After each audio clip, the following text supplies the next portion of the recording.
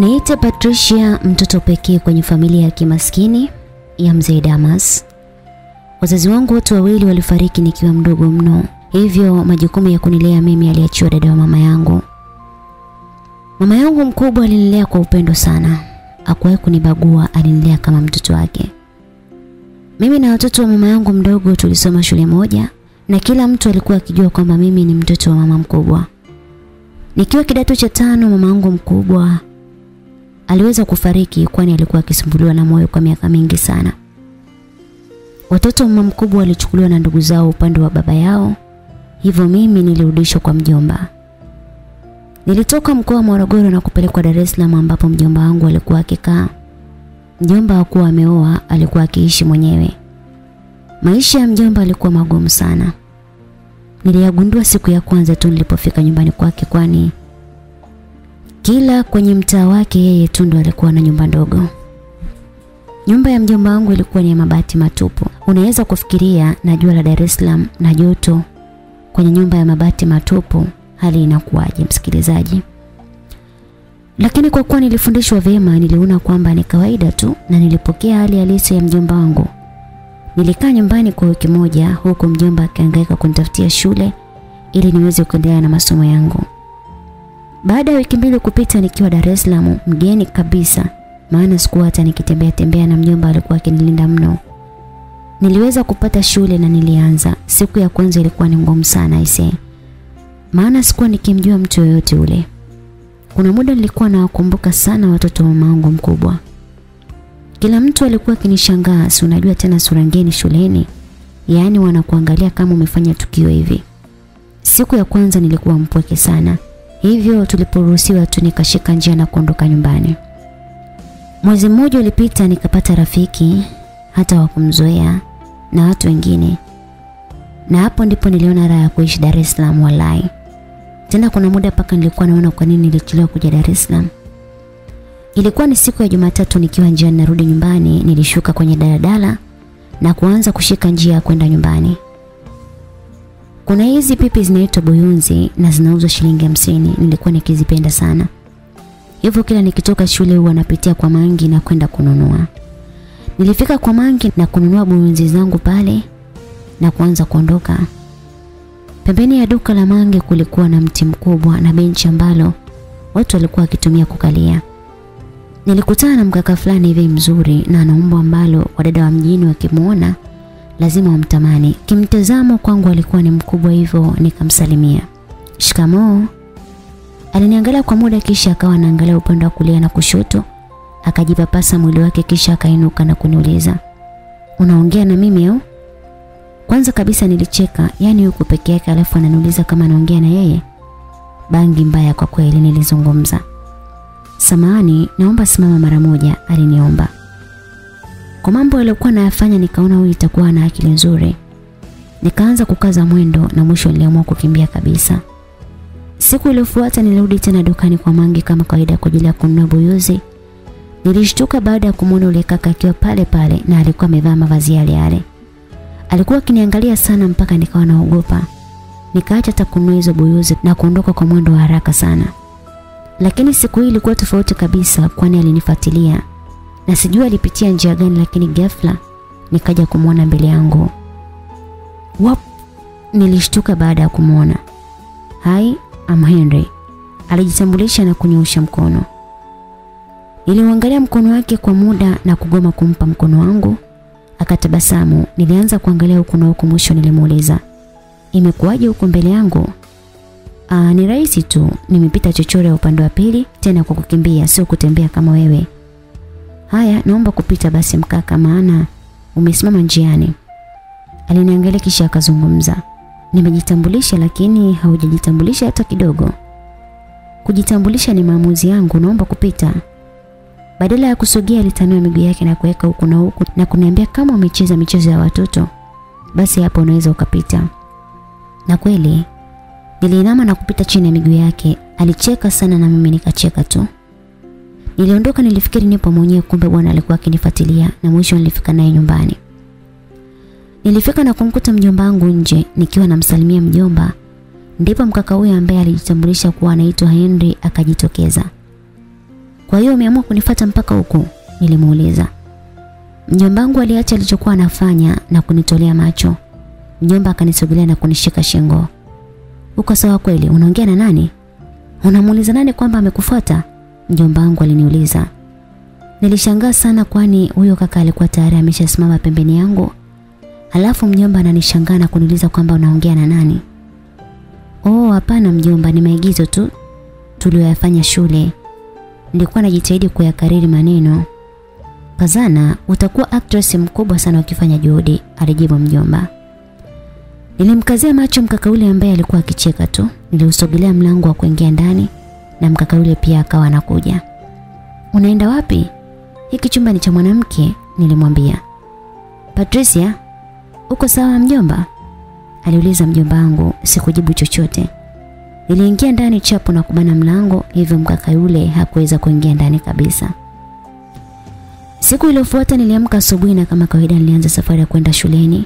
Nilifika kwenye daladala nilishtuka sana baada ya kumwona mkaka akiwa amesimama kwenye kituo cha daladala. Kwa hasira nikamfata na kuanza kumfokea. Hivi wewe una nini? Unataka kuniua au? Au wewe ndo manyonya damu wenyewe? Haiwezekani unanifuatilia kila kona. Nilifoka sana lakini cha ajabu kila mtu alikuwa akinishangaa na kucheka. Ila mabinti bwana, yaani wanachanganyikiwa mapema sana. Ni shida ya kuanza mahusiano katika umri mdogo sana. Sasa binti hapo unaongea na nani? Aliniuliza mbaba ambaye kwa mwonekano na yeye alikuwa akisubiria daladala. Swali la huyo baba pia lilinishangaza. Yaani na maana na yeye hamuoni huyo mkaka kama ambavyo mjomba wangu hawezi kumwona. Nilibaki nikijionea aibu tu maana kila mtu alikuwa ananiona kama nimechanganyikiwa hivi. Ilikuja daladala nikapanda na mkaka yule akapanda. Wote tulidaiwa nauli lakini yeye hakuwa amedaiwa. Kiufupi alikuwa haonekani kabisa. Basi nilifika shuleni lakini hakuacha kunifuatilia. Akafika mbali zaidi akaingia darasani akiwa na mimi. Hmm. Mbona umechagua kombi ngumu sana ikiwa wewe ni mtoto wa kike? Aliniuliza swali. Muda huo tulikuwa darasani na yeye alikuwa amesimama pembeni yangu. Yaani darasa zima ni mimi tu ndo nilikuwa namuona. Kwamba mwanamke atakiwa kusoma mathe au kwanza toka nje. Nilifoka kwa sauti ya juu sana. Mwalimu wa mathematics ama wa hesabu ambaye alikuwa anafundisha alinipiga na chaki na kwa hasira akanifukuza kwenye kipindi chake. Nilipotoka nje naye akanifuata. Haya mazoea yamezidi sasa. Kwa nini unanifatafata wewe ni nani? Na kwa nini mimi tu ndo naweza kukuona na sio wengine? Kwani wengine hawakuoni? Unanifanya na kuwa kama kichaa machoni pa watu. I'm sorry, I'm so, I'm so sorry. Simaanishi chochote na sifanyi makusudi. Ndio maana nilikuwa nikikuomba tuzungumze. Unataka tuzungumze nini kwa mfano? Um, unajua hakuna mtu yote anayeniona. Na nilishangaa wewe juzi ulivyonisalimia pale dukani. Na kama unakumbuka, nilikuuliza unaongea na mimi au kwa sababu unachojua mimi sionekani hata kidogo. You're so funny. Unachekesha. Usionekane kwa yoyote. Wewe umekuwa nani? Nikuulize. Uliwahi kufa ukafufuka au? Bora ningekuwa nimekufa labda ingesaidia. Nahitaji msaada wako sana kwa wakati huu. Nakwambia, ukinisaidia nitakufanyia chochote. Huu mchezo wa kitoto siuwezi. Siwezi kuucheza kabisa. Naomba toka mbele ya macho yangu, nilimfokea. Patricia, please nisikilize, sikia. Familia yangu inajua niko Nigeria kwa sasa. Lakini ukweli ni kwamba nimerudi hata mimi mwenyewe sijui nime nimerudije. Nilijikuta tu nipo kwenye geti la nyumbani kwetu. Oh, nilikuwa najiuliza sana Abunuwasi ni nani. Nashukuru leo nimeweza kukujua kijana. Nilijibu na kutoka eneo hilo maana darasani nilishafukuzwa. Nilinyoosha moja kwa moja mpaka kwenye mti mkubwa sana uliopo pale shuleni na wanafunzi wengi walipenda kukaa kwenye eneo hilo. Nilikaa na muda mfupi akaja Endre na kusimama kukaa pembeni yangu nikamuuliza ni nini mwisho haya yote na kwa nini unanifuatilia sana? Yaani kila kona upo, kila ninapopita upo. Tazama, kwa ajili yako sasa hivi nipo nje na wenzangu wanajisomea. Nitakusumbua mpaka utakapokubali kunisaidia. We ni mtu aina gani? Hmm? Na kuomba utoke kunisaidia? Niseme tu kwamba nimeshindwa kukuelewa nini unataka. Wewe unafikiri naweza kukusaidia nini mimi? Nenda kwenye familia yako na wakusaidie na sio mimi. Patricia, nielewe basi. Kama familia yangu ingekuwa inaweza kunisaidia, basi ningekuwa nimeshapata msaada mkubwa tu. Na sidhani kama ningekuwa na wewe muda huu. Eh eh, kwamba familia yako imekataa kukusaidia? Hapana Patricia, sio kwamba imekataa. Wewe mbona una kichwa kigumu hivyo? Tatizo lililopo ni kwamba hakuna mtu anaweza kuniona mimi. Na mpaka sasa hivi, kwa nini wewe tu ndio unaniona? Unanichanganya tu. Toka mbele yangu bwana. Toka pembeni yangu na uondoke. Katafute msaada huko.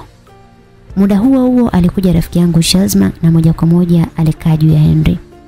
Wewe, huoni aibu? Nilimuuliza Shazma. Aibu ya nini? Kabla sijajibu ndipo nikakumbuka kwamba hakuna mtu anaweza kumwona Henry zaidi yangu mimi tu. Hivyo nilibaki njia panda tu maana da. Kutoka nje ikiwa ni muda wa darasani hauoni aibu, nilimdanganya Shazma. Ah, nimechoka bwana. Mwalimu mwenyewe unamjua tena anafundisha mpaka anafundisha tena. Uvivu tu. Basi nilimtania rafiki yangu na sote tukacheka pale. Mwambie ainuke bwana nishachoka kumpakata. Mtu mwenyewe mzito kama nini? Alizungumza Henry. Tusichoshane, sawa? Kwani uliitwa hapa au? Nilifoka. Basi baada ya mimi kufoka Shazma aliamini kabisa kwamba anamfukia yeye. Aliinuka na kuanza kuondoka. Sasa unaenda wapi shoga yangu? Nikuulize kitu Patricia. Hivi wewe uko na shida ya akili sasa hivi au? Mara uongee mwenyewe, mara hivi, mara vile. Sasa hivi umeniambia kwamba kwamba kwani uliniita niondoke. Alafu unaniuliza tena maswali yako ya ovyo. Shoga yangu naye hujui kutaniwa. Nilikuwa nakutania tu. Nisipokutania Shazma wangu nimtanie nani mie? Nilijibaraguza pale na kujichekesha sana.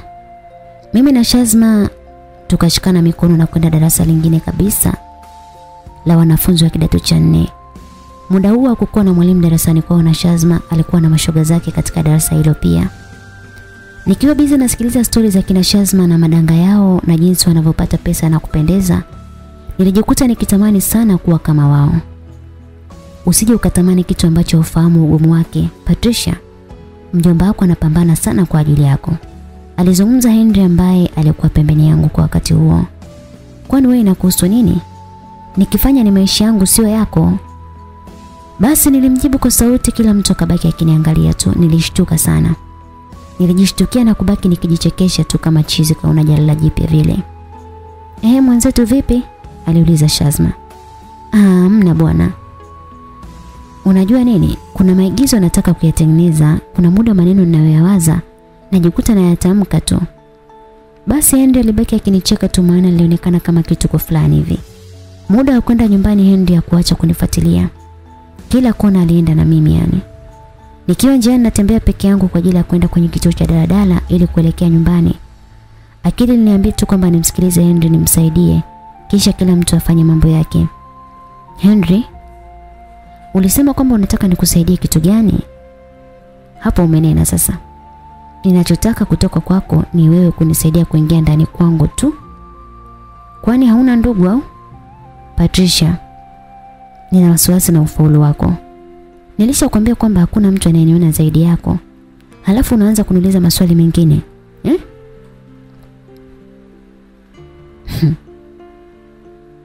Unanifokea, si ndio? Na kuacha sasa. Nilijifanya kukasirika haraka akanifata na kunishika bega. Nisamee ila unizoee, kuna muda na kuaga na hasira sana. Nataka kujua imekuwaje wewe ni mzima au ni mtu kabisa?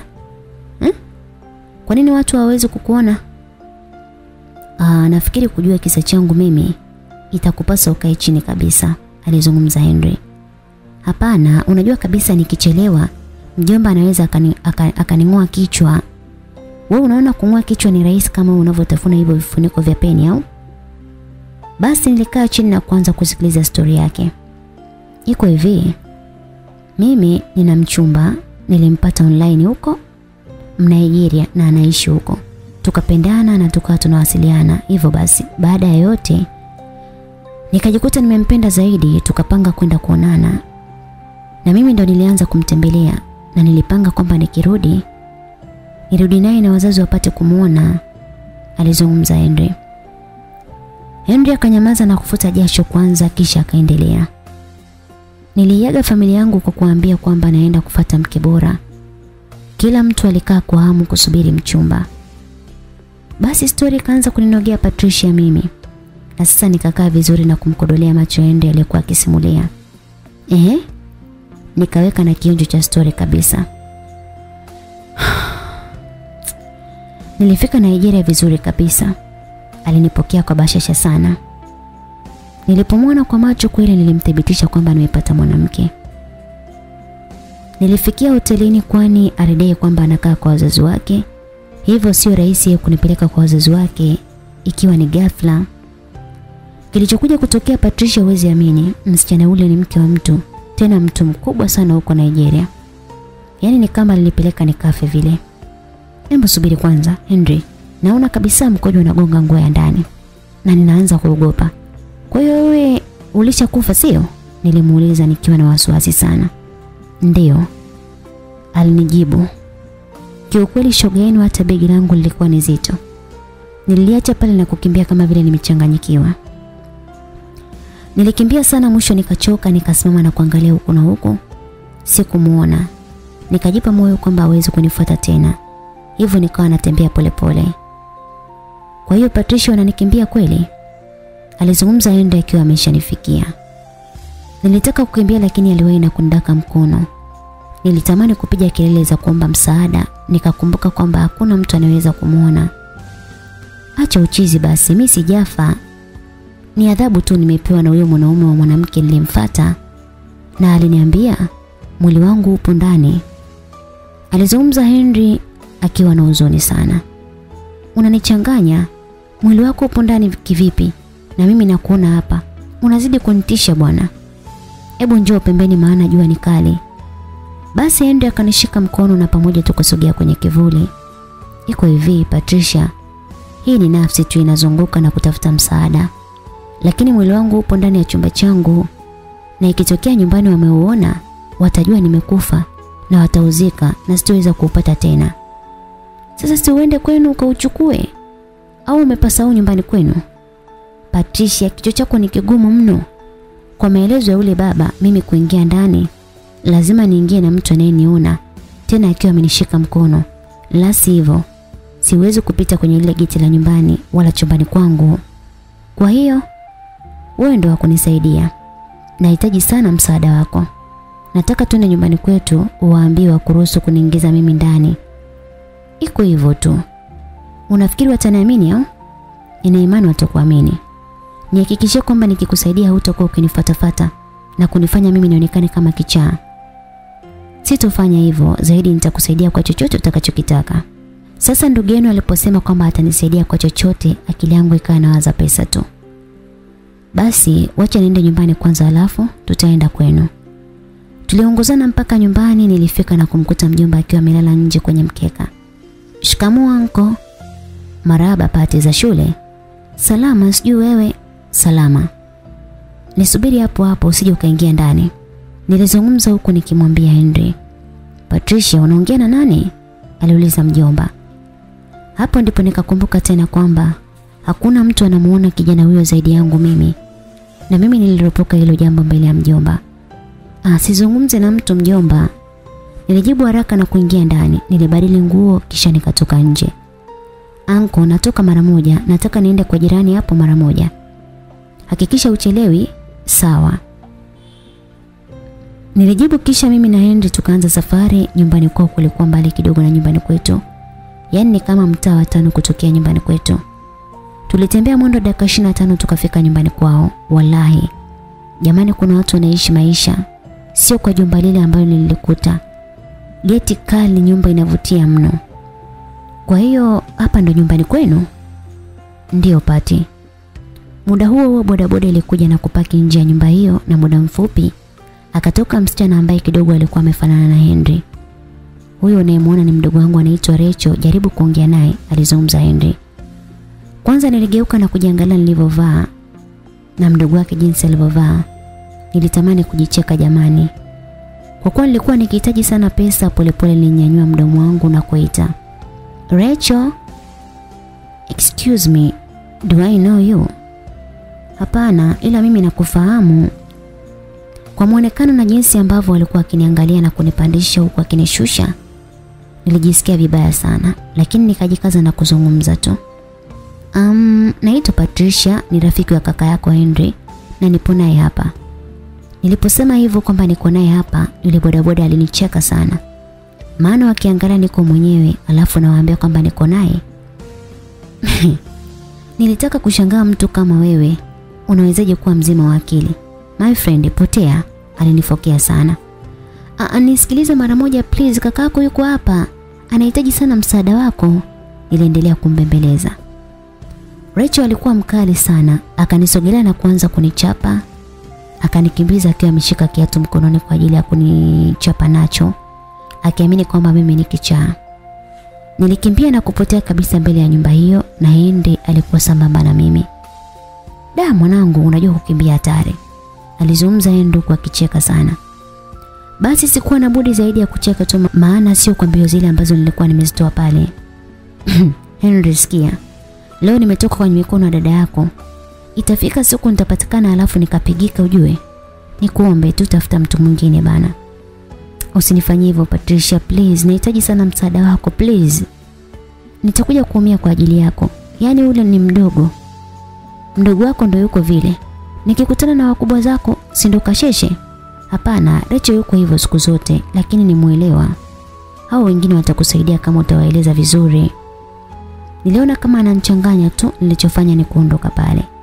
Patricia, Patricia, aliniita jina langu mfululizo. Usiniache peke yangu tafadhali. Hujui tu nakuaje mpoke kwa sasa. Haujui usiku huwa nateseka kiasi gani kuzurula nje bila mpangilio. Nilipokutana na wewe, nikaona ni Mungu ameleta mtu wa kunisaidia please. Usiniache Patricia na kuhitaji mno. Alizungumza akilia sana. Maneno yake yalinifanya nijisikie vibaya sana. Najua maana ya kuwa mpweke, maana nimepitia kwa kipindi baada ya kupoteza wazazi. Nilisimama lakini nilishindwa kugeuka kumtazama. Moyo wangu ulinisukuma sana kurudi nyuma na kumsaidia na kweli nikarudi. Nitakusaidia, nilimwambia. Alifurahi sana akainuka na kunikumbatia. Twende tena nyumbani kwenu basi, nilimwambia. Safari ikaanza tukarudi tena nyumbani kwa kina Henry.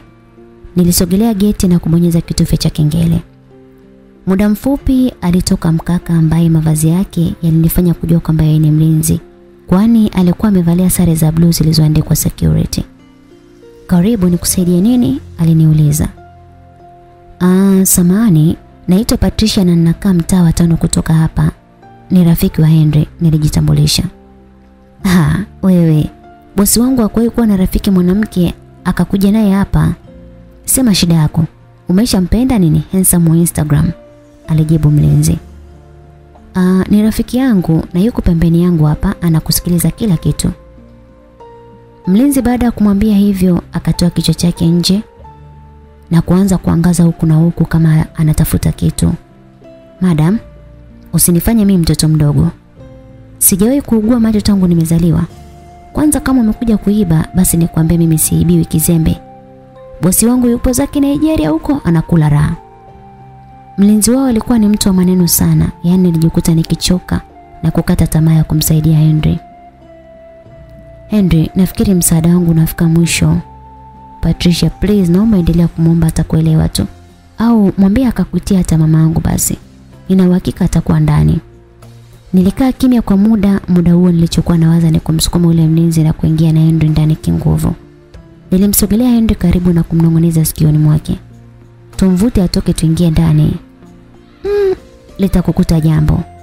Kuna kamera kila kona na hapo alipo ana alamu mfukoni. Ukimgusa tu inakula kwako. Nikajionea makubwa haya. Basi nilimshika ende mkono na kuondoka naye pasi na kumwaga mlinzi. Sasa mbona tumeondoka? aliniuliza Henry. Sasa kwa mtazamo wako unafikiri pale tungeweza kupita? Una kichaa kweli wewe? Tena kaa kimya, nilimfokea. Henry alikuwa ni mtu wa vituko sana. Alichofanya alichukua mkono wake na kuweka kidole mdomoni, nilijikuta nikicheka. Kwanza umeniponza. Giza limeshaanza kuingia. Mjomba wangu ataenda kunipiga mno jamani. Henry kujibu kitu zaidi alikuwa akiangalia juu tu na kutembea kwa nyuso yake ya huzuni. Tulifika nyumbani na nilimkuta mjomba akiwa anazunguka zunguka huku na huku akiwa ameweka mikono yake nyuma. Kimenuka, Henry aliniambia. Nilishindwa hata kumjibu maana mjomba alikuwa akiniangalia sana kwa wakati huo, tena kwa hasira sana. Patricia, abe mjomba, Saizi ni saa ngapi? Sifahamu wangu kwa maana sina hata saa. Subiri nikusaidie kitu. Saa hizi ni saa moja na dakika tatu. Na nilikwambia saa ngapi unatakiwa kuwa nyumbani? Saa kumi na moja anko. Lakini sikuwa nikijua saa na nilikuwa kwa jirani kuangalia TV. Patricia, huyo kijana anakupotosha mwanangu. Anakupoteza huyo kijana. Mjomba wangu aliposema hivyo huyo kijana kwamba anakupotosha, niliamini kwamba ameanza kumwona Henry. Hata Andy alitabasamu kwa kuamini kwamba ameanza kuonekana. Anko, umemwona Henry si ndio? Nilimuuliza kwa furaha. Henry ni nani? Ni huyu niliyekuja naye mjomba. Nilijibu na kumshika Henry mkono. Mjomba alinisogelea na kunishika shingoni kama ananipima joto hivi. Patricia, uko sawa kweli? Unaongelea nini? Hapo moyo wangu ukafa ganzi kabisa. Maana ndipo nilifahamu kwamba mjomba wangu amuoni Henry. Haya, nenda na nikapumzike basi. Niliingia ndani nikiwa na Henry nikajitupia kitandani kwa uchovu bwana. Nilisahau kwamba chaga zilikuwa za kuegesha, ghafla nikaanguka chini. Ndio umezidi uzito au? Henry alicheka sana na kuniuliza. Hii sio ya kuchekesha unajua Henry. Nilijibu nikiwa nimechukia sana. Basi Henry akanisaidia pale na kukiweka kitanda vizuri. Kwa kuwa nilikuwa na njaa nilitoa chakula na kukiweka chini kwani sikuwa na meza. Kaa chini tule, nilimwambia Henry. Kitu ambacho sipate kukihisi ni njaa na usingizi. Nipo nipo tu kama sio binadamu, alijibu Henry. Nilijikuta hata nikianza kumwogopa. Isije kawa nipo na mzimu hapa, ananilagai na maneno yake. E Mungu naomba nisaidie mimi. Nilizungumza kimoyo moyo. Nilikula Henry alikuwa akiniangalia tu ninavyokula kwa aibu. Kuna muda nilikuwa natamani hata kumwambia atoke nje ili nianze kupiga yale matonge yangu yale manene. Nilichukua nguo zangu chafu na kuzifunga kama godoro na kuweka chini ili niweze kulala. Maana nisingeweza kulala kitanda kimoja na Henry. Utalala kitandani, nitalala hapa, nilimwambia. Mimi silalagi. Oh, nilisahau. Basi muda wa saa tatu ulifika nikavuta shuka langu na kulala. Lakini nisiseme kwamba nililala, maana usingizi haukuwepo kabisa. Nilifumba macho yangu kumpambaza Henry tu. Mwisho wa yote nilikuja kushtuka siku iliyofuata asubuhi tena baada ya kupata ndoto kwamba nachapwa shuleni kwa ajili ya uchafu. Nilikurupuka kitandani maana nikikumbuka siku iliyopita sikuweza kufua nguo zangu za shule. Nilishtuka na kushangaa baada ya kumkuta Henry akinipasia nguo zangu za shule, haraka nikampokonya. Unawazimu wewe? Unawezaje kunyoosha nguo chafu unataka ifubae? Ah, nilifua jana usiku. Nilitoa macho na kumwangalia vizuri kwanza. Nilifua nguo zako zote chafu. Hapo alinishangaza zaidi nikatoka nje na kweli nilikuta nguo zangu zipo juu ya kamba. Nilishtuka zaidi baada ya kuona nguo zangu za ndani zikipepea. Nikarudi ndani chapu. Umefua hadi nilishindwa kuzitaja nikabaki nikiwa nimeshika kiuno tu. Nilishika kiuno nikabaki nikimshangaa kwa nini afue nguo zangu za ndani. Alibaki akicheka tu lakini mimi nilichukia sana na kujikuta nikimfokea. Aliyekuambia ufungo zangu za ndani ni nani? Jamani, sasa unaachaje nguo zote hizi zikiwa chafu? alafu sioni kama kuna ubaya kumsaidia rafiki yako anayekusaidia, alijibu. Hicho kichaa chako hicho. Sikitaki sawa? La sivyo humu ndani utaondoka. Na sitaki kukuona tena karibu yangu. Una uhakika umechukia au unafurahi? We, ofa ya kufuliwa unaiona mchezo? Kwanza nikuulize. Hauna uchawi humu ndani hata kidogo? Aliuliza huku akicheka. Swali lake lilinichanganya sana, nilimkazia macho na kumuuliza, "Uchawi?" Ndiyo uchawi. Haiwezekani kati ya wote wewe ndio unaniona mimi. Halafu mimi na uvivu wangu huu wa kufua nguo kwenye mashine. Leo hii nakufulia wewe tena kwa mikono. Hapo nilijikuta nacheka sana mpaka tukawa tunagongeana na mikono. Achana na maneno mengi rafiki yangu. Malizia kuninyoshia basi subiri nikaoge. Nilitoka nje nikiwa na furaha zangu mwenyewe. Mlangoni nilikutana na mjomba ni wazi alikuwa akinisikiliza. Shikamoo mjomba. Mjomba wangu hakunijibu kitu zaidi aliingia chumbani kwangu chapu. Akaangaza huku na kule mwishoni akatoka nje akanikazia macho akiniangalia sana. Nilijua kabisa angu amesikia nikizungumza humu ndani. Ndio maana ameingia kuangalia nilikuwa naongea na nani. Mjomba wangu akuzungumza kitu zaidi aliingia chumbani kwake nilijikuta nikicheka tu. Yaani nilijikuta nikianza kuinjia uwepo wa pale. Nilijiandaa kwa ajili ya kwenda shule na nilipomaliza nilimwaga Henry kwani tulikubaliana kwamba hatonifuata tena na mimi nilikuwa tayari kumsaidia. Siku hiyo shuleni nilikaa kwa amani maana sikuwa nikipigizana kelele na mtu yoyote yule. Leo naona umekuja na mudi yako nyingine, huzungumzi mwenyewe kama jana, alizungumza Shazma. Aha, ni maigizo tu wanafanya nikiwa sijisikii kukaa shuleni. Hakuna cha zaidi Shazma. Nilijibu kwa dharau nikiamini leo nitakuwa poa. Majira ya jioni kama kawaida nilirudi nyumbani na kuingia ndani. Sijui kwa nini lakini siku nilikuwa najisikia furaha sana na nilikuwa na shauki ya kuonana na Henry. Nilifika chumbani kwangu lakini sikumkuta Henry. Nilitoka nje kabisa na kumwangalia huku na huku na kuna muda nilikuwa natamani hata kumuliza mjomba. Nilijikuta nikizunguka mtaa mzima nikimtafuta Henry. Nilitamani hata kuitilia jina lake. Sijui nini kimenikuta mtoto wa mama Patricia lakini nilimtafuta sana bila ya mafanikio. Kwa huzuni nikaamua kurudi nyumbani. Nilirudi nyumbani nikiwa na huzuni sana. Sikuwa hata na nuru ya tabasamu usoni mwangu. Ulienda wapi? aliniuliza mjomba. Yaani nafika tu nyumbani na mjomba ananitandika nswali jamani. Huyu naye kazidi bwana kunilinda. Yaani nisitoke hata mara moja. Nikiwa najiandaa kumjibu mjomba, muda huo huo Hende alitokea kwenye kichochoro cha nyumba yetu. Kibaya zaidi ni kwamba alikuwa amevaa dera langu. Nilijikuta nikianza kucheka kama sina akili nzuri na kuropoka. Jamani sasa mbona umevaa dera? Mjomba wangu alishtuka sana na kujiangalia kwa makini mwili wake. Alipojiona yupo sawa alinisogelea na kunikamata kwa nguvu sana. Mjomba alinishika kwa nguvu sana na kuanza kuita. Baba Salim. Baba Salim.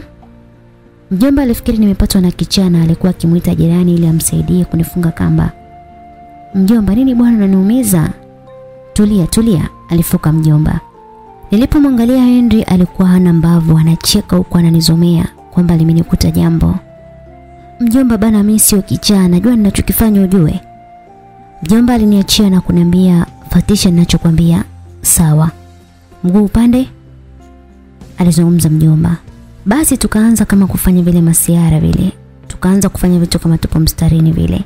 Nilifanya kila alichoniambia mjomba tena kwa ufasaha kabisa. Mwisho akaniambia Hebu kaa kwanza. Nilikaa kwenye benchi ambalo huwa linakaa hapo nje na mjomba akaja kukaa pembeni yangu.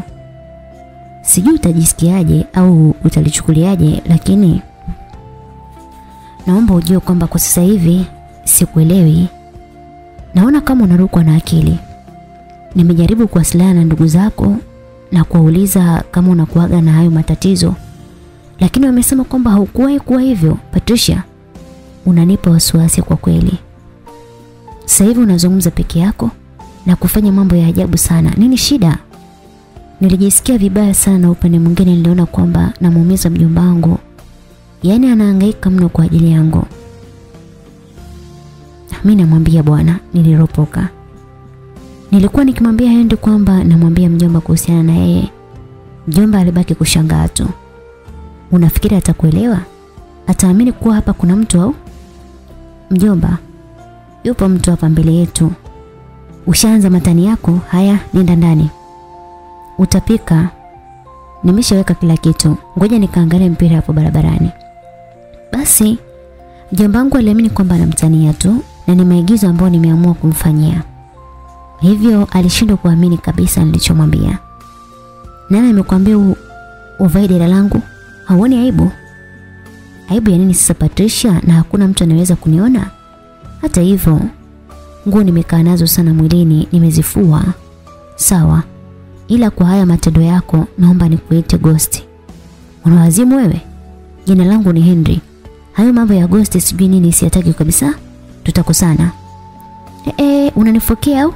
Na umevaa dera langu unanifokea? Na unataka nikusaidie? Oh, kwa kuwa unanisaidia ndio unataka chochote unachokitaka nifanye? Patricia, hiyo soro ya kiubinadamu. Kama unamsaidia mtu basi msaidie kutoka moyoni, sio unaleta masharti. Na kama ni hivyo, Acha niendelee kuwa mtaani mpaka Mungu atakapoona kwamba huu ni muda sahihi wa mimi kukutana na familia yangu. Alizungumza kwa hasira sana Henry. Nilibaki nikimshangaa. Aliingia ndani akavaa mavazi yake na kutoka nje. Nitakuwa ni mchoa fadhila kama nisipo kushukuru kwa msaada wako siku kadhaa. Mungu akubariki sana Patricia. Basi Henry alishika njia na kuanza kuondoka huku macho yake yakilengwa na machozi ya maumivu makali. Henry nilimuita. Unataka nini tena? Au kuna kitu chako nimeondoka nacho? Basi njoo unisachi, sijachukua chochote mimi. Sijamaanisha hivyo Henry. Nisamee kama nimekukosea. Sijakusudia kukuumiza na nilikuwa nikikutania tu. Unafikiri wewe utani unafaa? Nisamee. Nilitumia nguvu zote kumshawishi mwisho wa siku akakubali na kurudi nyumbani. Um, kwa kuwa alikuwa hajafika mbali muda mfupi tu tulifika nyumbani lakini alikuwa amepooza sana hakuwa amechangamka hata kidogo. Sikutaka kumuongelesha kabisa, nilimwacha amalizane na hasira zake kwanza. Niliwasha moto na kuanza kupika chakula ambacho mjomba alitaka nipike. Nikiwa busy na mapishi, Henry alinishtua sana baada ya kuanza kucheka ghafla. Tutauana kwa pressure bwana, kicheko gani iko? Aniache kwanza. Alinijibu huku akiendelea kucheka sana. Nilibaki nikimwangalia tu alicheka mno, yani mpaka nilipata hasira. Lakini nilijikaza nisimfoke maana mwanaume mwenyewe ananuna kama kitu gani sijui jamani. Kitu kidogo tu anakupa mnuno wake mmoja tu. Patricia, unajua anacheka nini? Mimi nitajuaje sasa? Yaani hapa nimekumbuka pale mjomba wako alivyokukamata na kukubana kwenye miguu yake. Yaani ile taswira inanijia na kunifanya nicheke sana. Da, mwanangu. Ulikuwa kama kakuku kanaomba msamaha. Kanaogopa kuchinjwa. Unakichaa wewe eti? Kwa hiyo kichoko chote kukumbe unanicheka mimi. Ulitaka nimcheke nani sasa? Nilichukia sana nikajifanya kuwa bize na mapishi yangu, nilipika na nilipomaliza nikala na kwenda kusafisha nguo za shule. Siku iliyofuata kama kawaida Henry aliamka na, kuninyooshia nguo zangu za shule. Akanipakia kiwi kwenye viatu vyangu, walai nilikuwa najisikia amani sana. Kwa hiyo leo si tunaenda nyumbani? aliuliza Henry. Nikiwahi kutoka shule tutaenda. Nilijibu na kuondoka na kumwacha nyumbani. Nilifika shuleni na kuanza kufanya shughuli za usafi kama ilivyo ada. Nikiwa bize na kufagia uwanja, nilisikia mtu akiita jina langu polepole. Niliinuka na kuanza kuangalia ni nani ananiita. Oh, Nelson, niambie. Nilijibu baada ya kumwona anayeniita. Hmm, mbona kama leo uko na furaha sana jamani, tushirikishane? Alizungumza Nelson. Amna bwana, ni kawaida tu. Si unajua sasa hivi ukishinda kujipa furaha mwenyewe, unaweza usipate furaha milele? Ya, ni kweli. Kuna kakazi kadogo nilikuwa nataka unisaidie hapa, alafu ni somo lako. Sawa, baadaye kidogo utanikumbusha, wacha nimalizane na usafi. Basi ngoja niwape umbea kidogo wasikilizaji wangu. Nelson ni mzuri sana, walai siku ya kwanza kabisa kufika hapo shuleni. Yeye ndo ambaye alinipokea, alafu ndo crush wangu. Yaani katika wakaka wote ambao nikiwaona tunapata furaha basi ni Nelson. Lakini ndo sina hata ile nguvu ya kumwambia ukweli. Yaani nikimuona na wadada wengine moyoni natamani kabisa kulipuka. Nelson alishika njia na kuanza kuondoka. Niligenda nikimwangalia tu na kucheka peke yangu kama mweho. Ushapenda tayari? Nilisikia sauti nzito ya kiume nyuma nikigeuka na kuangalia ni nani. Ah! Nilipiga kelele na kuanguka chini. Niliinuka haraka, nilichukia mno na kujikuta nikianza kumfokea Henry kwa sauti ya juu. Ukiangalia nje watu walikuwa wengi. Kila mtu alikuwa akinishangaa na kunicheka. Yaani, kwani unapenda mimi nionekane kama kicha Henry? Angalia kila mtu ananiangalia mimi. Kila mtu anahisi hapa nazungumza mwenyewe. Kwa kweli Henry alinikwaza sana. Nilijikuta nikilalamika huku nikiwa nalia kabisa. I'm sorry, I'm really sorry. Nimekuja tu kwa kuwa nimekumisi na natamani sana uwepo wako. Basi polepole hasira zikaanza kushuka nikajikuta nikimkumbatia. Kila mtu alikuwa anielewi, kila mtu aliniona kama nimekumbatia hewa hivi. Walicheka mno. Basi muda wa darasani ulifika niliingia darasani na Ende alibaki nje. Sijui kwa nini lakini siku hiyo sikuwa nimeelewa chochote. Muda wote nilikuwa nikikumbuka tabasamu la Henry na Nelson. Basi muda wa kurudi nyumbani ulifika na kwa kuwa mimi na Henry tulipanga kwenda nyumbani kwao tukaongozana. Nafikiri nitapanda pikipiki ili niwahi. Maana nikisema daladala nitachelewa na nitakuwa na mkwaza mjomba. Maana kila siku nitakuwa ni mtu tu wa kuleta matukio mapa mbele yake. Hela unayo? Ndiyo, amenipa Nelson. Mshaanza kupeana na hela? Wewe kwani nakuhusu nini? Tuliendelea kubishana kisha niliita bodaboda. Tutakutana getini kwenu, nilimwambia Henry. Tutakutana vipi na tunaenda wote? Kwamba tunapanda pikipiki moja ama? Wewe ni ghost jamani? Just disappear and reappear kule kwenu, sawa? Una kichaa wewe, sina huo uwezo.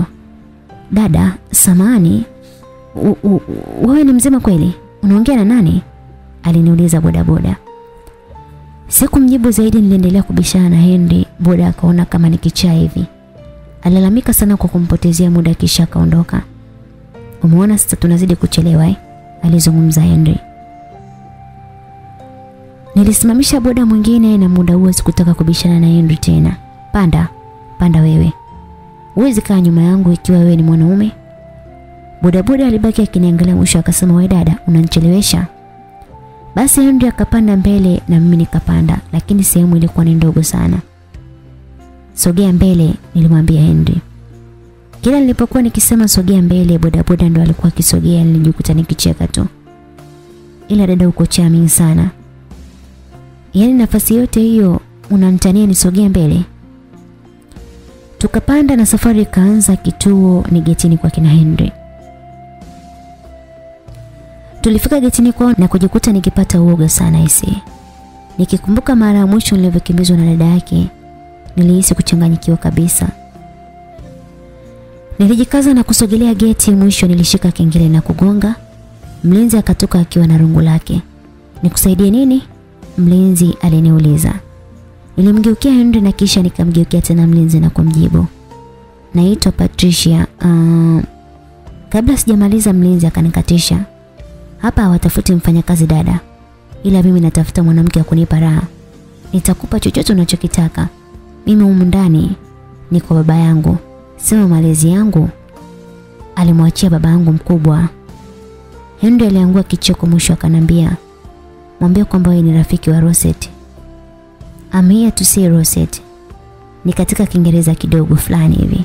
Niliona mlinzi ananiletea maigizo na mimi nayajua, wote tutambiane sasa.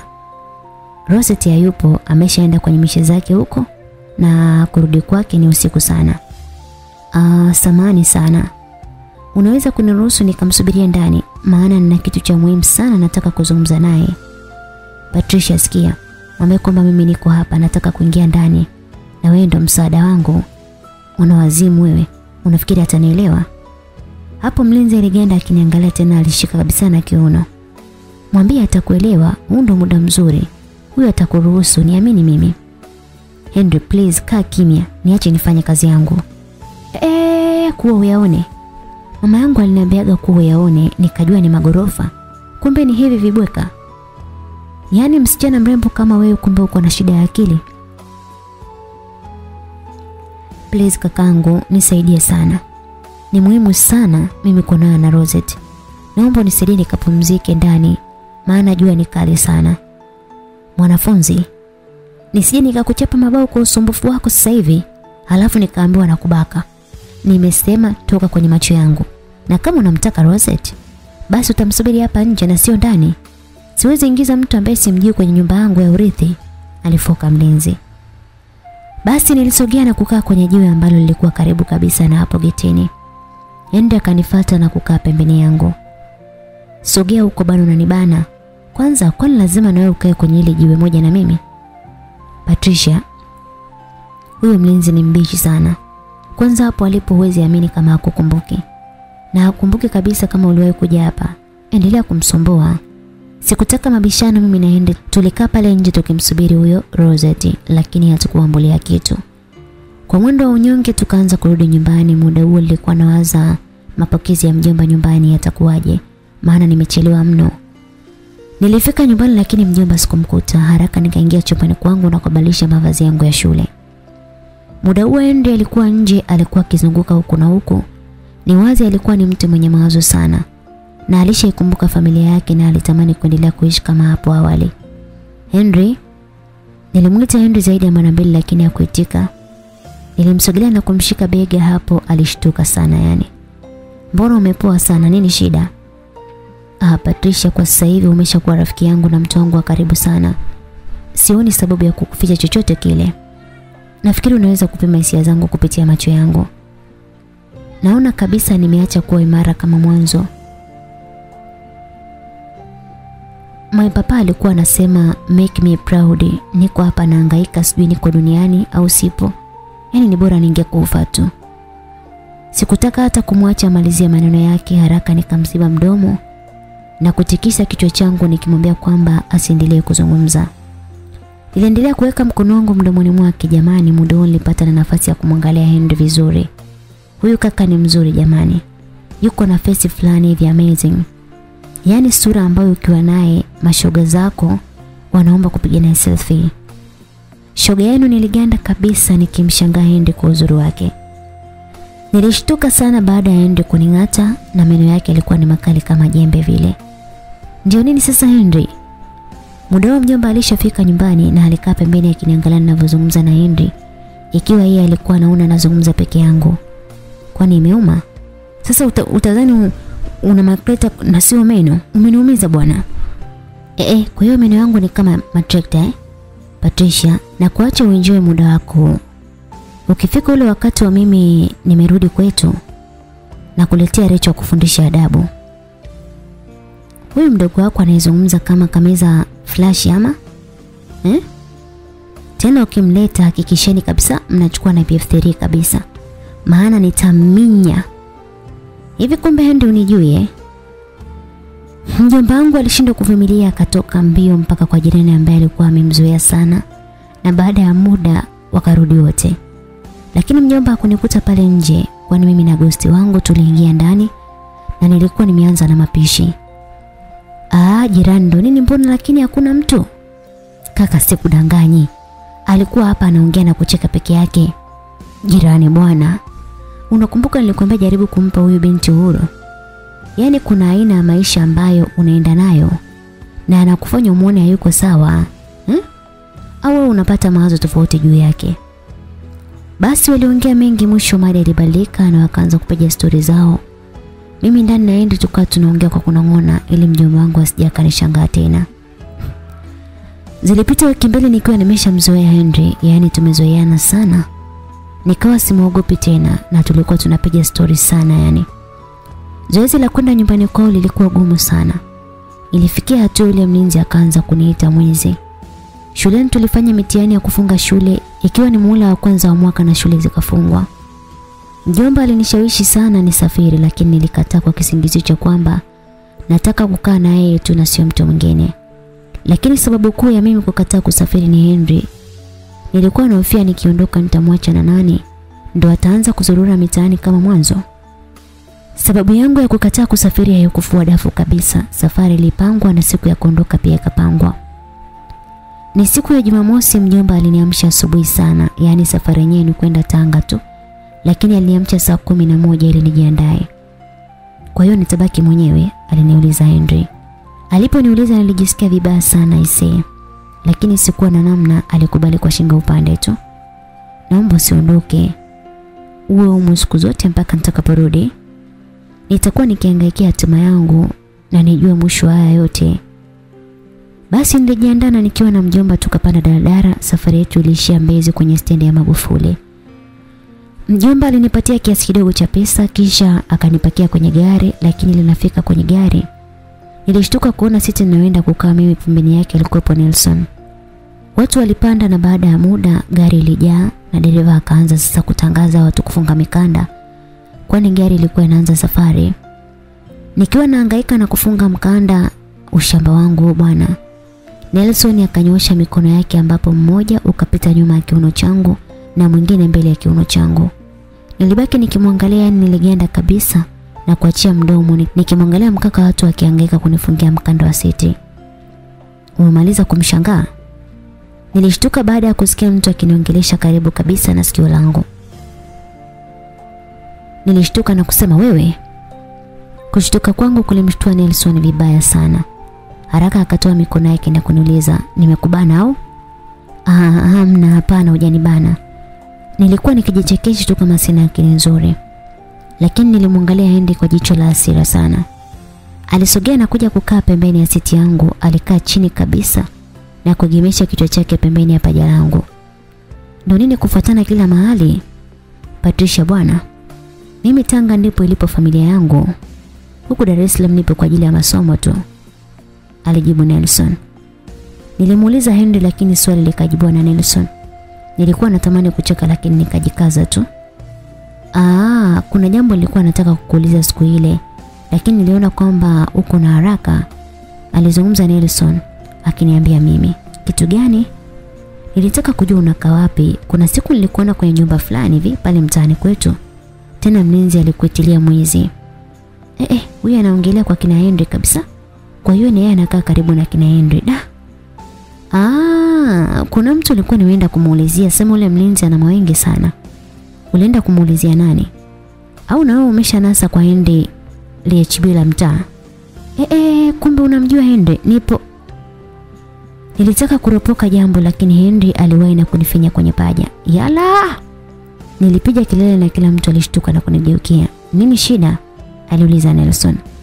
Naona mguu umekufa ganzi na unauma sana. Ah, mambo ya kawaida hayo. Unaonekana mayai sana wewe sio? Yaani ganzi tu ndo kelele zote hizo jikaze bwana. Ah, kwenye ile nyumba ulienda kumsalimia nani lakini? Aha, nilienda kumuulizia Roseti. Kuna kitu nilitaka anisaidie. We, kwanza ongera. Yaani Roseti huyu huyu mwenye mashauzi kama anamiliki dunia? He, Roseti sijui kama ana marafiki yule dada. Muda wote ana hasira. Sijui yuko na shida gani ese. Rafiki yake ni Henry tu. Kwanza nimesikia Henry yupo Nigeria akaenda kufata mke sijui. Sikio ndo nilijua kwamba Nelson ni mtu mwongeaji sana. Tuliongea mwisho nilichoka na kulala kwenye bega la Nelson. Safari ilisonga na mwisho Mungu akasaidia tukafika salama kwenye stendi ya Tanga mjini. Nilipofika stendi ya Tanga nikakumbuka karatasi ambacho alinipa mjomba. Nilisogea kwenye kibanda na kuomba kupiga simu. Nilipiga simu na muda mfupi nilifuatwa na mtoto wa mama mkubwa. Nilimpokea kwa furaha sana kwani niliwakumbuka mno. Muda huo Nelson alikuwa pale na simu yake pia ilikuwa imezima chaji hivyo sikuweza kupiga simu kwa kutumia simu yake. Nilichukua namba za Nelson na tukaagana na kila mtu akashika njia yake. Da Patricia, jana baba alivyotuambia kwamba unakuja. Tulikuwa tunaona kama siku inachelewa, hatimaye leo tumeonana tena jamani. Niliwamisi sana mjue, yani kuna muda najiona kabisa kwamba mimi nimekuwa mpweke. Muongo. Yuko na furaha sana. Yupo na mimi rafiki yake kila kona, alijibu Henry. Jiongeleshe na wakati usikiki. Nani anisikii? aliuliza mdogo wangu. Ah, yani kukaa sana na mjomba anajikuta kila muda na, natamka maneno yake. Yaani mjomba anachekeshaga sana. Ah, likizo ijayo na sisi tutakuja kwa mjomba. Ah, karibuni sana. Maongezi yaliendelea na muda wote tulikuwa kwenye bajaji safarini kuelekea nyumbani. Nilipofika nilipokelewa kwa furaha sana na kila mtu, ingawaje pale nilikuwa nikiwafahamu wawili tu, yaani watoto wa shangazi yangu Moralisa na Mina tu basi. Lakini mapokezi yalikuwa tofauti kwa shangazi yao akina Moralisa, yaani dada wa baba yao. Alikuwa akiniangalia kwa jicho la hasira sana. Nilikuwa nikiishuhudia chuki ya waziwazi kabisa. Siku iliyofuata kama kawaida yangu, uwaga napenda sana kuwahi kuamka na kufanya shughuli za usafi. Niliamka na kuanza kufagia uwanja ambao ulikuwa ni mkubwa mno. Unafagia au unatoa michanga? Unataka pachimbike kuwa na shimo ufurahi sio? Nilisikia sauti kutoka nyuma yangu, niliinuka na kuangalia, alikuwa ni shangazi ndo alikuwa akinifokea. Niliinamisha sura yangu chini kwa wasiwasi sana. Mtoto wa kike unafagia mgongo umeusimamisha kama ngamia. Eh? Kweli jamani? Wewe umelelewa vizuri wewe? Nilijisikia vibaya sana. Yaani nilijikuta nikitamani hata kumjibu. Nilitamani hata kulia. Ndio kwanza siku ya pili na ndio kwanza asubuhi, lakini mambo yameshaanza kuwa magumu kila pande. Oh, shikamo shangazi. Niliamua kumsalimia kwanza maana anafoka tu hata kusalimiana tu kusalimiana. fuga alafu katoe benki kama ni mali. Eh. Nilishtuka sana. Nilishuchuliwa sana. Muda huo ende alikuwa amesimama pembeni akanisogelea na kuniambia, "Simpe yale majibu yako ya mwana ukome. Una kichani ni wewe." Eh, jamani niliyakanyaga. Nilimjibu hendi kwa sauti lakini shangazi akajua kwamba nimemwambia yeye. Eh, jamani uwi, uwi. yani natokana asubuhi asubuhi kwenye nyumba yangu jamani. Eh, Mungu. Wewe. Alafu nije kuonekana kwamba namtesa mtoto wa marehemu kweli?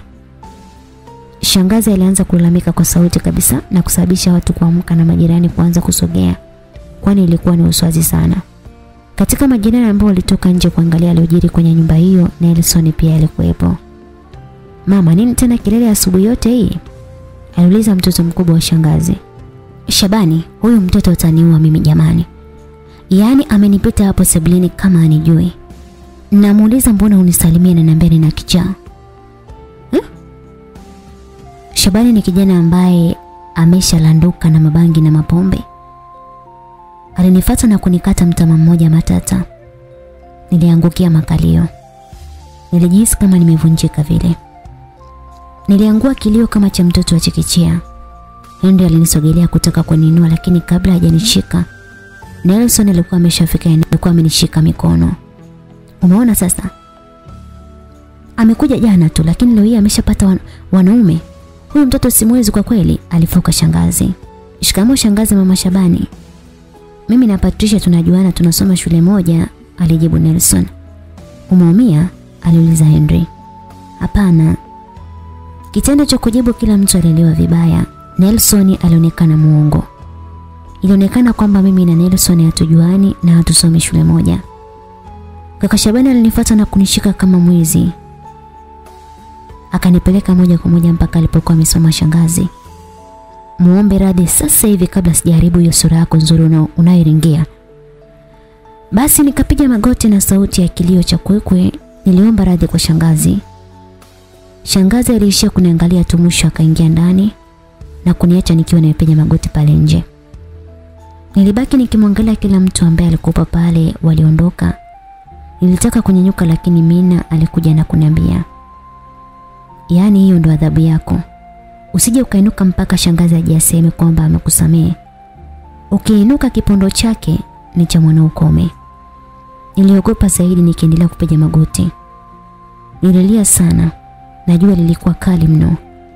Niliona tu sasa joto la mwili wangu limekuwa kali sana. Henry alikuja karibu yangu, alivua shati lake na kunifunika ili kuzuia jua. Hakuishi hapo. Alifuata maji na kunikanda usoni. Nafikiri ni muda wa kuinuka sasa utaumwa, alizungumza Henry. Hapana. Acha nimalize tu kama ni adhabu nimepokea. Unawazimu wewe? Adhabu gani umepiga magoti zaidi ya masaa matatu? Inuka bwana. Nilijikuta tu nikiangua kilio upya. Kaka Shabani alikuja na kutaka kunipiga. Nilifumba macho kwa uoga lakini Henry alishindwa na kujikuta akidaka mkono wa Shabani. Henry alikuwa ameshachukia, yaani ni ile levu ya mwisho kabisa. Bila kufikiria wala kuwaza alimtandika Shabani ngumi nzito ile ya kiume. Henry, please muache. Nilizungumza kwa uoga sana maana da. Shabani alianguka na kujipunguza vumbi na muda huo damu zilianza kumtoka puani maana ngumi ilikuwa sio ya kitoto. Shabani hakuwa ameelewa ile ngumi amepigwa na nani, lakini haraka haraka alijua ni mimi. Wengi lilimjana kwa hasira akafoka. Yaani Patricia wewe ni wa kunitandika ngumi mimi? Na kuambiaje umeyatimba na kuzika leo. Kelele zikaongezeka watu wakatoka tena nje na kila mtu alishangaa kumwona Shabani akitoka na damu puani. Kaka Shabani please naomba tuyamalize niliomba kwa kunyenyekea sana. Lakini lilikuwa ni ngumu sana. Kaka Shabani alikuja kwa kasi sana na kutaka kunitandika ngumi ya kiume. Lakini ghafla alidaa kwa mkono.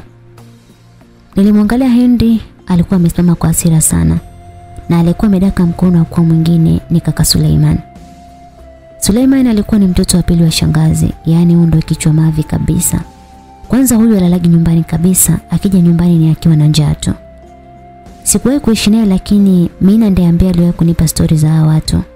Yaani shangazi watoto wake ni mitiani mitupu. Wakianza kugombana, nyumba inageuka uwanja wa vita. Oya, mwana unazingua. Mbona unataka kupigana na demu? Mbona unataka kumpiga kama mwanamume mwenzio ise?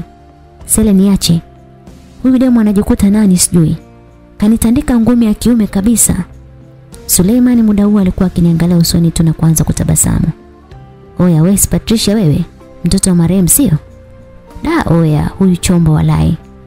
Alizungumza Sele kiuni kabisa na kuanza kunichezea mashavu. Huku akiniangalia na jicho lake la tamaa kwa wasiwasi nikarudi nyuma. Ah, eti mtoto ananiogopa. Oya we. Mimi napenda mademu hivyo. Naona kabisa pigo ninazotaka zipo kwako. Nilianza kutetemeka muda huo shangazi alinisogelea na kunishika mkono. Akaanza kunivuta kwa nguvu mpaka chumbani kwake. Kwa hiyo unataka kuniletea picha gani nyumbani kwangu? Unataka nionekane na kuchukia au? Hapana shangazi. Mimi nafikiri sikuhitaji kwenye nyumba yangu. Nampigia simu mjomba wako atume nauli uondoke. Nilifikiria sana na nilifikiri anatania tu. Alivuta simu yake na kumpigia mjomba. Eh, za saizi salama za huko? Salama, samani kwa kupigia simu muda huu, lakini huko si kwema. Yaani Patricia tangu amefika anasema anaona mambo ya ajabu na anaogopa anataka kurudi. Da mama yangu, naomba muendelee kunisaidia. Hapa tunavyoongea nipo kwenye treni naenda Kigoma. Nimepata kaajira kidogo kwa mwezi, si unajua natafuta ada kwa ajili ya mjomba. Shangazi yangu akajiongelesha pale na kujichekesha. Mwisho akakata simu na kunigeukia mimi kwa jicho la hasira sana. Niwakumbushe tu kwamba huyu sio shangazi yangu kabisa. Yeye ni ndugu wa mume wa mama yangu mkubwa ambaye alinilea mimi. Toka usoni mwangu nisije nikakutapikia sasa hivi binti ovyo kabisa wewe. Niliondoka kwa mwendo wa haraka mpaka chumbani katika watoto wa mama yangu mkubwa. Moralisa ndio ambaye alikuwa ni mkubwa na alikuwa anaelewa kila kitu na anajua jinsi ya kuzungumza na mtu. Nilipoingia chumbani Mina alitaka kuzungumza kitu lakini Moralisa alimziba mdomo. Nafikiri ukoge alafu uje unywe chai ambayo nimekufichia, alizungumza Moralisa. Sikujibu kitu maumivu makali alinijia shingoni, nilichukua kanga zangu na kutoka moja kwa moja mpaka bafuni. Na bafu lenyewe lilikuwa wazi. Nililia sana chooni na kumaliza machungu yangu ingawaje sio yote, lakini maumivu yale yalinipunguzia uzito kwenye moyo wangu. Nilimaliza kuoga na kutoka nje ile nafika nje tu uso kwa uso na Henry. Kam, aliniita Henry. Wala siku sikusita nilishamzoea vya kutosha, nilimsogelea na kumkumbatia kwa nguvu sana. Nilianza kulia upya. Henry alibaki akinipiga piga mgongoni tu. Lia kwa nguvu zaidi kupunguza maumivu, aliniambia Henry. Nilitamani kufanya alichoniambia lakini niliogopa kama ndani wangenisikia ingekuwaje. Nikiwa nimetulia kwenye kifua cha mzee baba ghafla Tumina alitoka nje. Kwa wasiwasi nikamsukuma Henry na kutulia. Nilijikuta nikianza kutabasamu na kukumbuka kwamba hakuna mtu anaweza kumwona Henry. Umeshaoga? aliuliza Mina. Ndiyo. Nilijibu kisha nikamshika mkono na wote tukaingia chumbani. Muda wote huo Henry tangu nimefika amekuwa ni mtu kukaa nje tu. Nilikunywa chai na nilipomaliza niliona sio fia kumwacha Henry nje tena peke yake ikiwa anaweza kuingia ndani na bila watu kumuona. Twende ndani, nilimwambia baada ya kumfata nje. Ah, nafikiri hapa panafaa zaidi. Hapana, lazima tuingie ndani. Lazima uongozane na mimi. P, please, niko vizuri. Sema nikwambie ukweli, hii nyumba ishanichukiza. Sioni kabisa umuhimu wa kuja huko kabisa. Ah, jamani, haya ameshaisha. Na mingine ni makosa ya kiubinadamu tu. Nasemaje? Mtu akikugusa tena Patricia bila ya sababu za msingi nitamaliza. Sikutanii. Na kuona unatabasamu, yaani huyo mtu nitamua kabisa. Sitaki matani na ujinga ujinga. Kwanza familia kama timu ya mpira, kijumba kama kiberiti alafu wanaleta manyanyaso, nitawaumiza waambie. Alalamika Henry. Hewe baba, haya twende ndani. Tuliingia mpaka chumbani ambapo Mina na Mona Lisa walikuwa wameweka karata na walikuwa wakinisubiri mimi ili tuweze kucheza.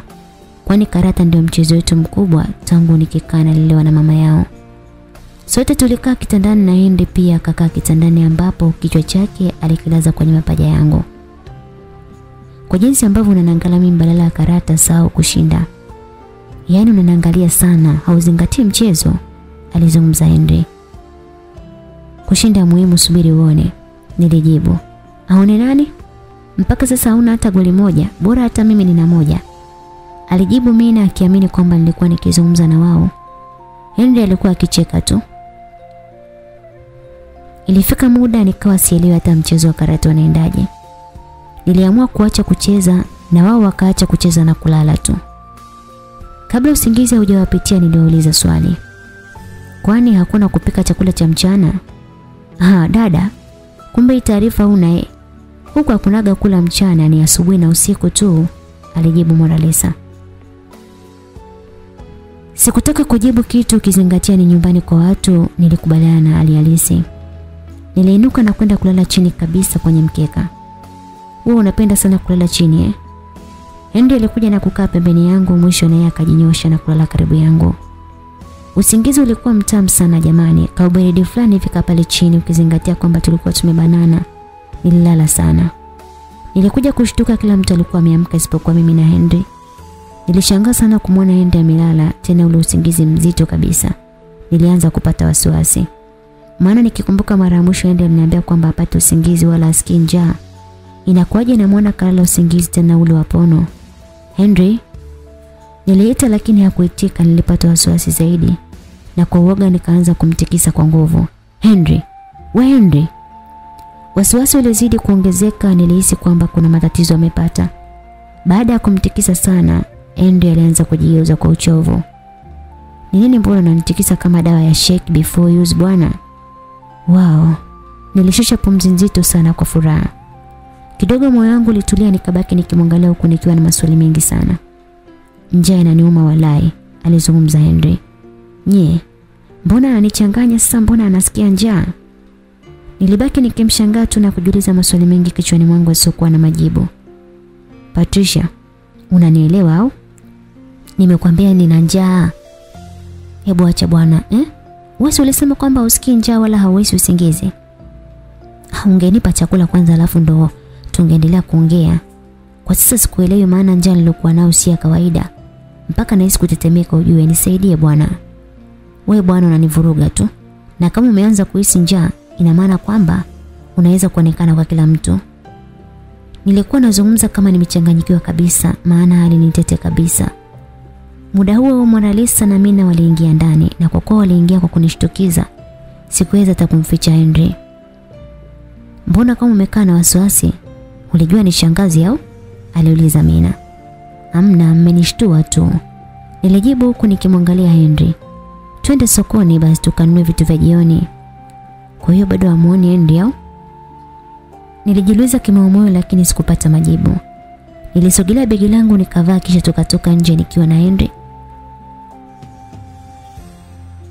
Ila mambo yanachanganya sana haya. Yaani bado hawamuoni niliwaza. Tulifika sokoni na kwa kuwa Ende alikuwa na njaa sana, alisogelea deni la watu la vitumbua na kuanza kufakamia. Nilibaki nikimshangaa tu maana ukizingatia hakuna anayemuona na alikuwa na njaa sana. Nisingeweza kumzuia na ule umati wa watu alafu nikaonekana nikichaa bure. Basi Henry aliendelea kula nikaona huyu sasa anamaliza dili lote. Inatosha sasa bwana, nilimfokea. Kila mtu akanigeukia mimi na kuniangalia kwa mshangao sana. Da sasa hapo ndo umekutana naye maskini unaona unaona umepata mtu unaoa unaweka ndani. Unakuja kugundua kwamba ni mwezi mchanga ise. Alizungumza dereva wa bodaboda. Ilionekana kama nina shida ya akili. Nilimsogelea Hendi na kumvuta tukatoka eneo hilo. Tukiwa tunanunua vitu tulivyoagizwa, Henry alisogelea deli la maji na kuchukua maji moja ya kandoro na kuanza kuyanywa pia. Niliamua kukaa kimya maana ndo ningeonekana kichaa kabisa. Baada ya kumaliza manunuzi safari ilianza kurudi nyumbani. Njiani tukakutana na Nelson. Mambo zenu salama za wewe? Nilimuuliza. Basi kwa kuwa tulikuwa tukienda njia moja tukaanza kuongozana na stori za hapa na pale zilikuwa zikiendelea. Da unarudi lini mtu wangu? Nataka tupande gari moja tena. Maana nimevutiwa sana na kampani yako. Nelson bwana eti kampani yangu. Anyway, sijajua nitaondoka lini maana kila kitu ni juu ya mjomba. Namsubiri akiniambia tu kwamba lini naondoka nitakwambia mshikaji wangu. Sawa, kumbe mama yake na Sele wewe ni ndugu yako kabisa. Hapana, mimi ndugu zangu ni hawa watoto na mama Sele ni shangazi yao. Oh, nimekusoma. Sema nini? Tutasomana basi, wacha niingie kwenye game hapa. Alizungumza Nelson na kuondoka pale. Ukasahau kabisa kwamba na mimi nipo. Ukawa busy na Nelson, si ndio? Henry alilalamika. We Ghost tulia basi, kwanza unanikera. Yaani leo umenikera hatari. Hujui tu. Tena kaa kimya. Nitamalizia hasira zangu kwako zote. Nilizungumza kwa sauti sana. Sikuwa na wasiwasi kwani muda huo kina Mina walikuwa mbele kabisa. Nyuma waliniacha mimi na Nelson. Nimekukera na nini? Wewe unafikiri ulichofanya kwa wafanyabiashara wale ni kizuri? Wewe unaona ni sawa kabisa eh? Da sina majibu. Hata mimi nimejisikia vibaya. Lakini hujui njia niliyokuwa nayo. Mwili wangu niliona kabisa unapoteza nguvu. We mwenyewe unajua sijala kwa muda gani. Nilibaki nikimwangalia tu na sikutaka kumjibu tena. Zaidi nikawakimbilia kina Mina ili tuende sawa maana nikizubaa linaweza kunikuta jambo huko nyumbani. Tulifika nyumbani na shangazi alikuwa amesimama kwenye mlango mkubwa kabisa akaanza kuzungumza. Kwa hiyo mkaamua mbebane wote kama mkubwa na wanawe sio? Mlishindwa kujiongeza kwamba mwingine angebaki akuliza tajiko la kuni na kwanza hata kusonga ugali. Eh? Huyo kulubembe wenu huyu atawaponza nawaambia. Hapo kulubembe huyo ni mimi jamani. Tusamehe shangazi, walijibu kwa pamoja. Toeni poa zenu mbele yangu alafu wewe futui wewe nifuate. Nilikuwa nimepata jina jipya pale pale. Kutoka kwenye Patricia mpaka jina la Futui. Hendi alikuwa akicheka tu na kwa kuwa haonekani ya kuacha kunifata. Hapo sasa shangazi akawa mbele, mimi katikati na Hendi nyuma. Tulizunguka mpaka nyuma ya nyumba, yaani upande wa pili wa nyumba. Kulikuwa na sehemu kubwa sana ambayo ilitapakaa majani. Umeona hapa palivo? Nataka nipakute pasafi. Na maanisha ulime, utoe vizuri kabisa. Na ukimaliza uje nikupe mbegu za maboga upande, alizungumza shangazi. Nikifikiria njaa niliyokuwa nao nilikumbuka tembele la asubuhi, nilikuwa nachoka kabisa. Hautakula mpaka umalize nilichokuagiza, alizungumza shangazi. Huyu shangazi ni mchawi. Amejuaje kama nawaza chakula hapa? Nilizungumza kimoyomoyo. Basi shangazi aliondoka, nilibaki nikimwangalia tu. Sikuwa na namna, nilienda store na kuchukua jembe na kutoka nalo. Henry pia akaingia store na kutoka na jembe jingine na kazi ikaanzia hapo, upande ikiwa ni mimi na mwingine ni Henry. Tulilima kwa haraka sana haswa Henry, kwanza alikuwa akilima vizuri sana na atumii nguvu nyingi. Kumbe unajua kulima eh? Sikia, Patricia, ukianza kunipigisha story muda itapungua na nitakuachia mwenyewe ile eneo. Kusikia kuachiwa mwenyewe basi nikafyata mdomo wangu tukamaliza na kusawazisha kabisa. Kachukua hizo mbegu alafu tumalizie hapa tukapiga msosi wetu, alizungumza Henry. Nikaingia ndani na kwenda kumomba mbegu shangazi. Shangazi alishangaa sana. Hakuamini kwamba nimemaliza mapema kiasi kile. Kwa hasira alitoka nje na kuangalia kama nimemaliza kweli. We mtoto wewe sio bure. Unakaa ndani yako au unatembea na mzimu wa mama yako? Alizungumza shangazi ni wazi ya kuwa akiamini kile ambacho anakiona. Nilibaki nikimchekea tu ikiwa yeye alikuwa amechukia sana. Nimpige teke? aliuliza Henry. Nilikataa kwa kutikisa kichwa lakini Henry alifanya. Alimshtukiza shangazi na teke moja la mgongoni. Shangazi akaanguka kama mzigo. Tena alianguka kifudifudi kabisa. Niliwahi na kutaka kumwokota lakini alifoka. Niache, niache, niache. Wewe sio mtu wa kawaida jamani. Msaada, mzimu huko. Ndani kwangu kuna mzimu jamani. Kutokana na kelele za shangazi, muda mfupi watu walijaa kama wote. Nilibaki nikimwangalia Henry kwa hasira maana ujinga wake ndio umesababisha kila kitu. Shangazi aliendelea kupiga kelele pale watu wakabaki wakimshangaa kama wanaangalia television. Shangazi, nilimuita. Mimi shangazi yako au? Jamani, haka katoto ni kachawi. Kamenipiga teke bila ya kunigusa, alizungumza shangazi. Kwanza kila mtu alikuwa anacheka na kupelekea mimi pia kucheka. Maana kwa akili ya kawaida hilo ni jambo la kuchekesha tu. Shangazi, hebu inuka bana unatia aibu jue. Wewe mbona kila siku jamani ni madrama tu? Alizungumza Moralisa. Kwa namna moja ama nyingine Monalisa na shangazi kidogo zilikuwa zinaiva. Wanaweza hata wakakaa kupiga story lakini sio mimi na shangazi. Au mimi na shangazi. We nawe niache. Najua hutaki kuniamini kwa kuwa ni ndugu yako, lakini ukweli ndio huo. Ndugu yenu ni mchawi, simtaki tena. Shangazi yangu anaendelea kulalamika pale. Kila mtu aliona ni kama jambo la kipumbavu, akaondoka na kumwacha shangazi akilia kama mtoto mdogo, akilalamika kwamba nimemuumiza. Nilijisikia vibaya sana, isiye kwa hasira, nikaondoka na kwenda chumbani kwetu. Wewe umempiga kweli shangazi au? aliuliza Mina. Una kichaa wewe? Yaani mimi nimpiga shangazi hata kama hanipendi. Siwezi nikampiga na sijawahi kufundishwa hivyo na unanifahamu vizuri mimi Mina. Ila kama kweli umempiga umenifurahisha sana, alizungumza Mina. Mina naye kichwa chake bwana nakijua mwenyewe, nilibaki nikimshangaa tu. Kwa kuwa nilikuwa mchafu sana, niliingia tena bafuni na kwenda kujisafisha. Muda wa saa moja usiku ulifika na chakula kilikuwa tayari, sinia likuwa limewekwa kwenye mkeka. Sinia lilikuwepo la wanawake na wanaume, yaani wanaume walikuwa na sinia lao na wanawake wana sinia lao. Kwa kuwa nilikuwa nina njaa sana wala sikusubiri kuitwa kwa kweli, haraka nikasulia kwenye mkeka na kukaa. Ingawaje wengine walikuwa wameshakaa na Ende alikuwa ameshakaa kwenye sinia la wanaume. We, inua koto zako hapo. Unakaa unataka kula chakula cha nani? Si umenipiga wewe? Nilijichekesha nikihisi anatania tu na ameamua kunirusha roho tu. Nilichukua maji ya kunawa ili ninawe lakini shangazi akatupa yale maji na kusababisha kumwagikia mkeka.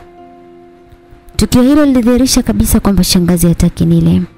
Machozi yalianza kunilenga ukizingatia na ile njia alafu nafukuzwa kwenye msosi.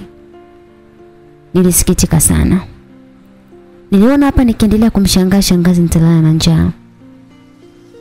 Maana mambo yamezidi kuwa magumu kwa upande wangu. Mtu tangu asubuhi sijala alafu saa tena ananiambia nisile. Nilijifanya kama nainuka kisha nikachota bonge la tonge kubwa na kuanza kukimbia. Lakini nilitulizwa na mtama mmoja tu wa juu juu. Tonge lenyewe nililiona baya nikalitupia pembeni. Kwanza niliumia kiuno maana mwanguko ulikuwa ni wa Promax. Kulia nilikuwa nikitamani na kucheka pia nilikuwa nikitamani. Jamani kakasele utakuja kumuumiza mwenzio. Alifoka Mina kisha akaja kuniinua. Umeumia? aliuliza Mina. Hapo ndio alichukia sana nilimwona akikunja ngumi na kuanza kumsogelea kakasele. Niliogopa sana nikampa ishara kwamba asifanye chochote. Nikiwa naendelea kuugulia maumivu, shangazi alikuwa bize kabisa na chakula chake. Yaani lile tukio la mimi kupigwa alikomshtua hata kidogo. Kaka Shabani aliinuka na kunisogelea karibu. Niliogopa sana. Kwani huyu ashindwe kabisa kunipiga. Mina alinishika mkono na kuniingiza chumbani. Upande wa Henry aliingia jikoni akachota chakula pamoja na nyama zote akaja nacho chumbani. Kwa mara ya kwanza Mina aliweza kuona mkono ukiwa umebeba sahani na unanisogelea. Kwa presha na wasiwasi akapiga kelele na kuanguka chini, hapo hapo akapoteza fahamu. Mpaka muda huo sikuwa najua kwa nini ampiga kelele, yaani ameona nini mpaka amepiga kelele hivyo. Ameweza kumwona Henry au imekuwaje maana amepiga kelele kali sana na kuanguka. Nilihangaika kwa kumpepea haraka haraka na ilichukua muda mrefu sana yeye kuamka. Alipoamka alishangaa kuona chakula kikiwa mezani. We, subiri. Hiki chakula kimeletwa na nani? Aliuliza mimi na nilibaki nimetoa macho kama sina akili nzuri. Sikuwa na jibu la kumpa kabisa. Nilibaki nikimkodolea macho kama mtu aliyepigwa na shoti. Nikamuuliza swali. Mbona umepiga kelele sana? Ah. Kwamba wewe hukuona kilichotokea? Eh? Haujaona kilichotokea? Kwamba wewe hujaona kilichotokea eh? Haujaona nilichokiona mimi. Nimeona mkono mtupu unaleta chakula na ndo hiki unacho wewe. Mm, hiyo ndio anaanza kuonekana sasa nilizungumza kimoyomoyo. Mina nisikilize kwa makini mdogo wangu. Nilimwambia na kwa utaratibu kabisa nikaamua kumpa historia nzima kuhusiana na Henry. Mwanzo wa kuweza kuamini nilitoka nje na kumuita Henry na kwa pamoja tukarudi chumbani. Lakini safari ikawa tofauti kwani hakuweza kumwona hata kidogo. Nilitumia tena muda wangu wa ziada kwa ajili ya kumwelezea. Mm, na Patricia. Nashindwa kukuelewa. Unasema yupo hapa wakati mimi simuoni. Mina yupo hapa.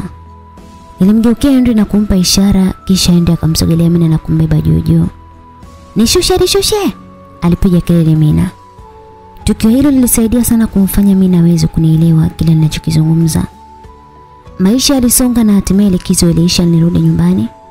Nilirudi nyumbani Dar es Salaam nikiwa na Henry wangu ambaye sikuwa naelewa mimi na yeye tutatengana lini.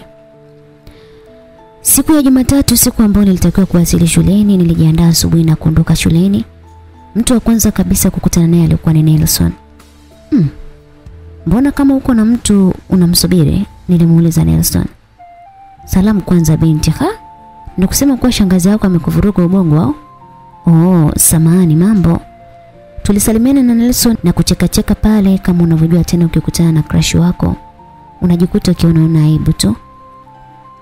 Um, actually nilikuwa nikikusubiri wewe, alizungumza Nelson.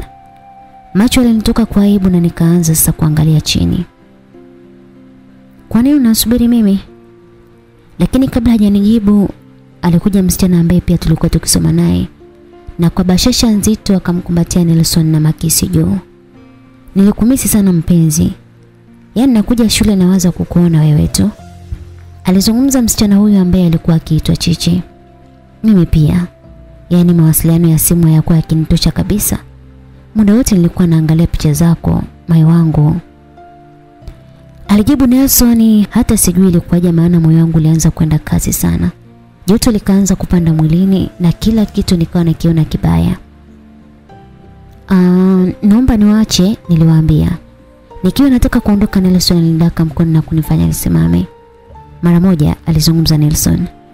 Nikarudi nyuma na kusimama pembeni yao kama mwanzo.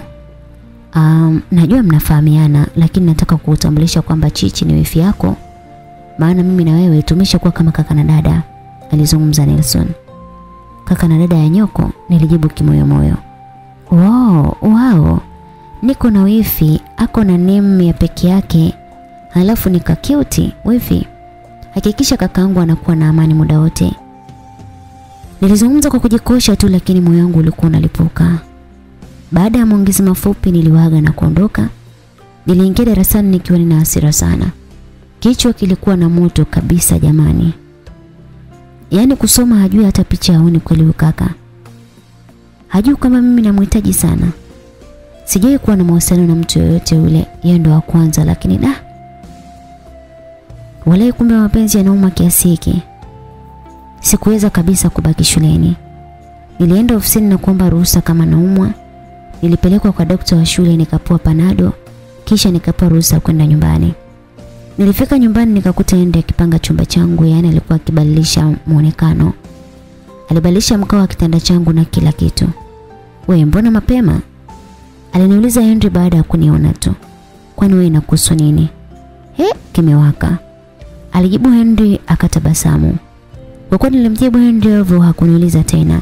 Zaidi aliendelea na shughuli yake ambayo alikuwa akiifanya pale. Alimaliza akapika kisha akanambia mimi natoka. Acha nikaiangalia familia yangu atakuwa pale getini tu. Ingawaje wao hawataweza kuniona. Alizungumza kwa huzuni sana. Ulitaka nikupe nauli? Si uende au? Nilimjibu. Yaani hasira zangu nilizamishia kwa kila mtu. Henry wala hakunijibu, zaidi akavuta ndala zake na kuondoka. Ilifika mpaka saa tatu usiku Henry hakuwa amerudi nyumbani. Nilitoka nje na kumwangalia kisha nikarudi ndani. Atajua mwenyewe kwani si mtu mzima, atarudi kwa muda wake. Nilizungumza mwenyewe. Nani atarudi mwenyewe? aliuliza mjomba. Ni wazi kwamba mjomba wangu alisikia ninavyozungumza peke yangu. Hamna mjomba, labda hujasikia vizuri. Haya, muda umeenda, zima taa na ulale. Niliingia chumbani na kurudisha mlango, sikuufunga kabisa. Nilikuwa nikiamini kwamba Henry atarudi na kuingia ndani. Nilikuja kuamka ikiwa ni siku nyingine tena, na jua lilikuwa kali sana. Nilishtuka na kugundua kwamba Henry hakuwa amerudi nyumbani siku hiyo. Niliamka na kumwambia mjomba kwamba naumwa na nilishapewa ruhusa shuleni. Hivyo sikuwa na sababu ya kwenda shule. Jamani, sasa Ghost kaenda wapi? Au na mimi nimeanza kutokumuona? Nilijiuliza. Mjomba aliniachia pesa ya chakula kisha akaondoka. Niliweka mambo sawa kisha nikaingia mtaani kumtafuta Ghosti. Nilishamzoea Ghosti wangu. Nilifika mpaka nyumbani kwao sikubahatika kumuona. Nilihisi huenda nimeacha kabisa kumuona, labda nimepoteza uwezo wa kumuona. Nilisimama getini kwao kwa muda mrefu, lakini mpaka nikakata tamaa ya kumuona. Niliinuka na kutaka kuondoka, lakini kabla sijaondoka geti lilifunguliwa. Akatoka Henry akiwa amependeza sana jamani. Kumbe huyu ndo handsome kiasi hiki. Kwanza harufu ya marashi yake ilikuwa inanivutia sana. Kwa furaha nikamkimbilia na kumkumbatia sana. Kama sina akili nzuri na kuanza kumlaumu. Kwa hiyo mimi nikikosea kidogo tu unaacha kuniongelesha na kuondoka kabisa. Eh? Wala hujui kwamba kuna msamaha. Henry, ni jana ndo nilikuwa na hasira lakini sio na wewe. Mbona sasa ukurudi nyumbani jamani? Ghafla alinisukuma kwa nguvu sana, nilianguka chini kama mzigo. Are you mad? Mimi na wewe tunajuana au? Kuchafuana tu, alilalamika sana. Gari ilikuja ambao ni Bolt akapanda na kuondoka. Nilijisikia vibaya sana. Yaani kumsaidia kote kule leo yeye amejipata na ameweza kurudi nyumbani kwao. Ananidharau na kujifanya hanifahamu. Siku yangu ikaharibika zaidi, nikarudi nyumbani nikiwa na huzuni kama yote yani. Ilipita wiki nzima sikuwa nimeenda shule, nilikuwa kama naumwa vile. Nilihisi dunia ni nzito sana. Baada ya yote niliamua kusahau na kurudi shuleni na kufanya maisha kuendelea tu. Nilikuwa bize na masomo yangu nikaweka juhudi kubwa sana kwenye kujisomea. Nelson pia hakuwa mbali na mimi, muda wote alikuwa na mimi. Kitu kilichokuwa kinanikera ni Chichi kukaa na sisi kila kona, utadhani alikuwa anamlinda Nelson. Vipi? Mbona kama sasa hivi haupo sawa? Shida nini? Aliuliza Nelson. Muda huo tulikaa chini ya mti mimi na Nelson tu tukipiga stori za hapa na pale. Ndipo akaniuliza hilo swali. Wewe nawe? Niko sawa tu ni maono yako. Ila niko sawa kabisa. Amna bwana. Kuna kipindi ulikuwa umechangamka mno, muda wote nilikuwa nakuona ukiwa na tabasamu. Lakini sasa hivi ni kama kuna uko na wakati mgumu sana unapitia. Nini shida? Baada ya kuzungumza maneno hayo nilijikuta tu nikiangua kilio cha hali ya juu. Aliinuka na kuja kunikumbatia kwa ajili ya kunituliza. Baada ya Nelson kunifariji pale tulipata wasaa kukaa wenyewe na hapo nilipata muda wa kumwelezea kinachonisibu. Si unajua kama na, na urafiki na Henry? Ndiyo najua, si uliniambia mwenyewe. Ya yani mtu unaweza kuwa na rafiki kwa muda mrefu mkasaidiana lakini mambo yake akikaa sawa tu anakusaliti. Tena ana, anaweza kufanya kwamba hakujui kabisa. Patricia, nyosha maelezo bwana, nashindwa kukuelewa mama. Iko hivi. Juzi nimeenda kwa kina Henry, nimekaa sana pale nje nikimsubiri. Alipotoka akawa ametoka ampendeza mno. Nilipomwongelesha alinikataa kabisa na kusema kwamba anifahamu. Sio unacheka nini Nelson? Kipi cha kuchekesha? Nilimuuliza kwa hasira kitendo cha Nelson kucheka kilinichukiza mno. Kwa hasira niliinuka na kutaka kuondoka. Sasa unaenda wapi? Aliniuliza Nelson. Nafikiri hakuna maongezi mengine, uwe na jioni njema. Bwana Patricia, acha utoto. Mimi sio kwamba nakucheka hapana. Nacheka kwa kuwa wewe ambaye ni rafiki wa Henry unashindwa kumgundua Henry. Hmm? Unashindwa kumfahamu Henry ni nani na Kendry ni nani? Sijaelewa. Umetaja majina mawili tofauti hapo. Patricia, usichoelewa ni nini? Kwani Henry na Kerry si mapacha? Wamefanana kila kitu. Kwa taarifa fupi tu, Henry bado yupo Nigeria huko, lakini Kendry ndo amerudi juzi kutoka masomoni UK. Nafikiri utakuwa umewachanganya tu. Hapo sasa akili yangu ilianza kukaa sawa. Maana yule mtu ambaye nilimuona na kudhani kwamba ni Henry alikuwa ni wa tofauti sana na Henry ingawaji sio tofauti mkubwa. Nilikumbuka jinsi ambavyo alinisukuma na kusema kwamba anifahamu. Oh, Nelson, sikuwahi kujua kwamba wako mapacha. Basi baada ya stori za hapa na pale nilipata furaha jamani. Nikajipa moyo wa kwanza kumtafuta Henry kwa mara nyingine tena. Nilitamani kujua kuwa yuko wapi na anaishi vipi. Nilitoka shuleni na kupitia nyumbani kwa kina Henry na kwa bahati nzuri nilimkuta Henry akiwa amekaa nje ya geti lao akipigwa na jua lile la mwisho kabisa la kuaga mchana. Henry alitia huruma sana, alitamani mno kuingia ndani kwao lakini ilishindikana. Adhabu aliyopewa na mume wa mtu sio ndogo jamani, anateseka mno. Henry aliinua macho yake na kunitazama kwa huzuni sana na hapo niligundua kwamba alijinamia akilia. Nilijisikia vibaya sana baada ya kuona machozi yake. Nilimuwahi na kumkumbatia. Usijali, kila kitu kitakuwa sawa. Niamini mimi. Mungu yupo, haya yote yataisha, nilimpa moyo. Hapo alianza kulia kwa sauti kabisa kama mtoto wa kike. Alilia huku akiwa amenikumbatia kwa nguvu mno. Nimechoka sana sana Patricia. Familia yangu yuko ndani na furaha kama yote. Pasi na kujua kijana wao niko nje nateseka. Natamani kumkumbatia mdogo wangu, pacha wangu ambaye sikuwahi kumwona takriban miaka minne. Amerudi, namuona kwa mbali tu. Hajawahi hata kuniona mimi.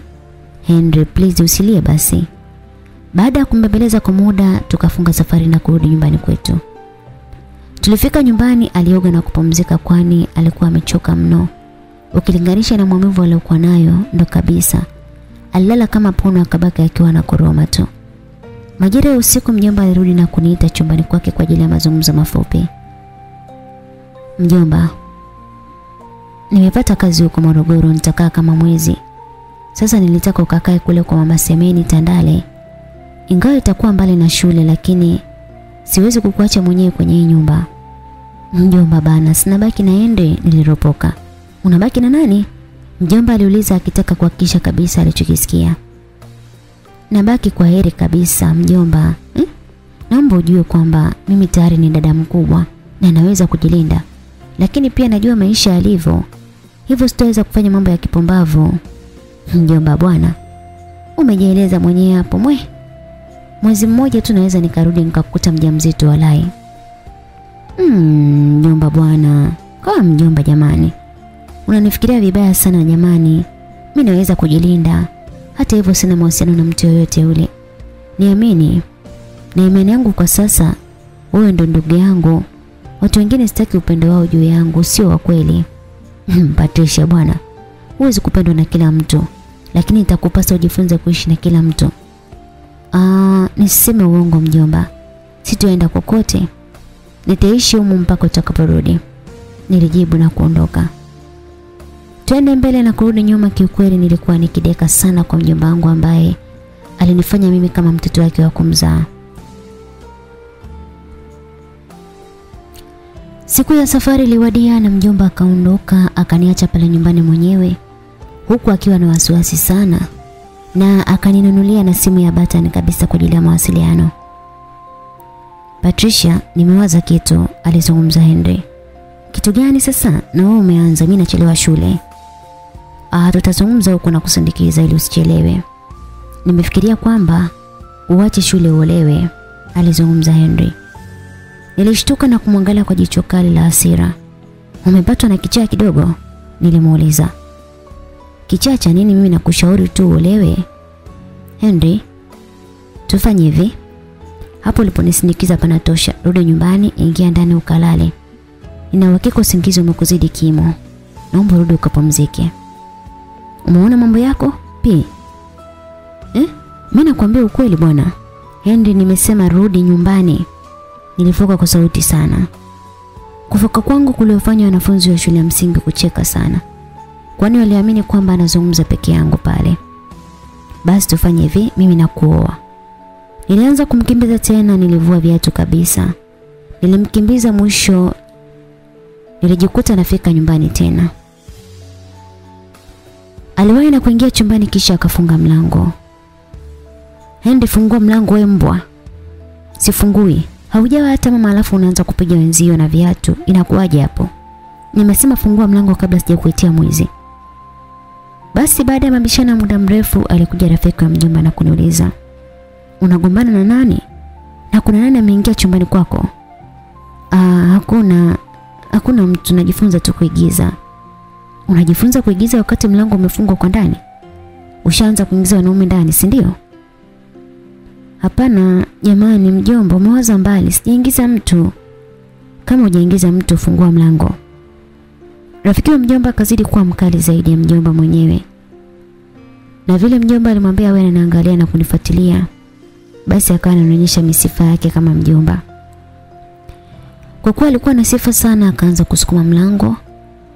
Akakutana na akili mbovu ya Hindi ambaye mwanzo alikuwa ameshika mlango usifunguke, kisha ghafla akauachia na kusababisha mjomba kuingia ndani bila hata kutarajia. Tena sio tu kuingia, alianguka kama mzigo. Oh, pole pole mjomba. Nilimpa pole huku nikitamani kucheka sana. Usinipe pole.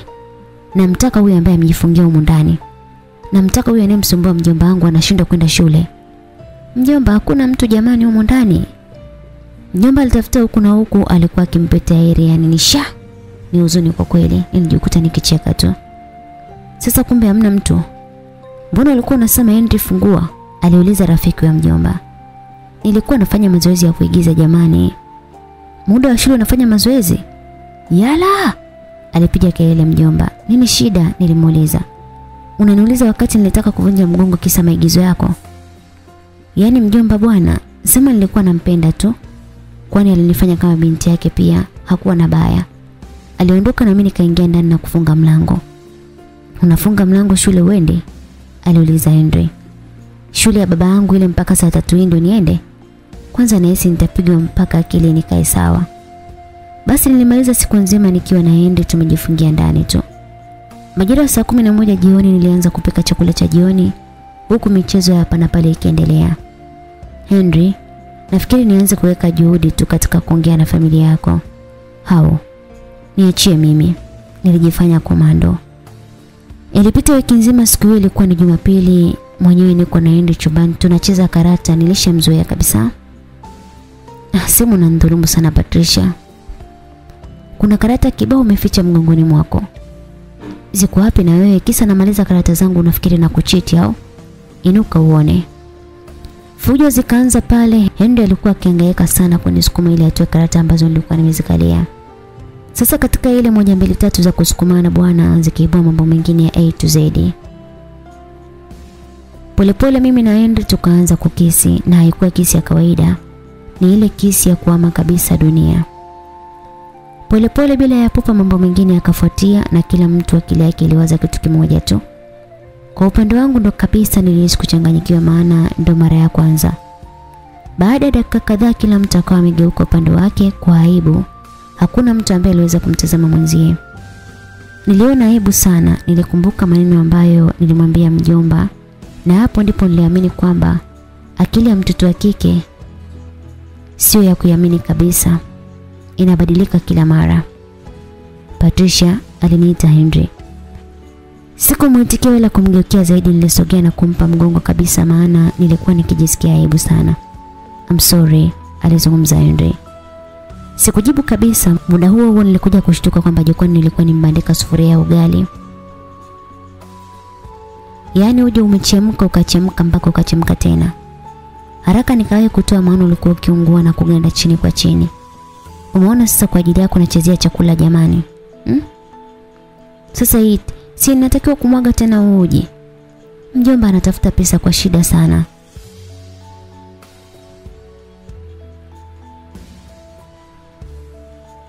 Lakini sasa jamani, kwani tumefanya hivi? Hmm? Na hapa sisi wote tumehusika. Halafu lawama zote na kutupia wewe Ghosti. Hendo alinuka na kunifuata karibu, akanambia haya, mchape Ghosti wako vibao. Amesababisha unaunguza uji. Bado kuunguza chai tu. Alitania na wote tukacheka basi nikabalisha sufuria pale na kuanza kupika. Kwa wakati huu nilikuwa makini na mapishi yangu. Tulikula na kulala bwana kuna kunogewa katika hao mambo. Usiku tukajikuta tunarudia tena. Tukaanzisha uhusiano vizuri tu mimi na Henry. Nikawa najiona kabisa kama nimeshaolewa vile. Maana naenda shule, narudi nakuta kapika, kafua, ndani pasafi. Halafu na vile alivyokuwa akinidekeza basi nikawa kabisa na jinsi nimezaliwa upya. Nilivyokuwa nikipenda raha siwaambie mtu. Henry, nikuulize kitu. Uliza. Um, um, hivi ikitokea ukarudi nyumbani kwenu utaendelea kuwa na mimi? Unamaanisha nini? Namaanisha ukija kuupata mwili wako unakuwa kama zamani, utaendelea kuwa na mimi na unafikiri familia yako itanipokea? Patricia bwana, acha wasiwasi, mimi ndo nishapenda. Kwanza kuna vitu vipo kwako vinanifanya nikupende zaidi. Lakini ukiniuliza sababu kuu ya mimi kukupenda wewe sina ise. Ila wewe ndo furaha yangu. Unafikiri mimi na wewe tunaweza kuwa na familia bora na nzuri? Wewe Patricia, kwani unafanya research au? Naona leo umekuwa na maswali maswali kweli yani. Hutaki nikuulize au? Mm, wewe nawe hujui utani? Basi tukaanza kucheza pale nje kukimbizana huku na huku furaha kama zote. Tukiwa bize katika kukimbizana alikuja rafiki wa mjomba na kusimama akinishangaa ninavyochekacheka na kukimbia mwenyewe. Eh, eh shikamoo mjomba. Nilisimama na kumsalimia baada ya kumuona. Marahaba mjomba, una nini? Mbona unakimbia na kucheka mwenyewe? Ah jamani, sina rafiki wa kucheza naye. Na siwezi kukaa na huzuni, lazima nijifurahishe mjomba. Hendi alinisogelea na kuanza kunitekenya nikaanza kucheka kama sina akili nzuri. Hapo ndo nilimchanganya rafiki wa mjomba zaidi na zaidi.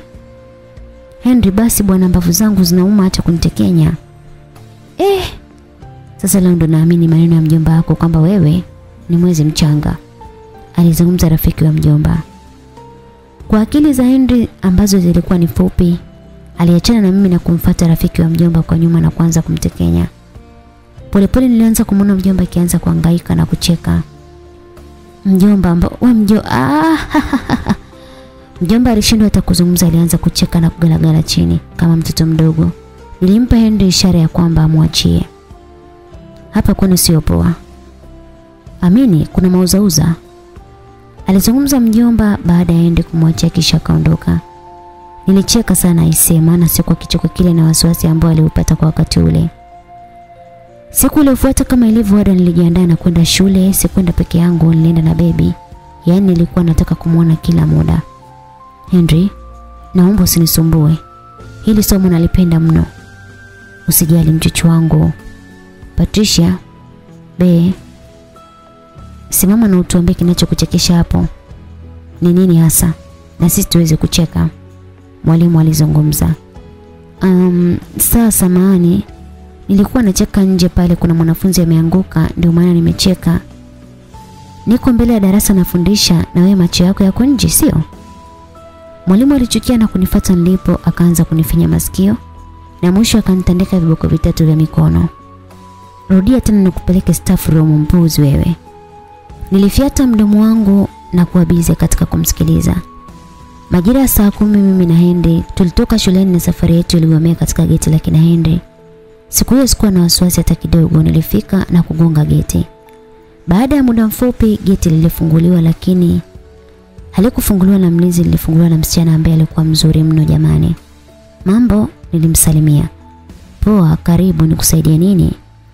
Ah, samani naitwa Patricia ni rafiki wa he. Kabla sijamaliza mlinzi alikuja. Kwani alikuwa nje ya nyumba. Madam, unasikiza hiki cha? Wewe mbona uko hivyo? Unarupukaga tu. Unaona kabisa ni mwanafunzi na wanasema ni kichaa, alifoka msichana huyo. Henry alinipa ishara nikamsogelea na kumsikiliza anataka kusema nini. Huyu ni mtoto wa kambo wa baba ila hakuna mtu anajua. Mimi yeye na baba tu ndo tunafahamu anaitwa Lolita. Eh na nyie mko wengi sana sasa jamani. Ah, kama familia za kiindi niling'aka. Eh eh madam. Umeona sasa anazungumza peke yake? Nenda ndani naomba niache nizungumze naye, Alifuka Lolita. Mlinzi aliingia ndani huku akilalamika sana. Alitaka Lolita aamini kwamba mimi ni kichana na sina akili nzuri, lakini Lolita alionekana kuwa msichana wa tofauti sana kati ya wote ambao nimekutana nao katika nyumba hiyo. Na kusikiliza binti, alizungumza. Nashukuru kwanza kwa kukubali kunisikiliza. Nimekuwa nikija hapa takriban miezi mitatu lakini hakuna mtu ananisikiliza na kunitilia maanani, nilijieleza. Kama nilivyokuambia kwamba naitwa Patricia, ni rafiki kipenzi wa Henry na nimekuja hapa kwa ajili ya kumsaidia. Unamaanisha nini unavyosema kumsaidia? Lolita aliuliza. Amepata tatizo kubwa sana na amekuwa akiishi na mimi miezi yote hii mitatu. Iko hivi, hapa tulipo yupo na amenishika mkono. Tatizo lilolipata ni kwamba hakuna mtu anaweza kumuona. Lolita aliangalia kisha akagusanisha mikono yake na kupiga makofi kisha akaanza kucheka. Aliniangalia sana akaniuliza, "My friend, are you okay? Are you mad or something?" Huyo Andy unayemwongelea yuko zake huko Nigeria na tunatarajia kumpokea hapa nyumbani baada ya siku 15. Niamini Andy yuko hapa na anakusikia. Kaka mlinzi toa huyo kichaa, alizungumza Lolita. Lolita aliingia ndani na kubana geti kabisa.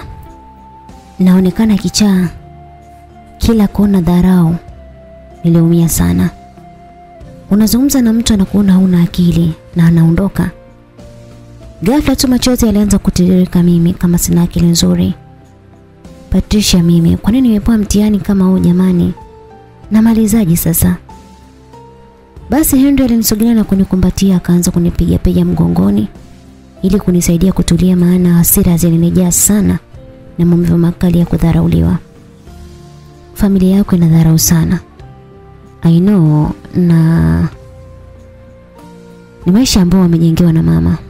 Sikatai wako hivyo. Mama yangu amewatengeneza watoto wake kuwa hivyo. Lakini niamini mimi, ni watu wenye upendo sana na yote yatapita. Kwa kuwa jambo letu lilishindikana kwa pamoja tukarudi nyumbani siku hiyo. Siku ziliendelea kwenda na nikaona ni hatari kubwa sana inaweza kutokea kama Enda ataendelea kuishi hivyo. Sikuchoka kwenda kwa akina Ende. Lakini pia sikufanikiwa na Ende alikata tamaa kabisa na kusema niachane na kufuatilia jambo lake pamoja na familia yake kwa ujumla.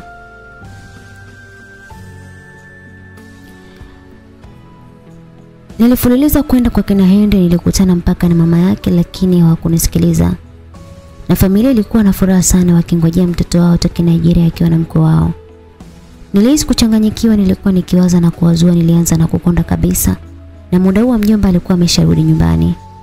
Anko, mjomba aliniita. Abe, hivi ndo masomo ni magumu au? Naona kama unakonda siku baada ya siku. Yaani kuna kupungua lakini wewe unapokurika mwanangu unapururika kabisa. Anko jamani, ni hali ya kawaida tu, ni masomo. Lakini siku nikimaliza shule utaona tu nitakuwa sawa kabisa na nitanenepa mno. Mm. Inabidi nikutengenezee lishe kama mtoto, si ndio? Eh? Basi mimi na anko wangu tulicheka kwa pamoja kisha stori nyingine ziliendelea. Muda huo nilikuwa nikitamani sana kumwambia mjomba kuhusiana na Henry maana mambo yalikuwa yananifika shingoni. Lakini akili nyingine ilikuwa inaniambia kwamba nisubiri nione huyo mgeni anayekuja kutoka Nigeria ni Henry kweli au la. Na kama ni Henry nilikuwa naye ni nani sasa? Sasa hivi hauna furaha. Alizungumza Henry akiwa anachezea nywele zangu. Muda wote tulikuwa kitandani ni majira ya usiku tukijiandaa na kulala. Sina cha kukuficha. Nawaza sana kuhusu wewe. Natamani familia yako ikupokee. Fikiria leo umepata tatizo nitakusaidiaje peke yangu? Mjomba hajui na sio tu hajui, hakuoni kabisa. Henry, sisi ni binadamu na kifo tunatembea nacho. Sikuombei kifo. Unafahamu na kupenda mno baba wangu lakini hebu fikiria. Leo umekufa na ukaonekana kwa kila mtu. Familia yako itanielewa? Mjomba je? Vipi jamii? Nilianza kulia. Henry alitumia muda wake kunituliza, mwisho nikapatwa na usingizi. Mimi nilala lakini kwa upande wa Henry hakupata hata lepe la usingizi. Alikuwa na mawazo kunishinda mimi. Mkaka wa watu mzuri mwensamu wa kwenda lakini anajistiri nyumbani kwetu kwa kupaka mafuta ya bibikea, kula vyakula vya kawaida. Iseni nilimuonea huruma sana.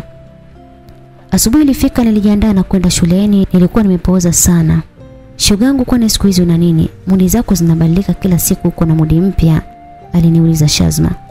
We nawe bwana, anyway, kuna mambo ya familia nayapitia kwa kipindi hiki lakini hivi karibuni yatakuwa sawa.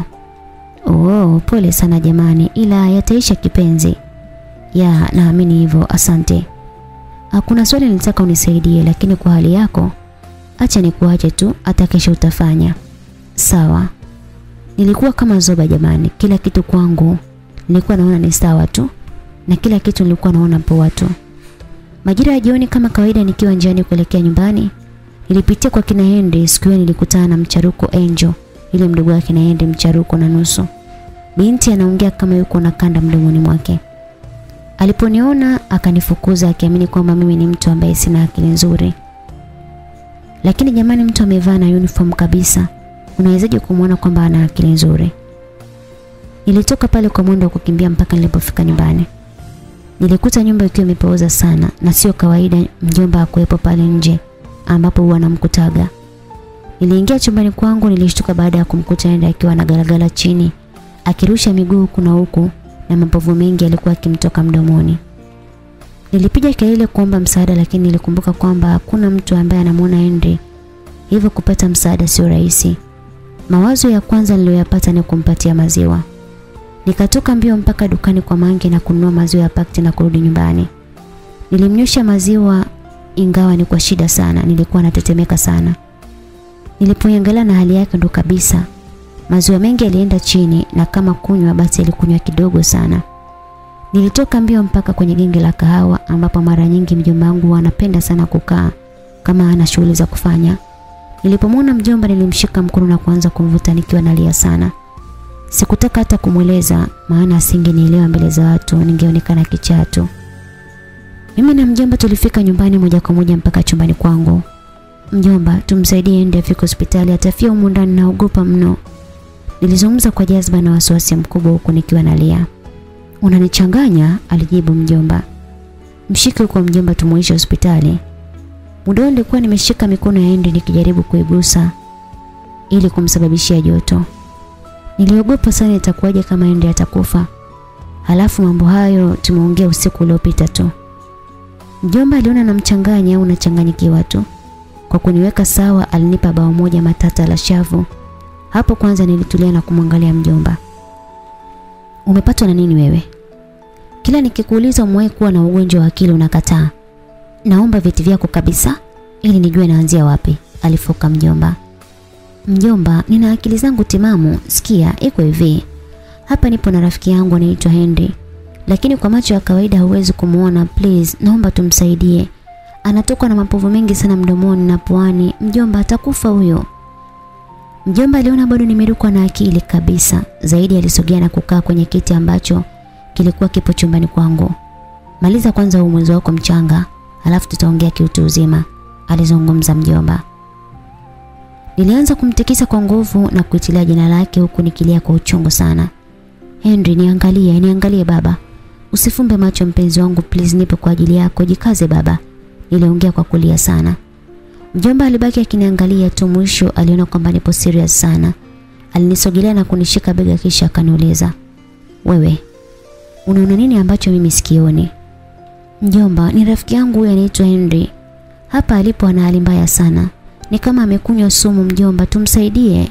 Na kuja, alizungumza mjomba. Mjomba akatoka nje na baada ya dakika kadhaa akarudi ndani akiwa na majani fulani hivi. Sikuwa nikiyajua. Aliyatwanga kisha akanipatia maji yake. Mpe haya maji yanywe, aliniambia mjomba. Nilipokea na kuanza kumpa hende. Nasaidia tu, lakini sielewi kitu unafanya, sioni chochote. Mjomba wangu alilalamika sana. Baada ya muda mfupi yale majani yalionekana kumsaidia, mapovu yalitulia na akawa naema kama kawaida. Nilimwacha ili apunge upepo, nikafungua na mlango kabisa upepo uingie vizuri. Asante sana mjomba, leo umenisaidia mno. Acha ujinga wako hapa. Hebu nieleze nini kinaendelea. Sikuwa na sababu ya kumficha mjomba, nilimweleza kila kitu tangu siku ya kwanza nilipokutana na Henry. Nilimwelezea sababu ya shangazi kuniita mimi mzimu. Kwamba ni huyu kaka na kila kitu nilimweleza. Aliniitikia kishingo upani ingawa hakuwa akiniamini hata kidogo yani. Nilimpeleka mpaka getini kwa kina Henry na kumwonyesha lakini bado.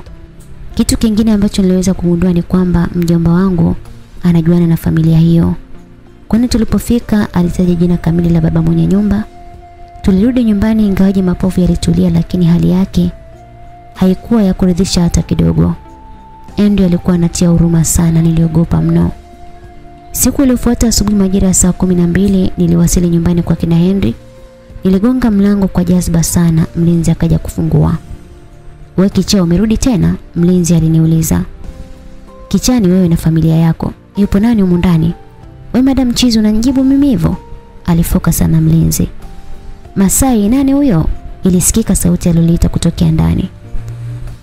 Sikutaka kusubiri yani napata msala alafu wenyewe wametulia tu. Tena siku hiyo ndo waliandaa sherehe kabisa ya kumpokea Henry na mchumba wake wa huko Nigeria. Nilimsukuma mlinzi na fujo zangu niliamua kuonyesha upande wangu wa tatu ambao hakuna mtu anaujuaga. Wewe kichaa umerudi tena? Aliuliza Lolita baada ya kuniona nimeingia ndani kwao kwa mara ya kwanza. Sawa mimi ni kichaa lakini utanisaidia au la nilimuuliza. Toka nje. Utachagua tutoke tukiwa wote au utoke ukiwa mwenyewe na uniache humo. Naenda kumwambia huyu mama yako kwamba wewe ni mtoto wa nje ya ndoa ambaye Henry na baba yake wamekuwa akificha hii siri. Niliropoka kwa hasira sana. Lolita alishtuka sana, haraka akanishika mkono na kwa pamoja tukatoka nje, tena sio nje tu. Tulisogea mbali kidogo na geti. Hizi habari amekwambia nani? Si unaniona mimi ni kichaa? Basi acha nikuonyeshe kwamba mimi nina veti vya milembe. Kila kitu ameniambia Henry. Utachagua kunisaidia au kaka yako afe. Hii furaha yenu mnayoiandaa itageuka msiba kama hutonisikiliza.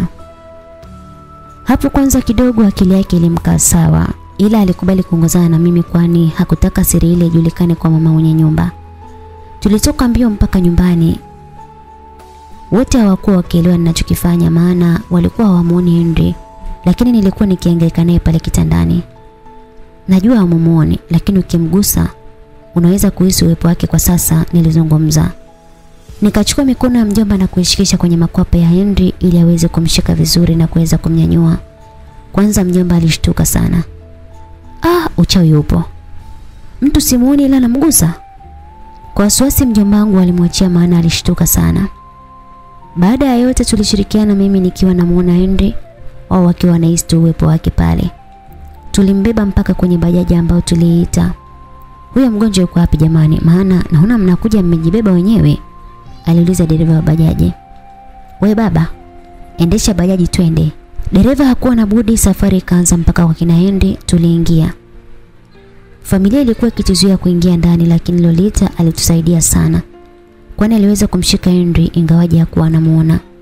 Familia nzima ikaanza kutufata nyuma nyuma wakiwa hawaelewi nini kinaendelea. Ile tunaingia tu chumbani kwa Henry nilishtuka na kumwachia Henry baada ya kukuta mwili ukiwa kitandani. Tena akiwa amevaa mavazi ambayo alikuwa anazurula nayo. Kila mtu akashtuka. Polepole ule mwili ambao ulikuwa kitandani ukaanza kutikisika. Hapo nilijua kwamba tayari mwili na nasi vimeungana maana tuliokuja nao haukuwa ukionekana. Baba hendi alichanganyikiwa, alichukua simu na kupiga namba ya mwanaye na simu iliita ikiwa kwenye kabati. Kila mtu akapigwa na butwa. Muda huo huo simu ya Henry ikaita tena na namba ilikuwa ni nje ya nchi, yani Nigeria. Haraka baba yake na Henry akapokea. Ah, nadhani hautochukua tena wanawake za watu. Yaani leo ungechelewa ungezikwa. Una bahati sana, huyo binti anastahili heshima. Kisha simu ikakatwa. Kwa kweli weko loudspeaker kila mtu aliweza kusikia. Kwa Henry alianza kukohoa mfululizo, mwisho akakaa wima na kuanza kuangalia huku na huku. Alifurahi kuiona familia yake walikumbatiana kwa furaha sana. Tulipata wasaa wa kukaa pamoja na kusimulia kila kitu. Kibaya zaidi ni kwamba Henry hakuwa akikumbuka hata kitu kimoja. Anachokumbuka ni mara ya mwisho alipogundua kwamba mchumba wake ni mke wa mtu. Na kubwa kuliko alinikataa kabisa na kusema kwamba kwa yeye atakuniona na hanifahamu. Hata aliposimuliwa kila kitu alikataa na kunifukuza na kusema kwamba hataki mazoea na wanawake. Mimi na mjomba wangu hatukuwa na budi wala na la ziada, tuliaga na kuondoka. Lakini nilikuwa na maumivu makali sana jamani. Nilikuwa nikijikaza machozi ya yasitoke lakini moyo wangu ndo ulikuwa ukiteseka. Nilikumbuka wakati mzuri ambao nilitumia nikiwa na yeye. Nilikumbuka muda mzuri pamoja na mambo mazuri na ahadi kedekede ambazo alizokuwa akiniahidi lakini leo hii zimezima kama mshumaa. Ah, yaani nimeishi na kijana Henry humu ndani pasipo na kujua. Mjomba alizungumza. Muda huo akili yangu ilikuwa mbali sana. Niliingia ndani, nililia sana ingawa sikutoa sauti kwani sikutaka kumpa mjomba wangu wasiwasi. Nililia kimoyomoyo huku nikifuta machozi yangu na blouse nilikuwa nimevaa. Mama, simfahamu huyu binti na sijawahi kuwa naye kokote pale. Kwa nini nimdanganye? Sauti na maneno ya Henry yalikuwa yakijirudia kichwani mwangu. Nililia mwishoni nikalala kwani nilichoka sana. Ukijumlisha na mawazo ndo kabisa. Sikuwa na amani moyoni mwangu. Shoga yenu nilishampenda Henry kupita maelezo. Siku iliyofuata kama kawaida niliamka na kujiandaa kwenda shuleni.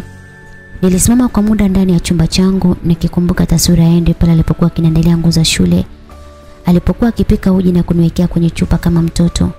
Alipokuwa akiniambia mama watoto soma sana elimu ndio kila kitu. Niliumia sana.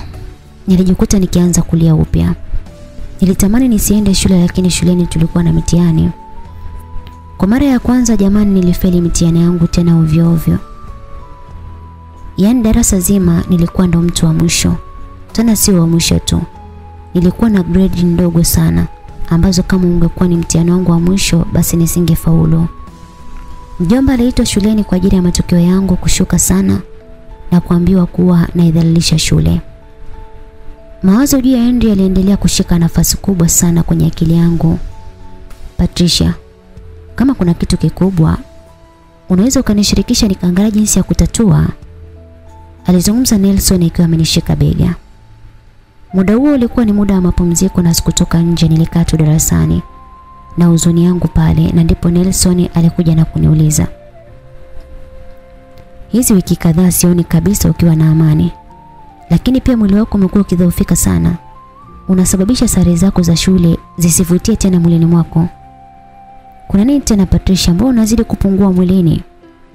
Nelson aliendelea kuzungumza. Sijui unapitia magumu gani na kwa kuwa hautaki kunishirikisha, wacha nisikujaji sana. Ile iko hivi. Tatizo aliongezwa na tatizo. Najua hujanielewa, lakini kwa sasa hivi unajiongezea matatizo juu ya tatizo lilonalo. Nilielewa mno maneno ya Nelson na kujikuta kweli najiongezea matatizo. Maana nimeshuka kwenye mtihani, lakini pia nilianza kuwa mchafu sana ninapoenda shuleni. Mwili wangu ulikondo tadhani ni mtu ambaye nilikuwa nimeumwa kwa muda mrefu. Sketi yangu ya shule nilianza kubana na pini. Maneno ya Nelson yaliniumiza mno nikaanza kulia tena. Nelson alichukua wakati mzuri sana kunituliza. Yaani aliongea na mimi kama anaongea na mdogo wake vile au anaongea na katoto kadogo kabisa kenye kuhitaji msaada kumbe anaongea na mtu mzima tu. Yaani mimi nakutafuta huko nje kote kumbe huko humu ndani umepumzika si ndio? Alizungumza Chichi baada ya kunikuta mimi na Nelson. Chichi, umeanza madrama yako? Nilijua kama utaniambia kwamba nina madrama. Kila ninapojitahidi kukaa kwenye nafasi yangu naambiwa nina madrama, alijibu Chichi. Chichi alinisogelea karibu zaidi na kunivuta kunitoa mikononi mwa Nelson. Sikutaka ugomvi na vile nina stress zangu. Nilitoka haraka na kwenda kukaa kwenye kiti kingine nikajiinamia. Nelson, kitu ambacho huyu binti anataka ni kututenganisha tu. Hataki kutuona tukiwa pamoja. Chichi, unaweza ukakaa kimya? Unavyomuona, unaona Patricia yuko sawa? Ndio maana nakwambia acha drama zako, sawa? Ikibidi toka nje. Waliendelea kubishana, niliona ananipigia kelele tu na kuniongezea mawazo, nikapiga kelele. Inatosha. Wote wakanyamaza na kunigeukia mimi ambaye kwa muda huo uso wote ulilowana machozi na macho yalivimba pia. Inatosha jamani, inatosha. Chichi, nisamee mimi. Mimi ndo nimefanya mwanaume wako akae hapa. Akae na mimi akinibembeleza. Nelson, asante sana kwa wema wako, lakini pia sitaki tena ukaribu na wewe. Nilinyanyua begi langu na kuondoka safari moja kwa moja mpaka getini kwa kina Henry. Nilifika na kugonga mlango. Oh, kamadam karembo wako. Alizungumza mlinzi baada ya kufungua geti. Mambo nilimsalimia. Poa tu, naona leo umetukumbuka bwana na umekuja kututembelea. Ya, nimeona nije niwaone. Samani lakini Henry yupo? Hapana, ametoka. Lolita je? Eh, kama damu Lolita anakatajwa yako. Ndo kanarudi bwana. Niligeuka nyuma na kweli Lolita ndo alikuwa amefika. Nilisogea pembeni ili kupisha gari ipite. Oh, Patricia mambo. Karibu, we Masai. Mbona unamwacha mgeni nje? Alizungumza Lolita baada ya kushusha kioo cha gari yake. Amna bwana. Lolita, mimi ndio nimetaka kukaa hapa nje hata hivyo nilikuwa napita tu. Hebu subiri, alizungumza Lolita. Lolita akaingiza gari yake ndani kisha akatoka nje. Unaumwa? Uh, amna. Mbona umevimba macho na huko sawa kabisa? Twende ndani basi. Niligoma kabisa, macho yangu yalikuwa akiangalia huku na huku, labda naweza kumuona Henry, lakini sikuweza kumuona kabisa. Jamani, mwisho niliuliza, bado Henry haonyeshi kunikumbuka? Aa, nafikiri tutafute muda mzuri wa kuzungumzia hili. Kwa kifupi, bado hakukumbuki. Nafikiri alikuwa akiishi na wewe tu, kwa kuwa hakuwa wa kawaida. Ule ukweli hende kumbuki chochote kile kuhusu wewe. Alijibu Lolita, ndo nilizidi kujisikia vibaya kabisa, nilijikuta nikianza kulia upya. Makubwa unalia? Lolita alishtuka na kuniuliza. No, usijali, usijali kuhusu mimi. Nilikuwa kama nimechanganyikiwa, sikutaka hata kumsubiri. Haraka nikakimbia moja kwa moja mpaka nyumbani. Ile nafika tu nakutana uso kwa uso na mjomba. Ni kama alikuwa akinisubiri pia. Nilivyoambiwa kwamba umetoroka shuleni sikutaka kuamini, ila sasa naamini. Unaweza kunipa sababu ya wewe kuwa hapa muda huu? Kwanza swali la mjomba lilinifanya niamini ule msemo usemao kwamba matatizo yakikuandama hayaangalii muda wala kipindi. Nilibaki nikiwa nimemkazia macho mjomba tu. Utadhani mwizi ambaye amekosa sehemu ya kukimbilia. Kwa hiyo tatizo la kuongea peke yako limeisha, limekuja tatizo la ububu, si ndio? Leo marehemu dada yangu atanisamehe jamani. Alizungumza mjomba kisha akanikamata mkono. Nilipigika, nilipigwa mimi. Mjomba alinipiga mno kwa kulalamika kwa nini nimetoroka shuleni. Patricia, mimi najua wewe ni mtu mzima na unajielewa kabisa, akili zako ziko timamu. Unaniona jinsi gani nahangaika na pambano usome. Huoni nikivaa vizuri mimi? Eh? Hujui tu ujio wako umesababisha mimi kuachana na mwanamke ambaye nilimpenda sana. Eh? Kama hujui mwanamke huyo hakutaka kabisa niishi na wewe. Hivyo nikaachana naye ili niweze kukulea. Ninakulea kwa shida mno na unaliona hilo. Lakini angalia unachonifanyia Patricia. Siku hiyo mjomba wangu alizungumza kwa uchungu mno. Akaniachia nikapata nafasi ya kukimbilia chumbani lakini hiyo haikuwa sababu ya mjomba kuacha kuongea sana. Siku hiyo sikulala kabisa. Nilibaki nikitafakari malalamishi ya mjomba. Nilijisikia vibaya mno. Maneno yake yalikuwa makali sana. Na niliona ni kweli namkosea mjomba. Asubuhi niliamka nikamwomba msamaha mjomba na siku hiyo nilienda kwa tofauti sana. Nilienda shule nikiwa na tabasamu pana. Nilikuwa msafi kama mwanzo ingawaje nilikuwa nikifosi furaha lakini nilifanya poa. Nilifika shuleni nikapokea adhabu yangu ya kutoroka shule kisha nikaingia darasani. Shuga yangu, mwalimu mpya umemwona? Shazma aliniuliza. Kuna mwalimu mpya kwani? Umezidi kutoroka na wewe eh? Eh, hata juu huyu hapo anaingia na ana kipindi. Niligeuka haraka kuangalia mlangoni nilitoa macho baada ya kumuona Henry. Nilibaki nikiwa nimetoa macho tu jamani, alipendeza mno vile alivyokuwa amevaa. Basi wasichana sio kwa kujiongelesha kule. Walisimama wote kumsalimia isipokuwa mimi ambaye nilikuwa bado nimepigwa na butwa nikimwangalia tu. Asanteni kwa heshima lakini naona kuna mtu bado amekaa chini. Nafikiri itakuwa Antonio au hajui kama nimeingia, alizungumza Henry. Kila mtu alinigeukia, niliona aibu sana ise, lakini Nelson alinitetea. Anaumwa miguu sana ndio maana ameshindwa kusimama. Oh, pole sana binti, unaitwa nani? aliuliza Henry. Nilitamani kumpa neno moja ambalo ni kali sana lakini niliamua kujikaza tu. Patricia, mnaweza mkakaa. Wanafunzi wote wakakaa chini, wanafunzi wa kike sasa ndo wakawa wanaekaeka muda wote wanakaa na kuchomekea sketi zao. Mtu hajatajwa anasogea mbele kufuta ubao. Siku hiyo viuno vya wadada viliuma jamani. Maana walifanya kila aina ya kituko kuhakikisha kwamba wanaonekana wana makalio ya kutosha na shepu nzuri. Nilibaki nikicheka tu. Shoga yangu, Saendo yupo hoti. Huwezi amini. Sijaelewa kabisa alichokuwa akifundisha, nilikuwa naangalia midomo yake tu, alizungumza Shazma. Sijaelewa yani kwa nini hujaelewa? Mbona anafundisha vizuri? Eh? Tena anaelekeza kwa kudadavua kiundani na mifano iliyo hai. Wewe nawe ulivyo nyuma nyuma sasa. Mimi naongelea mambo mengine wewe unakuja kwenye ufundishaji. Patricia, hebu chukulia imagine Saende anakuwa baby. Tena anakuwa bibi wako. Ile sauti yake ya kufundishia sasa inakuwa ndo ya kubembeleza. Ile mikono yake anayochezea chaki pale inakuwa ya kukugusagusa tu. We. Shazma alijieleza sana. Hapo ndipo nilijua kweli Henry yuko na mwonekano mzuri na anavutia kwa kila mtu. Yaani Saendi akisema anafungua tuition na hisi nitakuwa ni mwanafunzi wa kwanza kujiandikisha. Nilibaki nikicheka tu muda wa darasani ulifika na moja kwa moja tukaingia darasani na walimu wa vipindi vingine waliendelea kufundisha. Muda wa kutoka nilikuwa mpweke mno, nikiwa naondoka kwa huzuni sana nikitembea polepole. Patricia, ilisikia jina langu likiitwa nikageuka, hakuwa mwingine bali ni Saendi. Unakaa wapi? Aliniuliza muda huu alishusha kioo cha gari yake. Sky mbali. Sawa ukae mbali ila nilitaka kujua unakaa wapi ili niweze kukufikisha nyumbani si unaumwa miguu. Asante sana nitaenda kutembea kwangu ndo kufanya mazoezi Nilijibu na kuanza kuondoka. Muda huo huo alikuja Nelson. Haujaondoka tu? Nilimuuliza. Ah, nilikuwa namalizia mambo fulani hivi. Basi Henry akawacha gari yake na kuondoka huku akiniacha mimi nikiwa na Nelson. Kilichonishangaza aliendesha gari kwa kasi sana kama mtu ambaye yuko na hasira. Mmegombana na Henry? Aliniuliza Nelson. Hapana. Mm, aliishia kugona tu. Tuliongozana mpaka kwenye kituo cha daladala na tukapanda gari moja kwa mara ya kwanza. Ila leo ulikuwa unanitafutia matatizo muda ule tunasalimia umetoa macho kama fundi saa kapoteza nati. Yaani nilikuwa natamani kucheka sana. Lazima nishangae. Henry Tanguleni ni mwalimu. Hajawahi hata kuniambia kwamba yeye ni mwalimu. Ah, nina wasiwasi na urafiki wenu.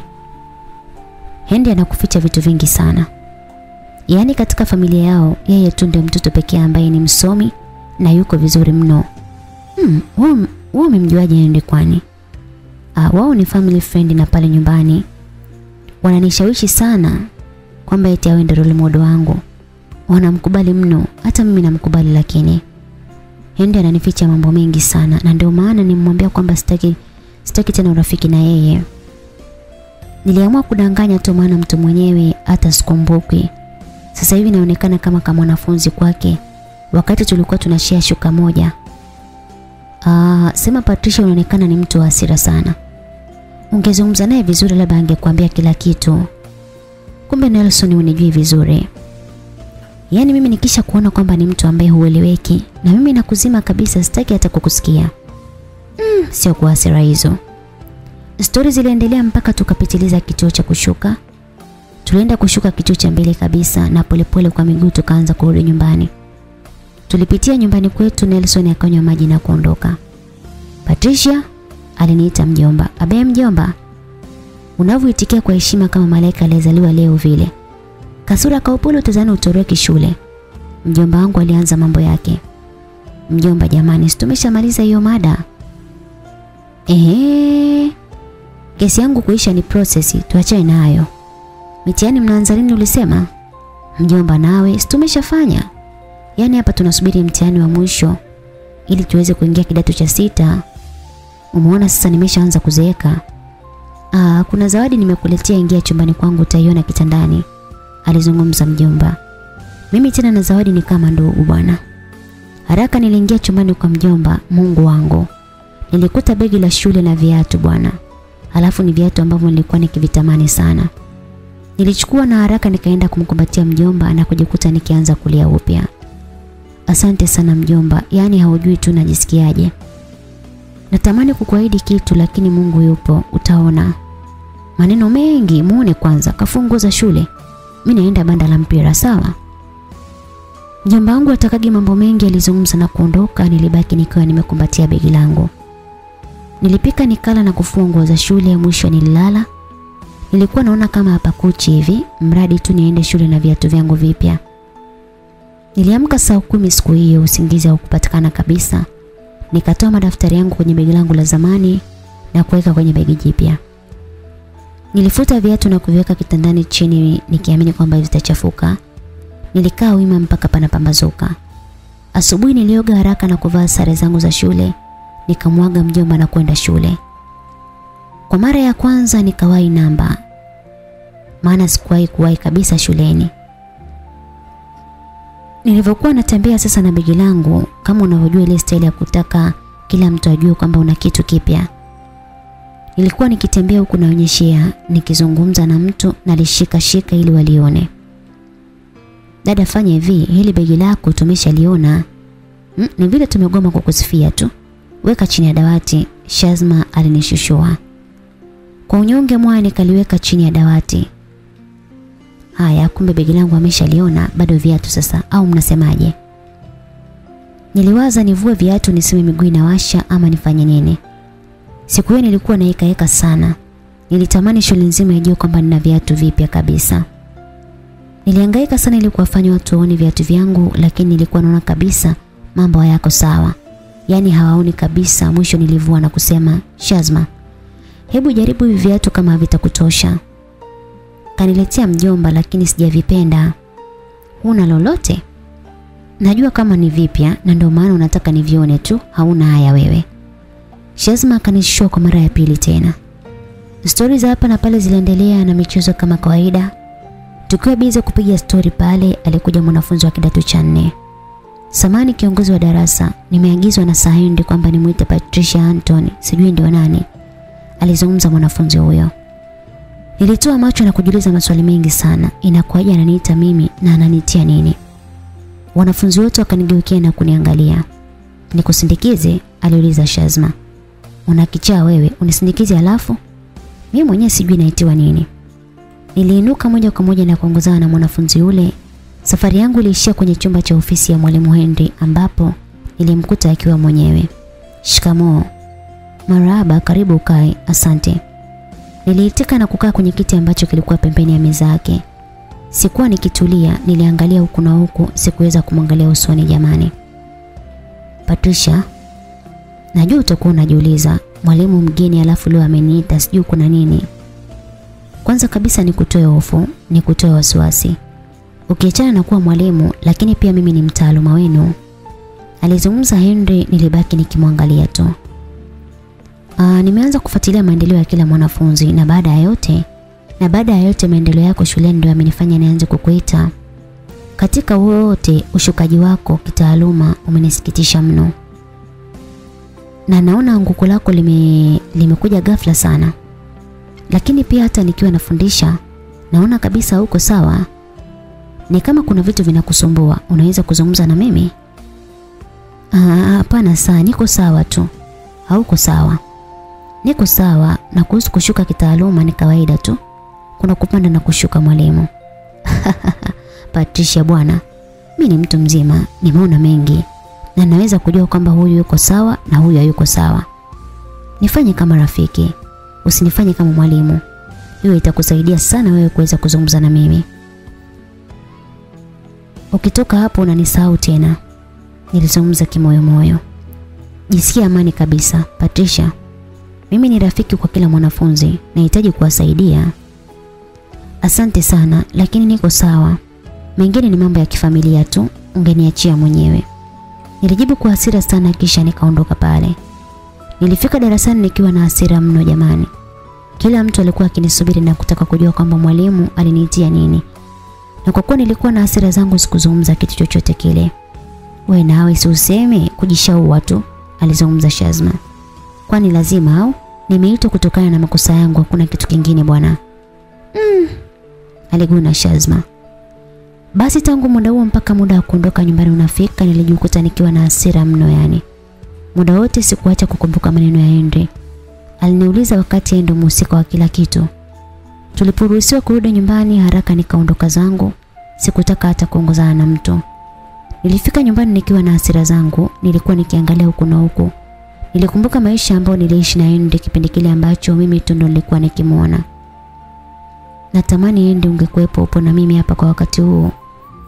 Sio ndi mwalimu, Henry ghost wangu jamani. Henry ambaye mimi tu ndo nilikuwa namuona. Henry, hivi ni kweli haunikumbuki? Ni kweli haujui kwamba kuna Patricia katika maisha yako? Nilizungumza kimoyomoyo kwa huzuni sana. Niliingia chumbani na kubadili nguo za shule, kisha nikaingia chumbani kwa mjomba kwa ajili ya kuangalia chakula maana njaa pia ilikuwa kiniuma sana. Nilishukuru Mungu baada ya kukuta chakula chumbani kwa mjomba. Da kweli mjomba nimepata. Yaani anahakikisha anapata kile ninachokitaka. Lakini atakuwa ameenda wapi kwa wakati huo? Nilijiuliza nikanyanyua chakula na kutoka nje ile natoka tu uso kwa uso na Ende ambaye alikuwa akishangaa huko na huko. Wewe niliita kwa mshangao sana. Oh, samani, samani sana kwa kuvamia bila ya taarifa. By the way, I'm Kendry. Hapo sasa ndipo nikajua kumbe huyu ni Kendry na sio Ende ambaye nilimzoea. Oh, karibu sana, nilimkaribisha.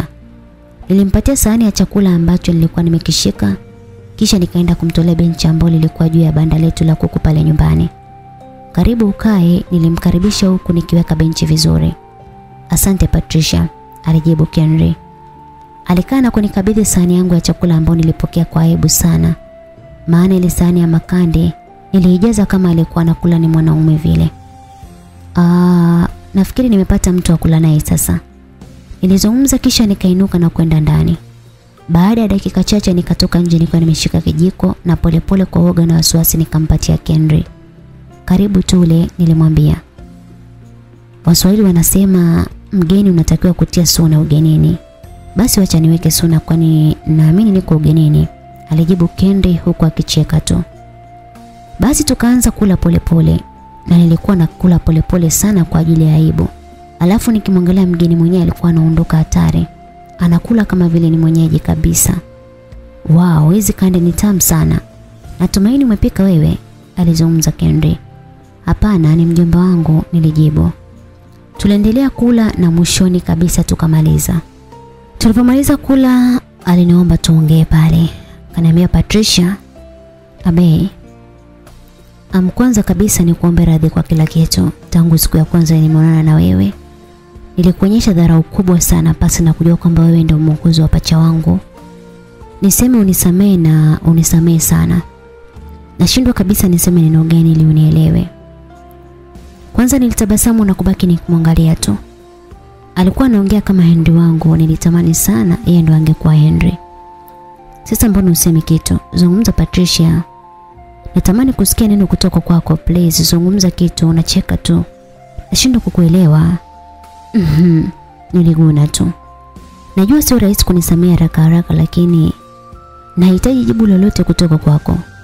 Nimejisikia vibaya, nakumbuka nilikuita kichaa, nilikuita kila majina na kukupa maneno ya karaa. Nisamee mno. Kenry bwana. Ukimya wangu au kucheka kwangu haimaanishi kwamba anashindwa kukujibu, la hasha. Siwezi kukuficha kitu, Kenry, nisiwe muongo. Uwepo Henry kwenye maisha yangu ulinipatia amani sana. Amenisaidia mno. Nilikuwa nikienjoy sana maisha yangu. Unamaanisha nini? Nilitamani sana kuweka wazi mahusiano yangu na Henry lakini niliona hakuna maana yote ile, ni bora nikae tu kimya na maongezi mengine yashike nafasi. Ah, tuachane nayo Kendri, lakini niseme kwamba nimekusamehe. Hata mimi ningekuwa kwenye nafasi yako, ningeweza kufanya mambo kama hayo au zaidi hayo. Basi mambo yaishi tu na maisha yaendelee. Niseme kitu Patricia? Sema. Unaendana na jina lako. Walai. Tena mwanaume aliyekupata wewe niseme tu kwamba amepata wife material. Niliishia kucheka tu. Friends, alizungumza hivyo na kunyosha mkono wake. Nilinyosha mkono wangu pia na kushika mikono ikiwa ni makubaliano ya kwamba tutakuwa marafiki. Tulipiga stori nyingi sana za hapa na pale. Yaani kuna namna nilianza kuona kama niko na Henry hivi. Henry na Kendry walipishana vitu vidogo sana na walikuwa wakifanana pakubwa mno. Nilijikuta nikipata furaha ndogo tu ambayo niliipoteza. Siku iliyofuata nilienda shuleni nikiwa na furaha sana. Yaani nilikuwa naona kama nimempoteza Henry alafu nikapatiwa Henry mwingine.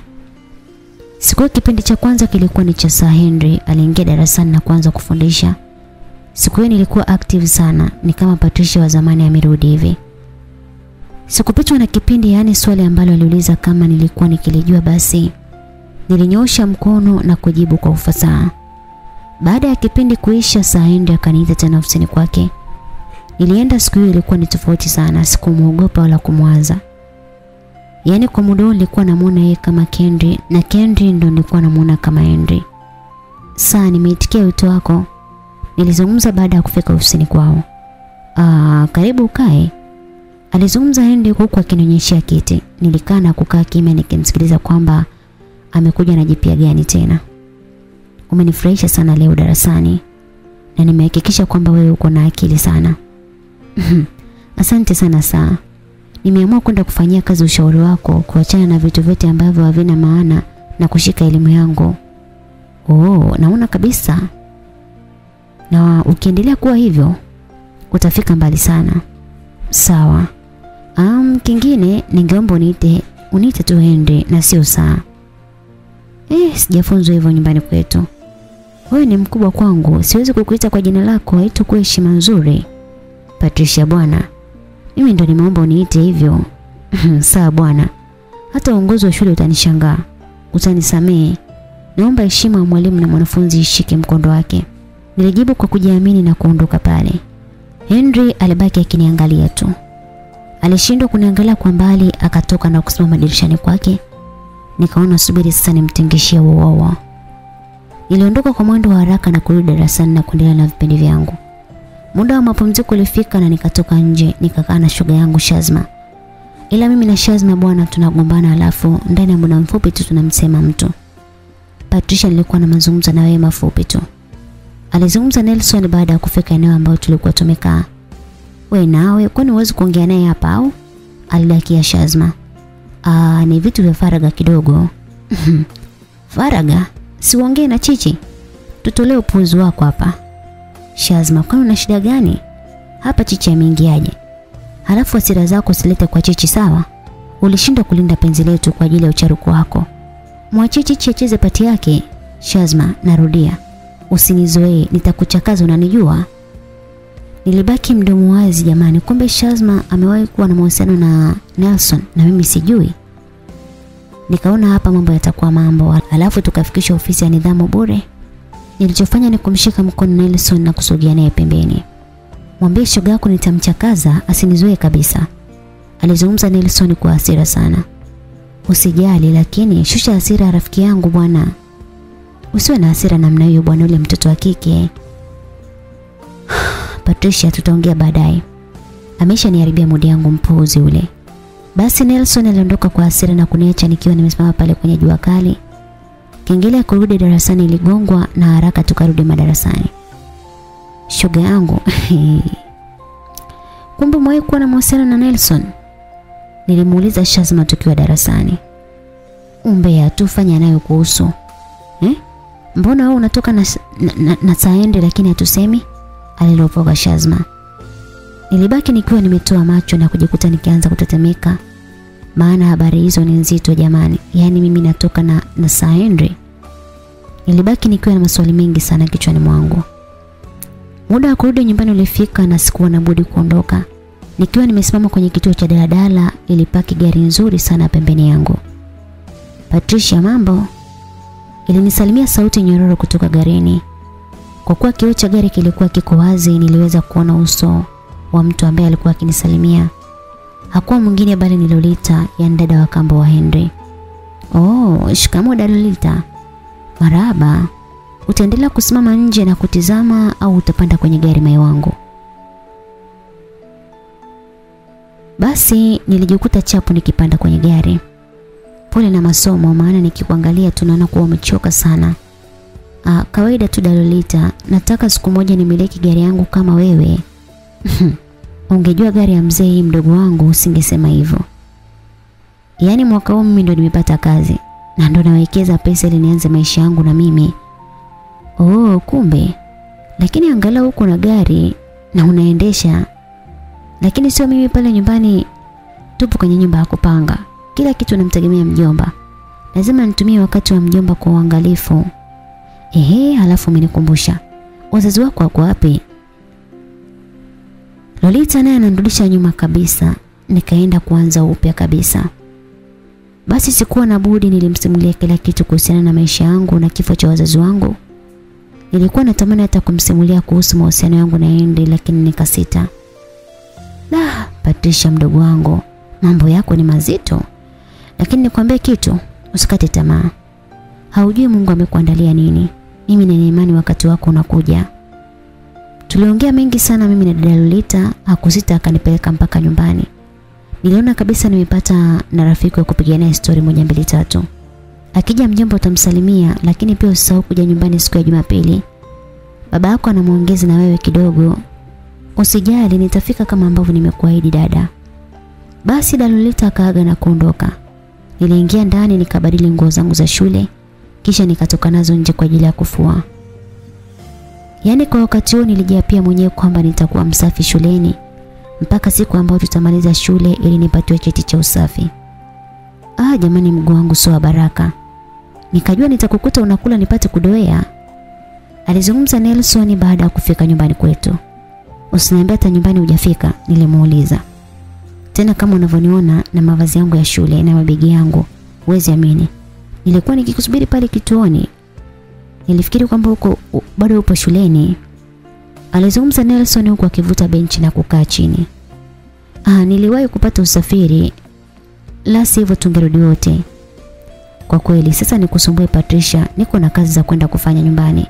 Lakini mimi nahitaji kukuuliza jambo. Nelson bwana. Si unaniona nafua hapa? Subiri basi nimalize ili tuongee kwa uhuru. Naweza hata kusindikiza pia. Mm, sawa, kwa kuwa mimi ndio mwenye shida, basi wacha nifuate masharti ya mwenyeji wangu. Umeanza na wewe. Nelson aliendelea kunipigia stori za hapa na pale, mwisho nilimaliza kufua na kuweka nguo juu ya kamba. Baada ya kila kitu maongezi alianza na wakati huo tulikuwa tukitembea kuelekea nyumbani kwa kina Nelson. Patricia, bado nawaza ukaribu wako na Endo ukoje? Yaani bado mpaka sasa ni marafiki au mmeachana? aliuliza Nelson. Mm, nisiwe muongo wala mnafiki. Niseme tu Nelson, nyosha maelezo ya swali lako maana mm, sijakuelewa. Patricia nawe kiufupi napenda kuijua familia ya kina Henry kwa, kwa undani zaidi. Unajua baba yangu anataka kujenga nyumba mpya na ametupatia kazi ya kutafuta ramani. Nelson nanivuruga zaidi. Mambo ya nyumba mara ramani mara Henry nishike lipi? Shika yote yatakusaidia. Alijibu Henry akiwa amechukia sana. Jamani, niliishia kumshangaa tu na alikuwa amechukia sana yani pasina kuongea kitu. Kingine alikaza mwendo na kuondoka kabisa. Ana kichaa huyo au? Nilijiuliza moyoni mwangu huku nikimshangaa sana Nelson. Basi siku zilisonga, yani Nelson alionekana kuwa mtu mwenye hasira sana. Alinikasirikia kabisa kutaka hata kuzungumza na mimi tena soiba wake. Sikupenda malumbano kati yangu na Nelson maana sikujua kwa nini amenikasirikia hivyo. Nilimwita kwa ajili ya mazungumzo. Nelson, uh, sidhani kama kuna kitu cha kuzungumza mimi na wewe. Patricia, fanya mambo yako. Eh, eh Nelson unanichanganya. Hivi kuna sababu ya wewe kuninunia mimi? Mpaka sasa hivi sijui kipi kimekufanya uninunie. Nipe sababu maalum ya wewe kununa na kukasirika kiasi hiko. Patricia please, tutakuja kuvunjiana heshima hiyo. Sawa? Niliona kweli huyo amechukia na kwa sababu zake ambazo mimi sikuwa nikizifahamu. Basi nikaona nimwache endelee na maisha yake na kila mtu afanye maisha yake. Siku ya Jumapili ilifika na baada ya kumaliza kazi zangu za pale nyumbani, nikafunga safari na kwenda kwa kinaende ambapo nilipewa wito. Nilifika na kupokelewa vizuri sana isipokuwa Enjo ambaye alionyesha kujisikia sana. Yaani alikuwa ananiangalia kama vile anaangalia takataka. Nikiwa nimekaa sebleni nikimsubiri baba mwenye nyumba, Henry alikuja akiwa ameshikilia glasi ya maji. Oh, Patricia, oh my god, sikujua kuwa umekuja hadi nyumbani. Karibu sana. Asante. Vipi umekuja kufanya nini? Ani mgeni wangu. Alijibu baba Henry muda huo alikuwa akishuka ngazi na kusogea pale sebleni Oh. Henry alishangaa tu kisha akaondoka. Karibu sana Patricia. Lakini mbona umekuja mwenyewe? Mjomba wako yuko wapi? Ah, nafikiri taarifa niliyopatiwa haikuwa imekamilika. Maana sikuambiwa nije na mjomba. Lakini akijaribika kitu, nitazungumza na wewe itatosha sana. Sawa baba, nipo kusikiliza. Um, nisipoteze muda kwani nina kikao cha dharura, lakini lengo kuu la kukuita wewe hapa ni kutaka kukupa shukrani kwa kile ambacho umenifanyia kwa kijana wangu. Nafikiri alikupa kipindi kigumu sana na mambo mengine mengi ambayo kwa sisi ambao tumeishia kuhadithiwa tu na kupata stori kutoka kwako, tunaona ni ugumu gani umepata. Hivyo basi, sisi kama familia tumekaa na kufikiri kukufanyia jambo na tulitaka kujua kupitia wewe jambo gani unahitaji tukufanyie. Ah baba bwana. Labda niweke vitu sawa. Henry niliamua tu kumsaidia na nafikiri ni Mungu tu alitaka Henry afike kwenye mikono yangu. Hivyo basi asante yenu na maneno mazuri kutoka kwenu yanatosha sana. Da, majibu yako yanaonyesha ni kiasi gani unajitambua. Nawaza mzazi wako amekuleaje. Anyway, ukiachana na kujitolea, naomba kwa niaba ya familia uturuhusu tukufanyia jambo Patricia, please usikatae. Baba, kwa kuwa umesisitiza basi sina budi kupokea ofa ambayo iko mbele yangu na niseme moja kwa moja kwamba labda umtafutie mjomba wangu kazi. Yeye sio msomi, alishia kidato cha nne tu na alisomea udereva. Ila upatikanaji wa kazi umekuwa mgumu sana. Mjomba amekuwa kama mama kwangu. Ananisimamia na kunipa ninachotaka. anaangaika sana na ajira ndogo ndogo. Naomba umsaidie apate ajira. Nilijikuta nikianza kulia pale. Nililia na kupiga magoti chini huku nikiunganisha mikono yangu Baba ya kuwa mbali, aliniinua na kuniweka kochini. Usilie binti yangu. Naweza kuelewa machungu yako na niko hapa kukusaidia kwa lolote ambalo utaniomba. Nilikaa vizuri nikifuta machozi huku kwikwi ikiwa imeshika nafasi yake. Patricia, nione mimi kama baba yako sawa? Na niko hapa kukusaidia, usilie ndugu yangu, usilie, sawa binti yangu? Akiwa anaendelea kunibembeleza ghafla alikuja Enjo. Baba, yani nakupigia simu muda wote huo upokei. Kumbe umekaa na huyu kichaa, alifoka Angel. Chunga ulimi wako Angel, sawa? Na nilishakwambia zaidi ya mara moja kwamba ukinikuta na mgeni, basi mdomo wako fumba, tena tulia kabisa. Nitazungumza na wewe kwa muda wangu. Lakini baba, Angel, toka mbele yangu. Alifoka baba hendi lakini Angel alionekana kuwa ni binti ambaye alilelewa kwa kudekezwa sana. Hivyo aliendelea kubishana na baba yake. Angel, kunakoelekea kwa mara ya kwanza nitainua mkono wangu na kukutandika vibao. Kwa ajili ya huyu kichaa, si ndio baba? Kitu ambacho amjui Huyu msichana ni tapeli tu. Mbona kaka Henry amkumbuke huyu hata kidogo? enje chunga mdomo wako. Halafu angalia unaongea na nani? Ilikuwa ni sauti ya upande wa pili na kwa mwingine bali ni Henry. Afadhali Kenley, shughulika na dada yako. Nitakuja kumpasua ubongo sasa hivi. Nipasue, nipasue kama ambavyo ulimpasua ile binti kuizima kesi kirahisi. Aliropoka enjo Nilishtuka sana na kubaki nikiwa nimetoa macho. Yaani huyu Angel anaropoka sana na mambo mengine ambayo watu wa nje hawakupasa kuyajua. Patricia mwanangu, nafikiri mimi na wewe maongezi yetu yameisha. Nitakuita tena kwa ajili ya utekelezaji. Unaweza ukaenda. Alizungumza baba Henry, sikuwa na pingamizi niliondoka. Nilifika nyumbani lakini maneno ya Angel alikuwa akiendelea kuzunguka kwenye kichwa changu. Lakini niliona kwamba hayanihusu, nikaingia haraka ndani na kuendelea na mambo yangu tu.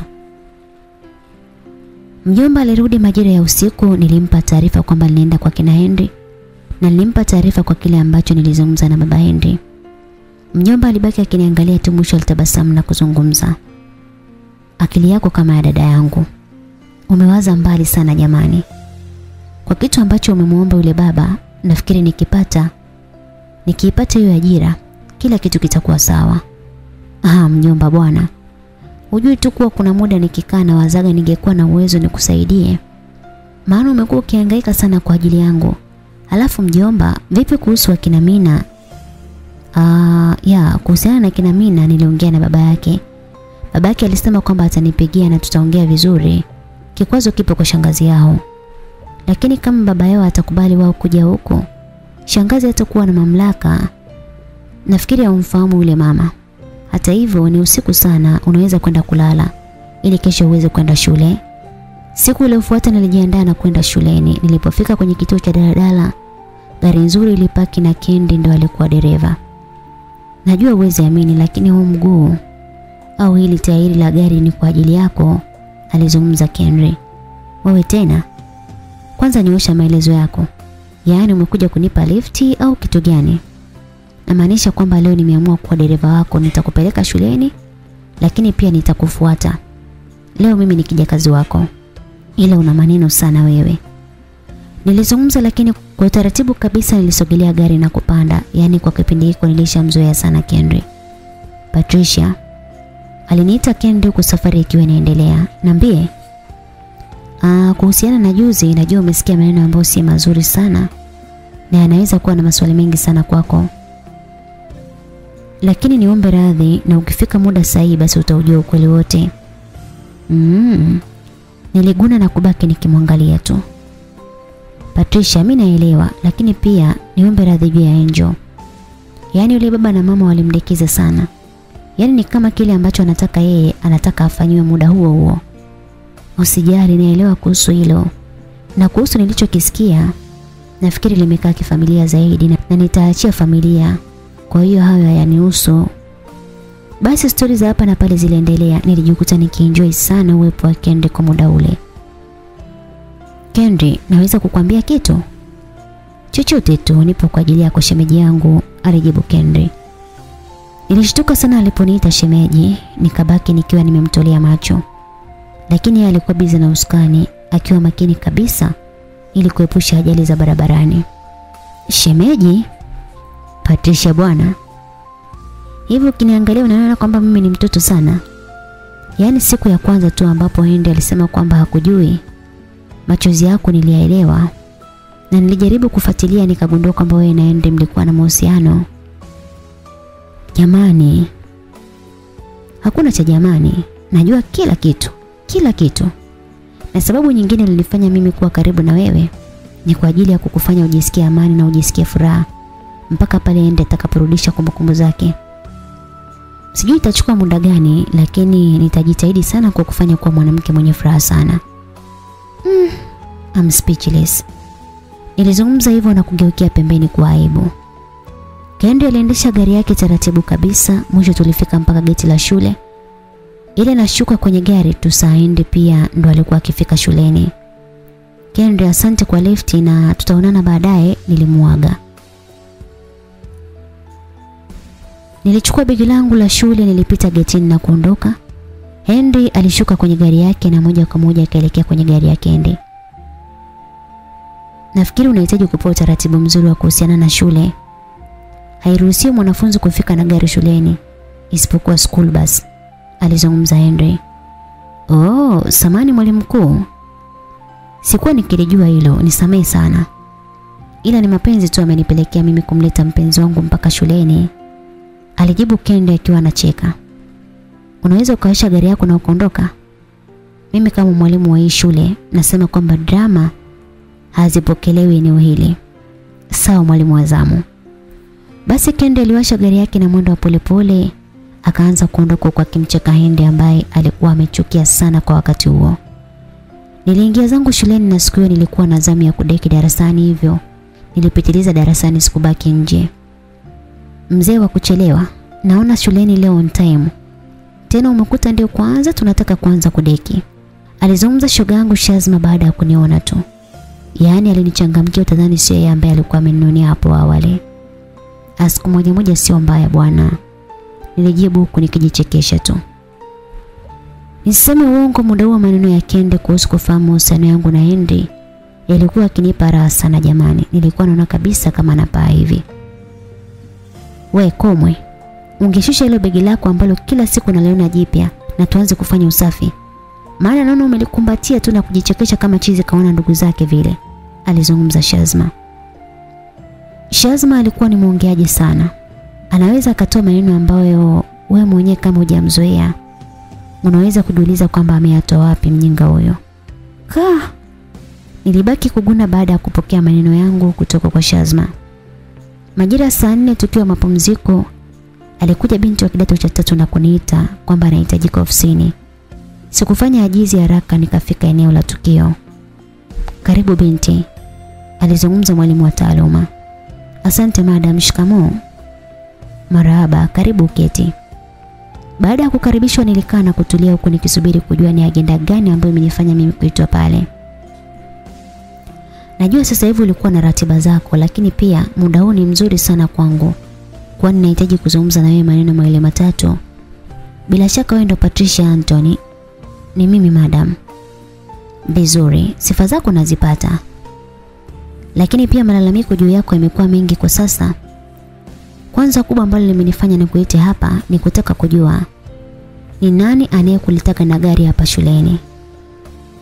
Swali la mtaaluma lilinishtua sana jamani. Nilibaki nikijiuliza ni nani ambaye aliniona nikiwa nakuja na lile gari la Kendry. Mm, Patricia nikwambie kitu. Usije ukanidanganya maana mjomba wako namjua. Hana hata baskeli. Ungemwonea huruma mjomba wako. Anahangaika sana kwa ajili yako. Kila siku anakuja kulia hapa usome. Pale tu anapokuwa maada. Leo hii unaendekeza wanaume kweli? Lakini ma, hakuna cha lakini. Najua unataka kujitetea lakini nikwambie tu kwamba usifanye kitu ukajua kwamba hatuoni. Tunaona. Tunaona mengi sana. Na ninyi ni watoto wetu mnapokuwa shuleni. Ni lazima tuwalinde mnapokuwa nyumbani mtalindwa na wazazi wenu. Na kuuliza swali moja tu. Umekuja na gari leo au hujaja na gari shule? Ah, nilishindwa kujibu. Usije ukakataa maana nina uhakika Saende hawezi kudanganya. Na anawatakia mema sana wanafunzi wake. Muda huo nilikuwa natamani hata kucheka, yaani Saendi ndo ameenda kunisemea. Kwa lipi hasa? Sikuwa na budi bali niliomba tu msamaha kisha nikapewa ruhusa kurudi darasani kwani mapumziko pia yalikuwa ameshaisha. Siku hiyo nilikaa darasani nikiwa nawaza sana ni kwa nini Endo amekuwa akinifuatilia sana na kunifanyia visa. Yaani ni kama mtu ambaye ameniwekea kiapo kwamba hataki kuniona nikiwa na furaha. Muda wa kuondoka ulifika kama kawaida nilifika getini na kukutana na gari ya Kendri ikiwa imebaki pale akiwa ananisubiri mimi. Nilitamani kulipita gari kama silijui lakini nikakumbuka kwamba nikipanda gari miambili yangu ya nauli inapona lakini pia nafika mpaka nyumbani. Nikaona liwano na liwe tu, nikaamua kupanda lakini ile napanda tu nikasikia nikiitwa. Patricia. Kwa wasiwasi nikageuka kuangalia nani ambaye ananiita. Maana asije akawa ni mwalimu alafu nikawa ni miaka nyaga tena. Mwisho nikaja gundua kwamba ni Shazma, alikuja chapu mpaka nilipo. Eh eh, gari ya nani? aliuliza Shazma. Ya rafiki yangu, nilimjibu. Ya rafiki yako wapi tena wewe na wewe si useme kama ni shemeji utaki tujue au? Patricia, tuwahi kuna mahali nahitaji kufika. Alizungumza Henry baada ya kuniona nimesimama tu na sipandi gari. Niombe lifti basi mnaniacha pale kituoni kwetu. Kwa kuwa ndio nilishamzoea sikupata kazi kwenye kumwambia lifti, haraka akakubali. Shazma akapanda nyuma lakini alishtuka sana baada ya kumwona Kendri. Oh, samanini jamani. Nina kitabu cha watu hapa naomba nimpatie mwenyewe alafu tunaondoka. Naombeni sana, alizungumza Shazma. Shogangu huyo hanaga ugeni bwana. Ndio kwanza kapanda gari akaanza usumbufu. Lakini Kendri wa watu wakuwa na la kusema zaidi alikubali tu. Shazma alishuka kwenye gari na kuingia tena ndani. Baada ya muda alirudi na safari ikaendelea. Shoga yangu nilikuwa nahisi kuzimia muda ule nilivyomwona huyo mkaka. Nilijua ni Saendi. Nilivyorudi ndani sikuwa nimerudisha kitabu bwana. Nilienda kumwangalia Saendi. Kibaya nimemkuta ofisini kwake katulia. Hapo sinione hivi. Nimekaa na wasiwasi kama mwanga aliyenasa kanisani. Kwani huyu ni nani shoga yangu? Nisije kawa niko na majini bila ya kujua. Ujumbe huo ulitoka kwa Shazma ambaye kwa muda huo alikuwa amekaa nyuma na ujumbe huo alikuwa ameandika kwenye karatasi maana hakuweza kuzungumza.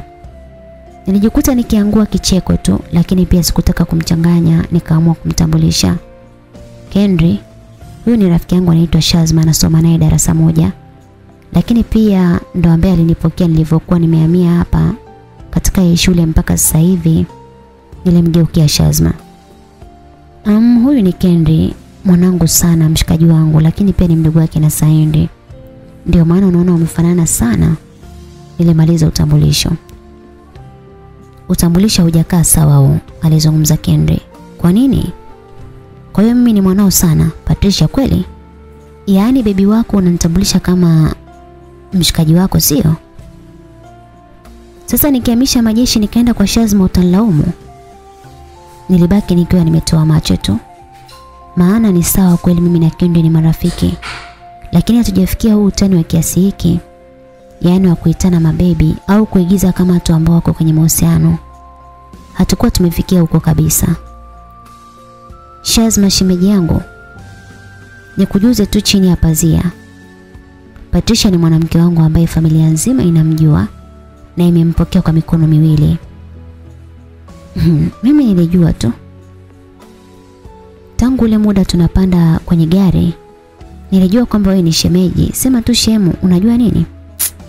Patisha bado sana na mambo ya kitoto, anahitaji maombi. Basi wakakutana wote waongeaji bwana, nilikuwa kimya njia nzima. Lakini wao ndio walikuwa wakizungumza barabara nzima.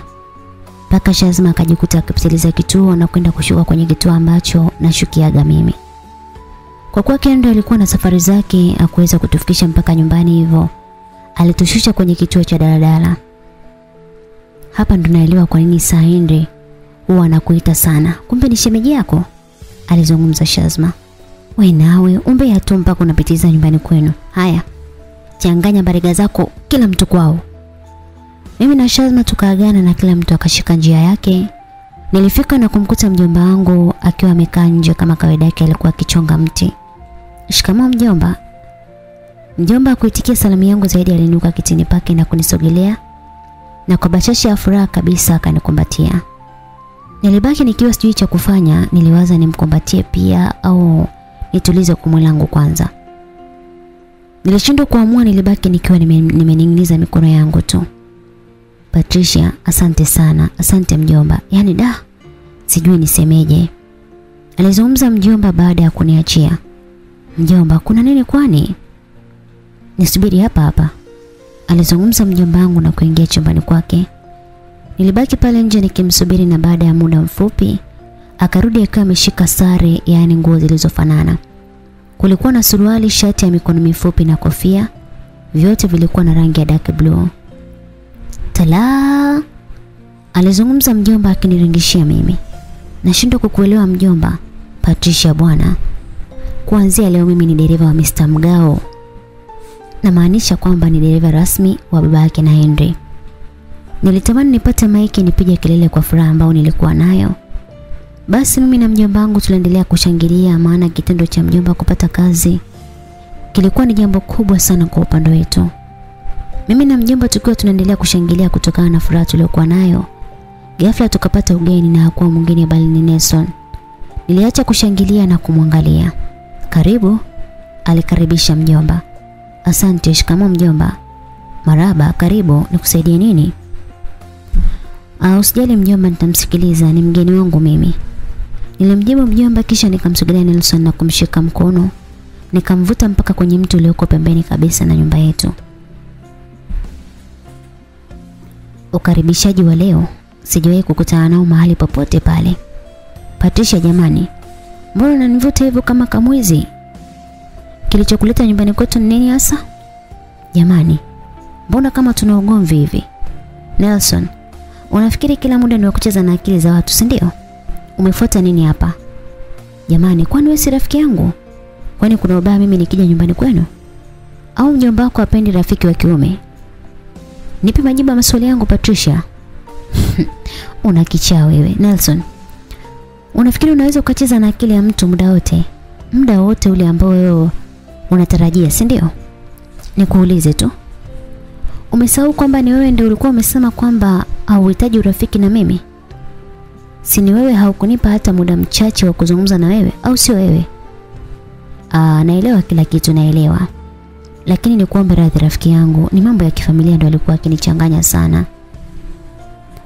Alizungumza Nelson nilibaki nikimwangalia. Mambo yanayotokea kwenye familia yangu yamekuwa yakinipa wasiwasi sana. Huwezi amini. Wasiwasi wangu ndio unafanya kila mtu nimwone mbaya. nilishisha pumzi nzito na kukaa pembeni maana nilishachoka na kusimama kabisa.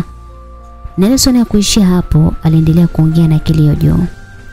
Patricia, familia yangu naona kabisa inayumba. Sijui kama wazazi wangu wanaweza kuwa sawa na kukubaliana na hali halisi. Nahisi kama babangu ataendelea na mchakato wake wa talaka, Patricia anaumia mno. Na mtu wa pekee ambaye anaweza kunifanya niwe na amani kwa kipindi hiki ni wewe rafiki yangu. Basi na huruma yangu na machozi yake kunitoa imani, nilijikuta nikimkumbatia na kumtuliza kwani alikuwa akilia sana. Niliinuka na kumshika mkono kisha tukaelekea kwenye kivuli kizuri tu. Nilimtandikia mkeka na kumwacha apumzike na kutuliza mapigo ya moyo ambayo yalikuwa kasi sana. Ilipita wiki nzima huku mimi na Nelson tukiwa marafiki wa karibu sana. Hakunificha mambo ya familia yake na niliona ni kiasi gani familia yake inapata shida. Siku hiyo nikiwa nimekaa zangu nyumbani sina hili wala lile na kisimu changu cha bata nikiwa nacheza game la nyoka. Ghafla simu iliita. Nilipoangalia nikagundua kwamba ni Lolita haraka nikapokea. Baada ya maongezi ya muda mfupi mimi na Lolita nilikata simu na kubaki nikitabasamu tu. Kwani dada Lolita alinikaribisha kwenye miaka 27 ya ndoa kati ya baba Hindi pamoja na mke wake. Nilijisikia furaha sana kwani kwa mara ya kwanza kabisa niliona naenda kuhudhuria sherehe za watu wakubwa. Yaani hapo nilikuwa nawaza misosi itakuwaje. Baada ya kupata mwaliko na kila kitu nilipata mawazo tena na kujiuliza ni mavazi gani ambayo naweza nikavaa na nikatokelezea kwenye sherehe ya watu wazito kama hao. Majira ya usiku mjomba alikuja na nilimpa taarifa lakini aliniwahi kwani mjomba wangu alikuwa akijua kila kitu kutokana na kwamba amekuwa mwajiriwa wa familia ile. Yaani siku hiyo mjomba wangu alikuwa full package kwani alikuwa ameshika kila kitu. Aliniletea viatu na nguo ya kuvaa kwa ajili ya kwenda kwenye sherehe kwa furaha nikamkumbatia. Ulijuaje mjomba kama vitu hivi nahitaji sana? Aa, najua tu nimekuwa mwepesi wa kukutafutia chakula na masomo lakini nimejisahau kabisa kwenye masuala ya mavazi na matumizi yako binafsi. Na kuanzia sasa nisamee sana. Nitakuwa nikikuangalia kwa kina sana mjomba wangu. Mjomba wangu alikuwa ananijali sana na kuniheshimu. Siku ya sherehe ilifika na niliruhusiwa kualika watu wangu kadhaa, hivyo nilimchukua Nelson na shoga yangu Shazma. Shoga yangu, kwa mara ya kwanza leo unahudhuria sherehe ya watu wakubwa kama hawa, alizungumza Shazma. Nilicheka lakini mimi na yeye hatakuwa na utofauti wowote. Maana hiyo ndio ilikuwa sherehe ya kwanza kuhudhuria. Yaani ilikuwa ni sherehe ya watu wenye pesa. Tuachane na hayo siku hiyo nilipendeza mno maana mjomba alinipeleka saluni nikanyoosha vizuri nywele zangu na kubana vizuri kabisa. Mavazi pia ambayo mjomba alikuwa ameninunulia yalikuwa mazuri mno. Yaani muda wote nilikuwa nikijitazama na kujiambia mwenyewe kwamba siku hiyo nilikuwa na mwonekano wa kisichana kabisa. Tulifika kwenye eneo la tukio na sisi ndo tulikuwa wa kwanza kufika. Unajua ule msemo wa muda wa wazungu, basi mimi na watu wangu tulifuatisha muda wa wazungu. Tulifika muda ule ambao ulipangwa, lakini sasa hatukukuta wenyeji wetu kwani walikuwa hapo kanisani kwenye kubariki ndoa. Tulipokelewa na Dalolita ambaye yeye hakuwa ameenda kanisani kwani alikuwa akisimamia maandalizi ya nyumbani. Karibuni sebleni mjisikie mpo nyumbani. Dada Lolita alitukaribisha. Tulikaa sebuleni lakini kama kawaida yangu sinaga ugeni kihivyo. Nilimwona Lolita akiwa anafanya mambo mengi sana akiwa mwenyewe. Hivyo nikaona ni bora nimsaidie tu. Nikiwa bize na kumsaidia Lolita, ghafla nilisikia jina langu likiitwa kwa hasira sana. Mpaka niliogopa. Haraka nikawahi sebleni. Patricia, huyu ni mgeni wako sio? Aliuliza lolita akiwa amechukia sana. Ndiyo ni mgeni wangu anaitwa Nelson ni mwanafunzi mwenzangu pia. Mwambie asinizoee. Nimemkuta chumbani kwangu anahangaika kabatini. Ameangusha hadi makeup zangu jamani. Halafu anasingizia kwamba eti alikuwa akitafuta choo. Kijana, tuheshimiane. Tuheshimiane kabisa na uwe wizi wako. Alifoka Lolita na kuondoka pale. We nawe ulikuwa unafanya nini kwenye kabati lake? Patricia, na unaamini kwamba eti nilikuwa kabatini kwake? Sawa nimeingia chumbani kwake. Lakini zilikuwa ni harakati za kutafuta washroom, hakuna kingine. Ah, wacha nitakuombea msamaha. Nilimtuliza Nelson ambaye alionekana kuwa na wasiwasi sana.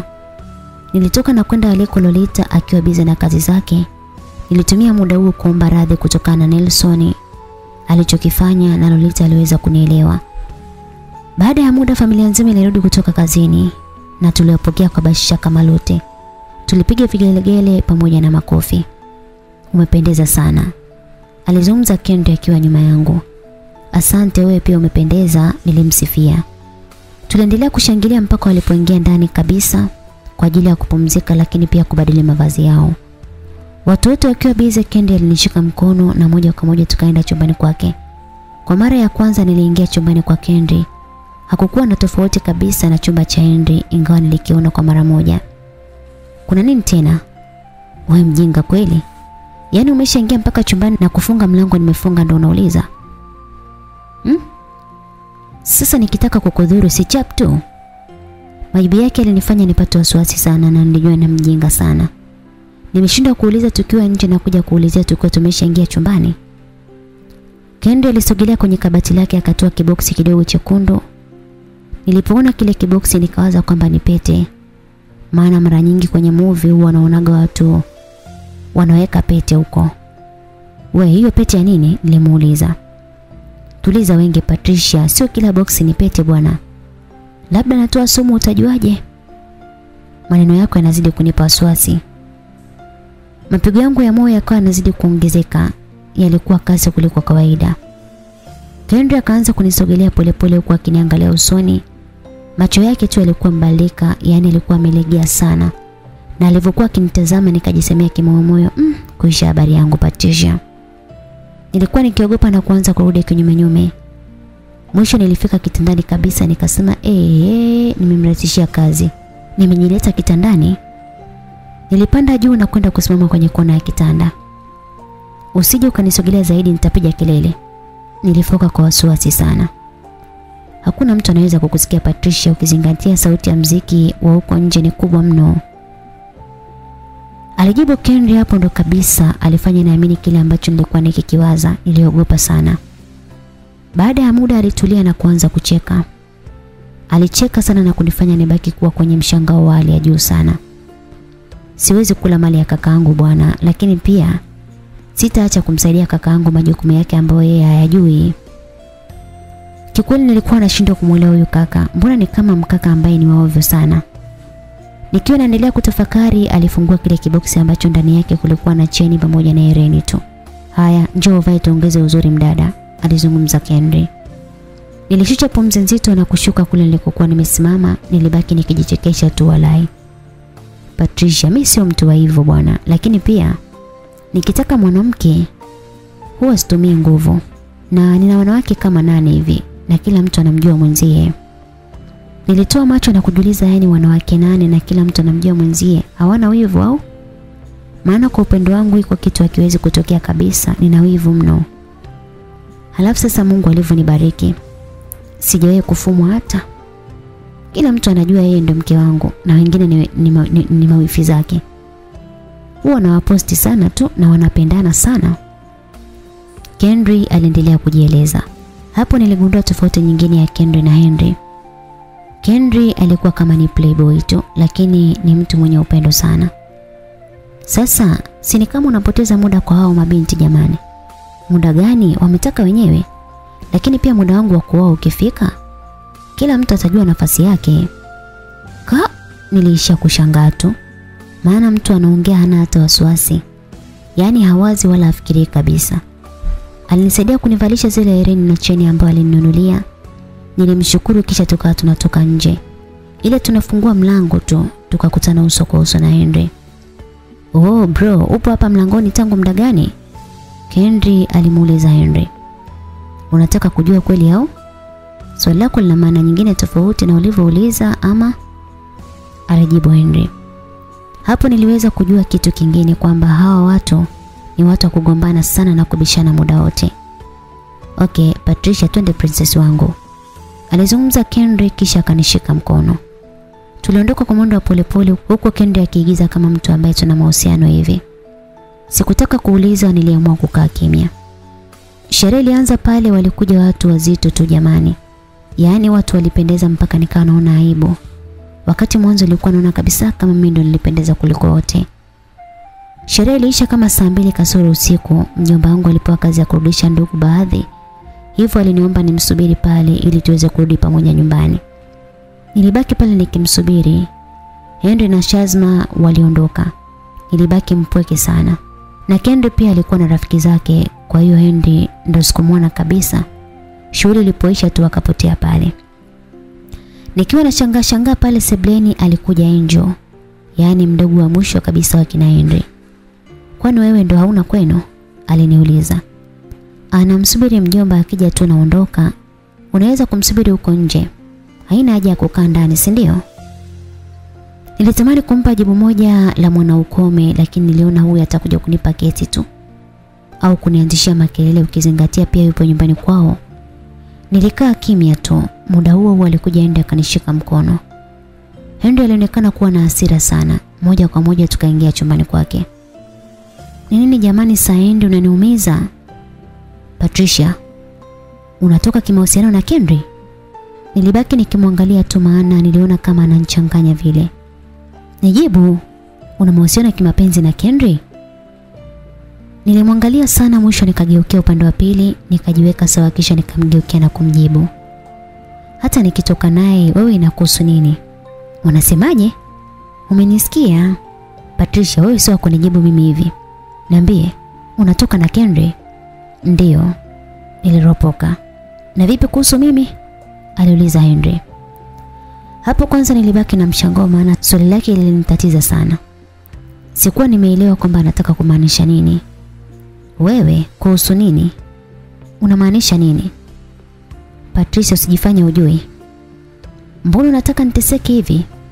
Patricia, usijisahaulisha kwamba mimi na wewe tulikuwa tukitumia shuka moja. Aliropoka Henry. Nilibaki nikiwa nimepigwa na butoa huku kama kichwa changu kikiwa kinazunguka hivi. Nilibaki nikijiuliza kwamba je, amerudisha kumbukumbu zake au sijakuelewa unamaanisha nini? Hakunijibu zaidi akanisogelea na kunibusu, tena sio busu la kawaida. Nilijikuta nikimpa ushirikiano wa kutosha. Henry, hebu niache kwanza. Nilizungumza na kumsukuma. Nini tena? Umenikumbuka? Nilimuuliza swali, lakini kabla hajanijibu tulisikia zogo nje. Hivyo haraka tulitoka nje ili kujua kuna nini kinaendelea huko nje. Tuliwahi na kufika sabini ambapo tulikuta wanafamilia wote wakiwa hapo. Na Nelson alikuwa amepigishwa magoti katikati ya wanafamilia. Nilipigwa na butoo kwa Nelson alishaondoka pamoja na Shazma. Na mimi ndo niliwasindikiza mpaka nje ya geti. Nelson nilimuita. Nilisogea karibu zaidi na kutaka kujua ni kitu gani kinaendelea pale. Swali ni moja tu. Chumbani kwangu ulikuwa umefuata nini? Aliuliza baba Henry. Nilibaki nikishangaa tu maana nilikuwa nikijionea mauzauza. Mwanzo kabisa amekamatwa akiwa chumbani kwa Lolita. Sasa hivi tena chumbani kwa baba mwenye nyumba jamani. Kwanza amealikwa na nani? Mbona hatumfahamu? Aliuliza mama yake na Henry. Nilibaki nikiwa na mshangao sana maana nakumbuka kuna siku moja Nelson aliniambia kwamba wao ni family friend wa kina mama Henry. Sasa leo hii mama Henry anasema kwamba hamjui. Alinichanganya zaidi. Kwa kuwa Nelson hakuwa na majibu sahihi ya kutoa haraka simu ikapigwa kituo cha polisi. Nilijaribu kuomba radhi na kumtetea lakini hawakunisikiliza kabisa. Kwani walitaka kujua kwamba chumbani alikuwa amefuata nini. Henry yuko wapi naye? Ameanza tabia yake ya kutoka pasi na kuaga, alifoka mama Henry.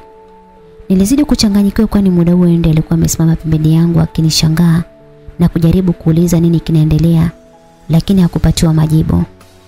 Mama bwana, sinipo hapa, alijibu Henry. Muache ni mtu mzima atarudi kwa wakati wake. Alijibu baba Henry huku akiendelea na suala la kumhoji Nelson. Hapo niliweza kujua kwamba Henry haonekani tena na ndio maana ameweza kunikumbuka mimi. Patricia, ina maana hawanioni? Henry aliniuliza. Ni wazi kwamba hakuna mtu anayekuona. Sikia, kwa sasa wacha wahangaike na suala la Nelson. Wakikaa vizuri nitawaambia. Patricia, acha hizo bwana. Hawanioni ujue. Mimi sitaki kurudi maisha yale ya mwanzo. Nirudishe chumbani kwangu nikauchukua mwili wangu. Alizungumza Henry akiwa amechanganyikiwa sana. Henry huyu hapa niliropoka pale. Kila mtu akanigeukia na kuniangalia kwa jicho la hasira sana. Waliona ni kama natania vile ikiwa wao walikuwa serious. Henry yuko hapa na mimi nimemshika mkono. Nafikiri lile swala la kutokuonekana limerudi tena. Maana pia amenikumbuka. Unasemaje? aliuliza mama Henry. Haraka nikamshika mkono na kumrudisha Henry chumbani kwake. Lakini muda huu ulikuwa tofauti sana. Hakukuwa na mabadiliko yoyote ambayo yalipatikana na atukukuta pia mwili wake. Kila mtu alihisi kuchanganyikiwa walahi. Yaani tatizo limetokea tukiamini njia ya kumaliza tatizo itakuwa ni ile ile lakini haikusaidia. Watu walisahau mpaka masuala ya polisi hivyo Nelson alipata upenyo na kuondoka. Baada ya maongezi ya muda waliniomba niondoke na Henry kwani mimi ndiye mtu pekee ambaye namuona na nina uwezo wa kuongea naye na kumsaidia pia. Mjomba alikuja na akaambiwa hali halisi, hakupinga. Na siku hiyo tulipewa na gari kabisa la kutufikisha nyumbani kwani ilikuwa ni usiku sana kama saa tano hivi. Tulifika nyumbani na kwa kuwa kila mtu alikuwa amechoka sana, kila mtu akaingia chumbani kwake. Nikiwa najiandaa kubadili nguo nilisikia sauti ya mjomba akiniita. Anafikiri ungemleta ende alale na mimi. Huwezi kulala naye wewe ni mtoto wa kike. Nilielewa hofu ya mjomba wangu lakini pia nilimisi ende wangu sana. Kwa kuwa mjomba hakuwa akimuona na hakuweza hata kumshika nilidanganya.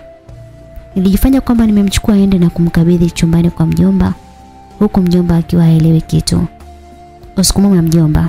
Wacha nikalale na mtu ambaye ananiona mimi alafu simuone. Alizungumza mjomba nikajikuta nikicheka tu. Nilifika chumbani kwangu mimi na Henry tukaanza kucheka. Tulimfanya mjomba wangu kama mjinga kwani tulimchezea mchezo. Kwani haukumwambia mjomba kwamba mimi na wewe ni wachumba? Namwambiaje kwa mfano? Mtu mwenyewe ulivyoanza kuonekana ukanisahau, ukawa unijui kabisa alafu ni nianze kumwambia mjomba wangu upuuzi. Nikwambie ukweli? aliuliza Henry. Ukweli gani na wewe bwana? Wewe sema nikwambie. Ila naomba nihakikishie kwamba hutokasirika. Sawa. Um, kwanza nisamee Patricia. Sio kwamba nilikuwa sikukumbuki, nilikuwa nakukumbuka vizuri tu. Lakini nilikuepusha na mapenzi nikihitaji usome sana. Unasemaje we mbwa? Nilifoka na kwa hasira niliokota kiatu changu na kuanza kumtandika nacho. Unajua nimeteseka kwa kiasi gani? Unajua nilikuwaje? Eh? Unajua nilikuwa najionaje? Nilijidharau na kujiona kuwa sina thamani tena. Nilijiona kuwa mwanamke mwenye mikosi sana. Bora ungenikataa kwa kusema kwamba unipendi tena kuliko kusema unikumbuke. Hendo, unajua kumbukumbu ya penzi lako imekuwa ikinitesa sana. Ucheshi wako kipindi kile unakuja sijui ukaja kubalika na kuwa mpweke. Yaani nilikuwa naumia sana. Nilijikuta nikilia sana jamani. Ndio maana nimetangulia kukuomba radhi mama. Basi kama ilivyo ada hakunaga mkate mgumu mbele ya chai mwaya. Mtoto wa mwenzenu ni nikafall tena kwa kijana Henry. Na siku hiyo hakukuwa na kulala kabisa chumbani kwangu. Asubuhi na mapema niliamka ingawa ilikuwa ni siku ya shule. Niliamua kumwomba mjomba nipumzike tu kwani familia ya kina Henry inaweza kinihitaji kwa siku hiyo. Mjomba wangu hakuwa na yana zaidi alienda shuleni na kuniomba ruhusa nikarudi. Majira ya saa nne asubuhi mjomba alikuja nyumbani akiwa amechanganyikiwa na wasiwasi wa hali ya juu sana. Akanifuata na kuniita pembeni ili Henry asiweze kunisikia. Baba Henry amekamatwa leo asubuhi saa mbili na inasemekana kwamba anakabiliwa na kesi ya mauaji ya mtoto wake wa nje ya ndoa. Sijakuelewa. Mtoto wake wa nje ya ndoa? Nilimuuliza mjomba. Mimi pia sina majibu sahihi hilo swali lako. Lakini taarifa iliyotoka kwenye kituo cha polisi ndiyo hiyo. Jamani, niliishia kusema jamani tu maana sikuwa na neno la kusema tena.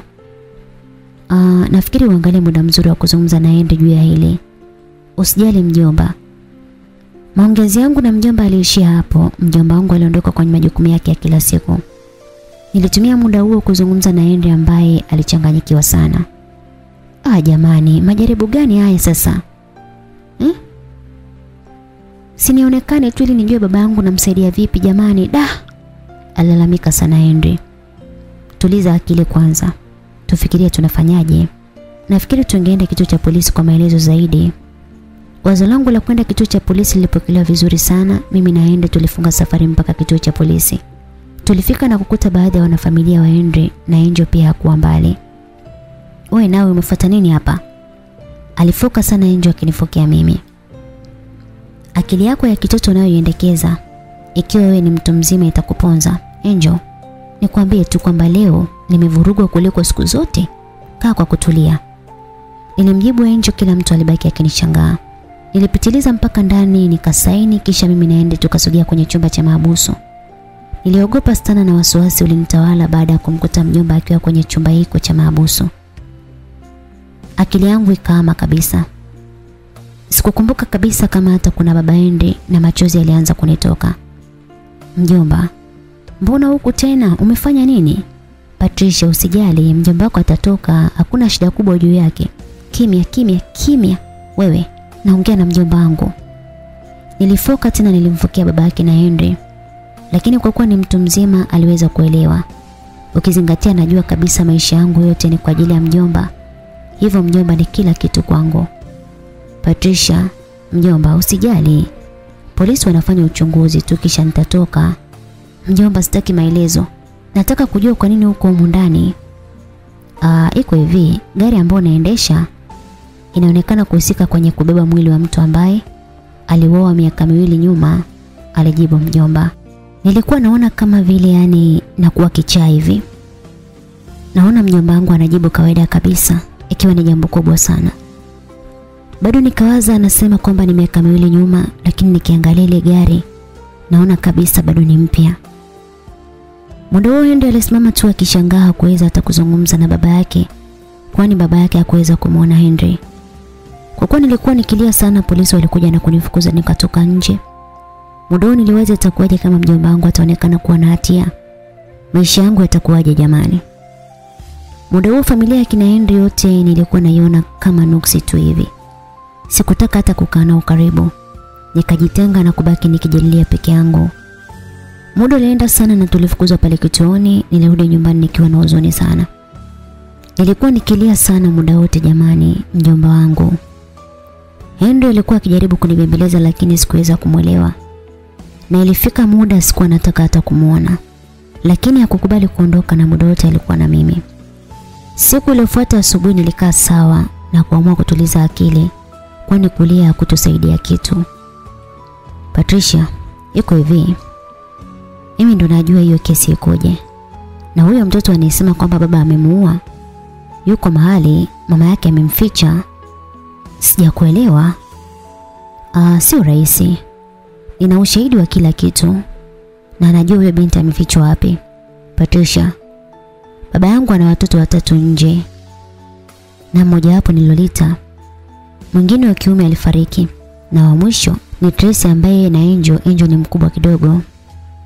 Ehe. Nilikaa mkao wa kula kupata story nzima. Um, mama wa Tracy ni mtu mwenye fujo sana na alikuwa akitaka mali zote za baba ziende kwa jina la mwanaye. Na hii ndio sababu kuu iliyomfanya baba yangu kugawa mali zote mapema kwa watoto wake. Na kutokana na hasira alimtoa Tracy kwenye listi ya watoto wake. Hivyo mama Tracy akaamua kucheza mchezo mchafu ili kumsababishia baba matatizo. Eh, nisiseme uongo jamani. Hii historia yako inanifanya najiona na kuwa kichaa. Na ndio maana nakwambia kwamba cha muhimu ni mimi kupata mwili wangu ili niweze kuonekana na nitamaliza haya yote. Tulijiandaa na kwenda kuhangaika kutafuta mwili kwa njia yoyote ile. Tulienda kwa waganga huko lakini hata wao hawakuweza kumuona. Majira ya jioni tukarudi kituo cha polisi na kwa kuwa tulichelewa hatukuruhusiwa kuingia. Tulisimama nje ya kituo cha polisi nilipigwa na butwa baada ya kumwona Nelson akishuka kwenye gari nzuri na kali sana. Tena akiwa amevalia mavazi ya kipolisi na nyota zake mbili pembeni mwa bega lake. Ni wazi alikuwa ni mmoja kati ya watu wakubwa sana wanaotumika katika kituo cha polisi nilitamani kuzimia. Niliganda nikimshangaa Nelson kama mtu ambaye nimepigwa na shoti ya umeme. Kila polisi alianza kutoa saluti zake kwa Nelson. Nilitamani nimkimbilie na nimuulize yeye ni nani haswa. Mwanafunzi wa kidato cha tano au mwajiriwa mwenye cheo chake. Hapa sasa naelewa. Alizungumza Henry. Umeelewa nini? Nelson ni mpelelezi. Na ndio maana siku ile aliingia chumbani kwa baba. Kuna vitu alikuwa akitafuta ili kufungua kesi rasmi. Hapo sasa na mimi ndo nikaanza sasa kukaa sawa na nilielewa maelezo yaende kwa undani kabisa. Muda huo huo akaja Kendry akiwa kasi sana. Ni kama kuna kitu kilikuwa kimemchukiza sana nikamuita. Kendry lakini wala hakugeuka macho yake yalikuwa akiangalia mlango mkuu wa kituo cha polisi. Patricia Daka huyo mtu anaenda kufanya fujo kisha vuta mambo yake alizungumza Henry. Haraka nilimdaka mkono lakini nilipigwa kibao kimoja matata sana. Nikawa najikuta naona nyota tu. Kendo aliingia ndani ya kituo cha polisi na kule alianzisha tembo la kwenda mbele. Nikajua kweli huyu ni kichaa. Lakini polisi ni polisi tu. Una mfupi ulimdhibiti na yeye ukamtupia kwenye maabusu hawakutaka ujinga. We, huyu mdogo wako ana akili kweli? Swali lako linanikumbusha mbali sana. Nakumbuka baba amewahi kumpeleka hospitali na kumpima akili. Mm. Alistahili kwenda kituo cha, cha watu wenye vichaa ila amenifurahisha kwa kweli. Na huu mbao alionipiga akitoka nitamrudishia. Hatukuwa na zaidi mwaya kwa upole na unyonge tukarudi nyumbani. Hatukuwa na nguvu ya kupika lakini njaa ilikuwa kali sana. Hivyo tukaamua kununua chakula tukala. Ah, Patricia, yote kwa yote bado nitamshukuru Mungu kwa kunijalia mwanamke kama wewe. Amini hivyo. kuna muda matatizo yanatokea ili Mungu akukutanishe na watu sahihi au kile ambacho amekuandalia. Umeanza? Sema nawe kila kitu unachoambiwa unachukulia matani tu.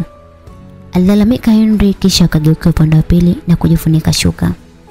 Nilijitahidi kumwomba msamaha lakini wapi, alionyesha kuchukizwa sana. Nilibaki sura ndogo na mwisho niligeuka na mimi upande wa pili nikalala. Siku hiyo tukalala mzungu wa nne jamani. Asubuhi ya saa mbili ndo nilishtuka kutoka kitandani na Henry sikumkuta pale. Ni wazi aliamka kabla yangu na akatoka.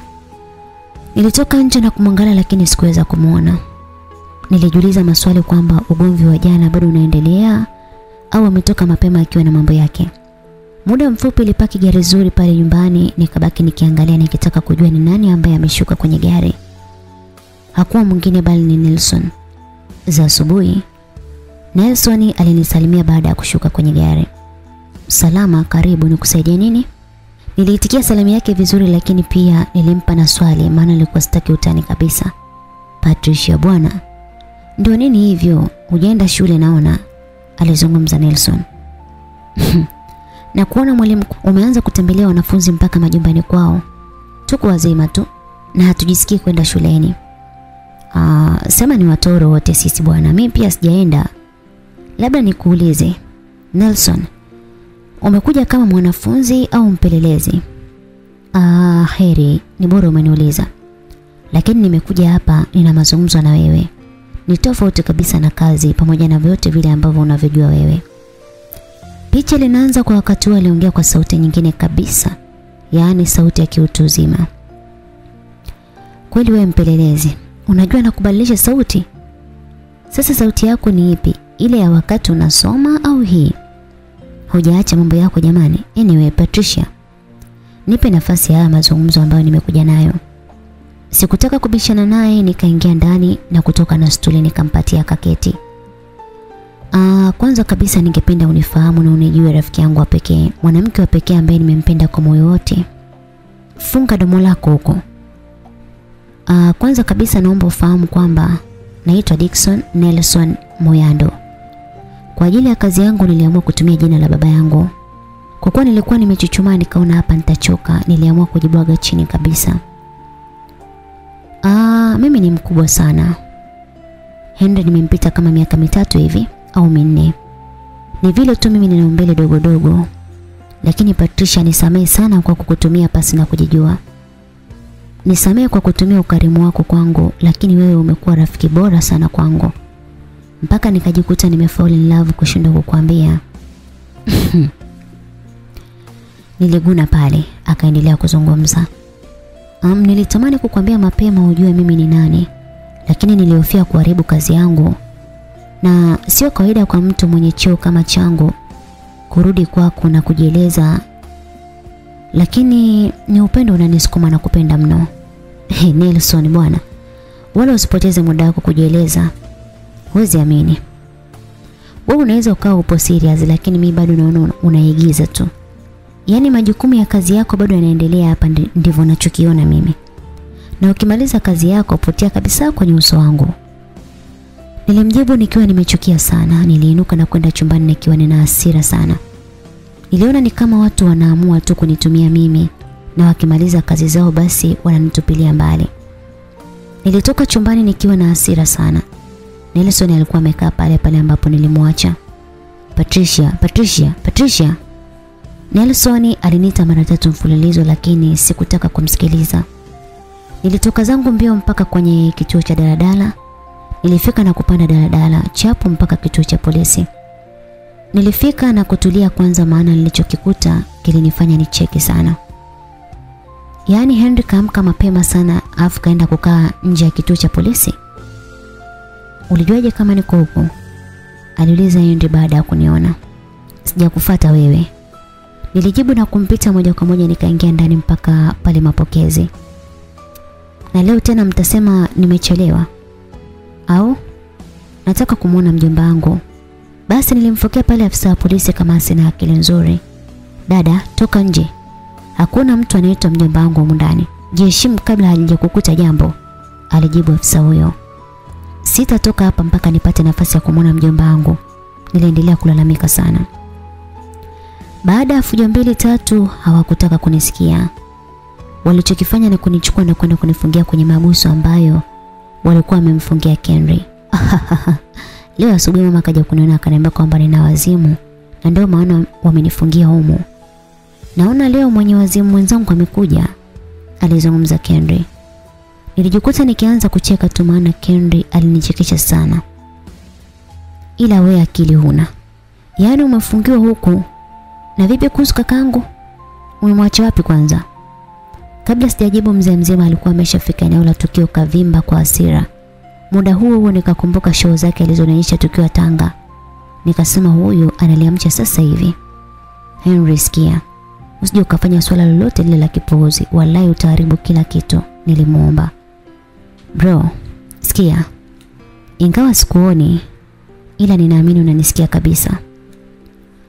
Kama kuna kitu unaweza kufanya, fanya bwana, na kuaminia. Oh, ni pacha wangu ujue. Huwezi kuwa mzembe kiasi hiko, alidakia Kendri.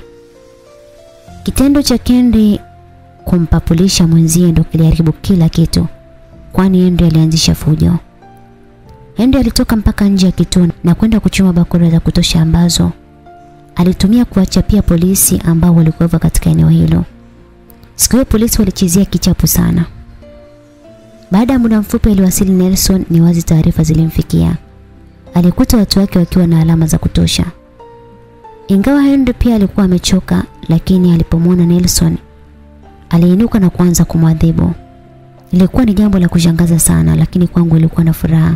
Iliona ni kama comedy tu. Henry ndo kabisa alikuwa akicheka kama ana akili nzuri. Baada ya muda Henry alichoka na kuamua kuondoka huku akituacha mimi na Kendi tukiwa mahabusu. Baada ya muda alikuja Nelson kwenye chumba ambacho mimi na Kendi tulikuwa tumefungiwa. Alisimama mbele yetu na kutuangalia tu. Unatushangaa kwani tumekuwa maonyesho au? Nilimuuliza. Nina uhakika huu mdomo wako ambao hauwezi kukaa kimya ndio umekuponza. Nelson alijibu. Nilimwangalia kwa hasira sana baada ya muda mfupi. Alikuja askari mwingine na funguo kisha Nelson akamwamuru kufungua. Sitarajii kuona tena kwenye jengo hili, tutaonana mahakamani kwani tarehe imeshapangwa. Alizungumza Nelson huku akitukabidhi vitu vyetu. Nilikuwa namwangalia sana sikuamini kama huyu ambaye yupo serious kiasi hiki ndo ametoka kuniambia kwamba ananipenda kuliko wanawake wote. Kama alijibu alione niliropoka. Tulichukua vifaa vyetu kisha tukaondoka tukiwa tumechoka sana yani. Tulikuwa tumechoka sana kukaa muda mfupi tu kwenye maabusu lakini nilijiona nimekaa kama mwaka vile. Na vipi kuhusu mjomba wangu ambaye amekaa takribani siku mbili? Nilijikuta nikianza kulia na nikifikiria hali ambayo mjomba wangu yuko nayo, maana sikuweza kumuona kabisa. Nilifika nyumbani nikiwa nimechoka na kuanza kuitilia jina la Henry huku na huku. Ghafla alikuja Henry akiwa amevaa dera langu tena. Uwe Patricia wewe mzuri walai. Yaani inakuwaje kakaangu anavaa dera? Na hakuwahi kufanya kitu kama hiki hapo kabla.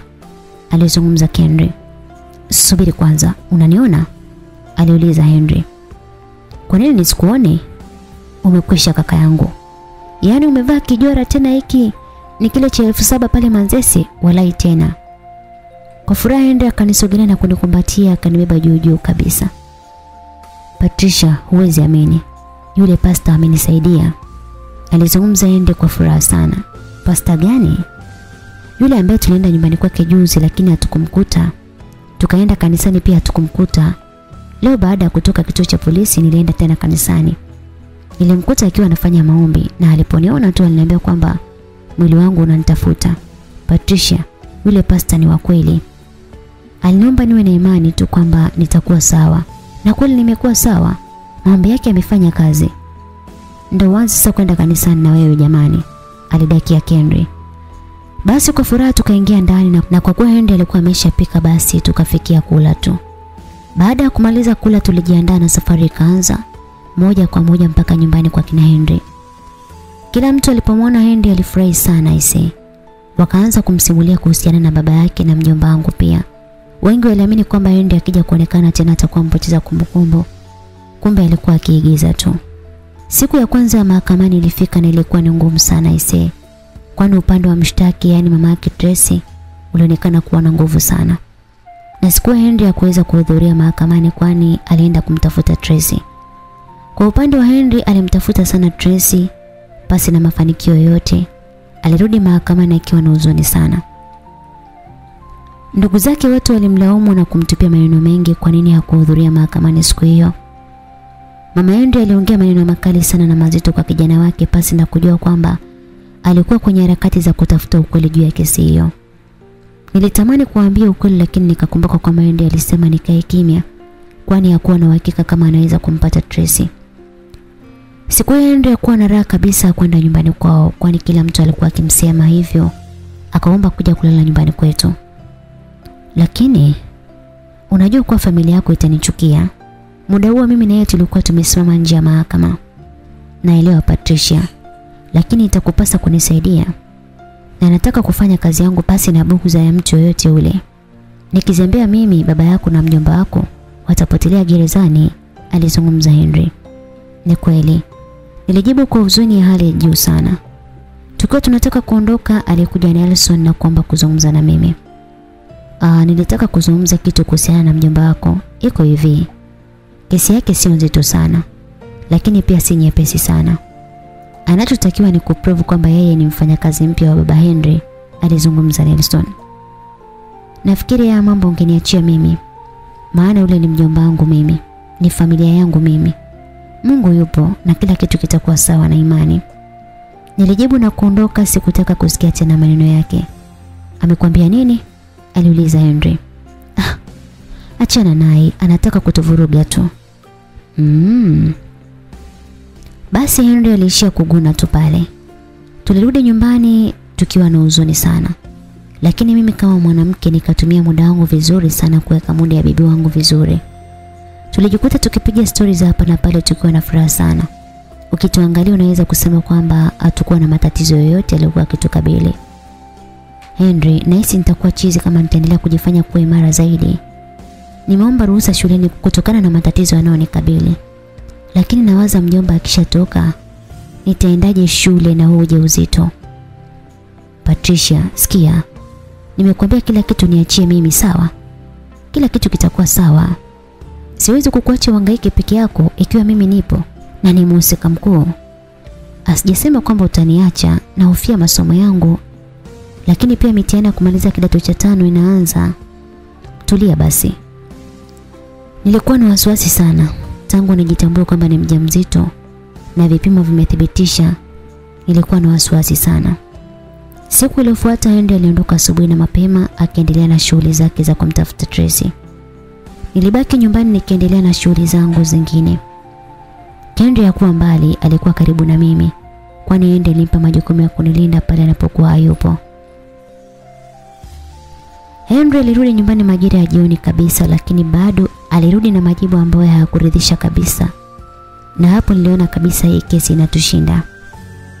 Kesi ilinguruma mfululizo na kila siku matresi na timu yake ilionekana kushinda. Niliogopa sana. Maana mjomba wangu alikuwa anaendelea kukaa jela zaidi pasi na kosa lolote lile. Nilikaa na wasiwasi sana nikiogopa sana kumpoteza mjomba. Mjomba wangu ndio kila kitu kwangu. Yeye ndio mama, ndio baba. Nitakuwa na hali gani mimi bila yeye? Mahakama ilipanga siku ya mwisho kabisa ya kesi, yaani siku ya hukumu na hapo ndo uga wangu ulipitiliza. Siku ya hukumu iliwadia, niliamka asubuhi na mapema nikiwa na wasiwasi wa hali ya juu, yote nikiwaza kumpoteza mjomba. Niliamka lakini Henry sikumkuta kitandani. Nilijua moja kwa moja kwamba ameenda kutafuta ushahidi kwa mara nyingine tena. Kwa kuwa kesi ilikuwa ikisomwa saa nne asubuhi na mimi niliwahi kuamka, nilikaa tu kitandani nikimwomba Mwenyezi Mungu aweze kusimama na sisi. Nikiwa nimekaa chumbani na wasiwasi wangu, joto linapanda tu mwilini kama nimebanikwa, nilisikia mlio wa gari nje, haraka nikatoka nje. Nikifikiri kwamba ni Henry. Nilifika nje na nguvu ziliniishia baada ya kukuta kwamba ni Nelson ndo alikuwa amefika kwenye eneo la nyumbani kwetu. Za asubuhi sijaziandika. Nilijibu huku nikitaka kurudi ndani. Najua unanichukia sana. Lakini kwa wakati huu hiyo chuki yako haitokusaidia kitu. Zaidi itaharibu kila kitu. Nelson bwana. Unahisi nini labda akijaribika? Kila kitu kimeharibika. Sikuwahi kukaa na kutulia kwa amani. Lakini pia amani imeanza kunitembelea. Umeamua kuja kuharibu kabisa. Nilimjibu kwa sauti ya kilio kabisa. Ah, bado tuna muda wa kufanya kitu. Na taarifa niliyokuja nayo sasa hivi itasaidia sana. Naomba niiti Henry. Hayupo. Kokote alipompigia simu haraka sana alafu nipe niongee naye. Unataka kuharibu nini kwa sasa? Henry niliyebaki naye au Nelson sikia. Nafikiri ungeendelea kutimiza majukumu yako kama ambavyo ulisema kwamba unatimiza majukumu yako. Patricia, nipo kwenye kutimiza majukumu yangu, nipo kuwasaidia watu ambao wana hatia, alizungumza Nelson. Nilishtuka na kukaa haraka nikamuuliza, "Unajua nini?" Najua kila kitu. Mpigie simu Henry na umwambie kwamba awai airport. Tracy anaondoka na ndege ya saa tatu kuelekea Marekani kwa ajili ya maficho. What? Nilishtuka sana. Haraka nikachukua simu yangu huku nikitetemeka sana. Nikajikuta nikiachia simu na ikatumbukia kwenye maji. Polepole Patricia, umeona sasa? alizungumza Nelson. Niliogopa sana ukizingatia namba ya Henry sikuwa nimeikariri. Niliona ni mikosi juu ya mikosi. Nelson aliinama na kutoa simu ile kwenye maji, haraka akatoa laini yangu na kuweka kwenye simu yake ndogo. Alimpigia Henry simu zaidi ya mara tatu lakini haikupokelewa. Nilijikuta nikisonya sonya kwa hasira tu. Mungu wangu. Henry siangepokea simu sasa, nililalama sana. Patricia, hebu kaa chini na upunguze wasiwasi, kila kitu kitakuwa sawa please. Muda ulisonga mbele na hatimaye saa tatu ndaka zake ilifika. Nilijiandaa kwa unyonge sana ili kwenda mahakamani. Siku hiyo nilienda mahakamani kwa kutumia gari ya Nelson na sikuwa peke yangu, nilikuwa na kendri na nilikuwa nikilia tu muda wote. Tulifika mahakamani, wasiwasi wangu ndio uliongezeka zaidi. Utadhani mimi ndio nilikuwa na hatia na ndio naenda kupokea hukumu. Mama Endo aliponiona akanisogelea na kunikumbatia. Kila kitu kitakuwa sawa binti yangu. Ukweli utajitokeza tu mwanangu sawa? Nipo kwa ajili yako binti yangu, alizungumza mama Henry. Ndo kama alikuwa akiweka miba kwenye kidonda cha moto. Kengele iligongwa na kwa utaratibu kabisa tukaingia mahakamani. Baada ya watu wote kuingia na kutulia, washtakiwa waliletwa wakiwa na pingu zao. Nilikuwa nikimtazama mjomba tu ambaye nuru ya tabasamu ilishapotea kabisa machoni mwake. Mjomba. Nilimuita lakini Kendry aliwahi na kuniziba mdomo. Tulia basi Patricia, alizungumza Kendry. Basi na kupoteza muda kesi ilianza kusomwa pale na ilionyesha wazi kabisa kwamba mama Tracy ameshinda. Maana vielelezo vyake na ushahidi pia vilikuwa vimekamilika. Kuna muda nikawa nawaza kwamba Henry aliamua kunitengenezea stori ya uongo kuhusu mama Tracy. Baada ya masikilizo ya muda mrefu wa pande zote mbili, ikawa ni muda wa mheshimiwa hakimu kutoa hukumu na mambo mengine kuendelea. Nimesikiliza hoja za pande zote mbili na ukilinganisha na ushahidi na vifungu vya sheria na taratibu zake, kifungu namba cha mwaka 1948 mahakama imeweza kuona na kujua kwamba Mr. Kabla mheshimiwa hakimu hajamaliza kuzungumza, zilisikika kelele za kike kutoka kwenye mlango mkuu wa mahakama. Stop. Kila mtu akageuka kuangalia. Kwanza kabisa nilifurahi sana kumwona Henry ambaye alichoka sana. Nguo zake zililowana kwa jasho. Nilitamani kumkimbilia na kumuuliza lakini Henry alikuwa makini sana kwani alinishika kwa nguvu mno. Kwa utaratibu Henry na msichana ambaye aliongozana naye wakaanza kusogea mbele ya mahakama. Nelson hakuwa mbali, alisogea mbele na kuombea nafasi ya kusikilizwa. Lakini mwanasheria upande wa Matresi alipinga, lakini yote kwa yote maamuzi ya mwisho yanarudi kwa mheshimiwa hakimu. Kwa kuwa hakimu ndio mwamuzi wa mwisho, Henry alipata nafasi ya kujieleza. Um, mheshimiwa hakimu, asante sana kwa nafasi hii na niko hapa kusema ukweli wa mambo nikiwa na uthibitisho. Huyu mnayemwona mbele yenu ni Tracy, msichana ambaye inasemekana kwamba amefariki, alizungumza Henry. Kila mtu alishtuka maana hakukuwa na ambaye angetarajia kama jambo la namna hiyo lingejitokeza. Mheshimiwa hakimu, siku ya tukio ilikuwa hivi. Mimi na baba tulienda kwa matresi, lakini baba huwa anapenda sana kuniacha ndani ya gari na kwenda kuzungumza na Mama Tracy. Siku hiyo niliamua kushuka ili kujua nini kinaendelea. Mheshimiwa Hakimu, siku hiyo ndipo niligundua kwamba baba yangu yuko na mtoto mwingine wa nje ya ndoa. Ugomvi mkubwa ulitokea kati ya mama Tracy na baba, kwani baba aligundua kwamba Tracy sio mtoto wake, amepewa tu kwa kusingiziwa. Muongo, muongo anadanganya. Tracy ni mtoto wake. alifuka mama Tracy huku akilia sana. Mheshimiwa Hakimu, kwa heshima yako ningeomba mtulize wiki cha. Alifoka Henry. Mheshimiwa Hakimu akamwonya Henry kwa kutumia maneno yasiyofaa. Baada ya muda kulitulia na Henry akaendelea. Mheshimiwa Hakimu, alichokifanya mama Tracy siku hiyo hakuna mzazi anaweza kufanya. Alichukua chupa ya kioo ya maua na kumpiga nayo binti yake kichwani na kupelekea damu nyingi sana kumtoka. Kisha ile chupa alimshikisha baba. Mheshimiwa Hakimu, baba yangu anaogopa sana damu kwani aliwahi kupata ajali mbaya sana ambayo alipoiona ile damu alitaka kuanguka. Nilimwahi na kumpeleka kwenye gari haraka tukaondoka. Baada ya siku kadhaa ndipo ikaja kesi nyumbani kwamba babangu ameua. Na muda huo gari ya babangu ilikuwa imeibiwa na ilikuja kupatikana baada ya siku kadhaa. Ndipo nikaja kugundua kwamba ni mchezo wa Tracy katika kutengeneza ushahidi wa kile ambacho alikianzisha.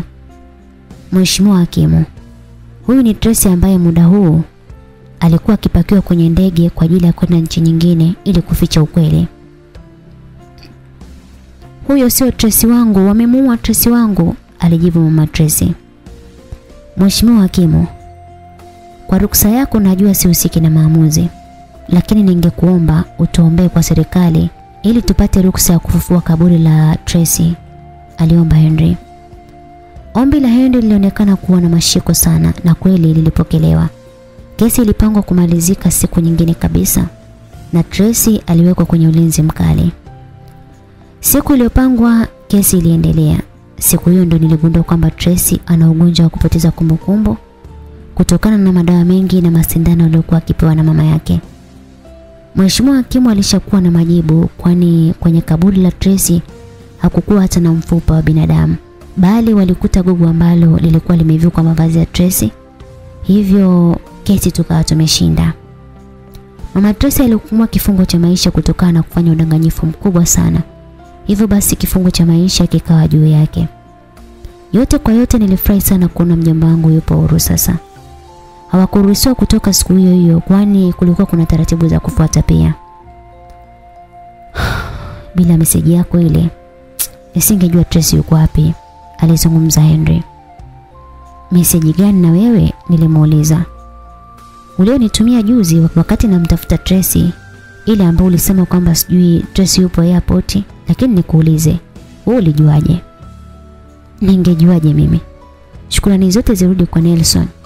Maana alifika nyumbani kwa wakati na kunipa taarifa hizo na yeye ndo alituma huo ujumbe kwako baada ya kuona kwamba upokee simu.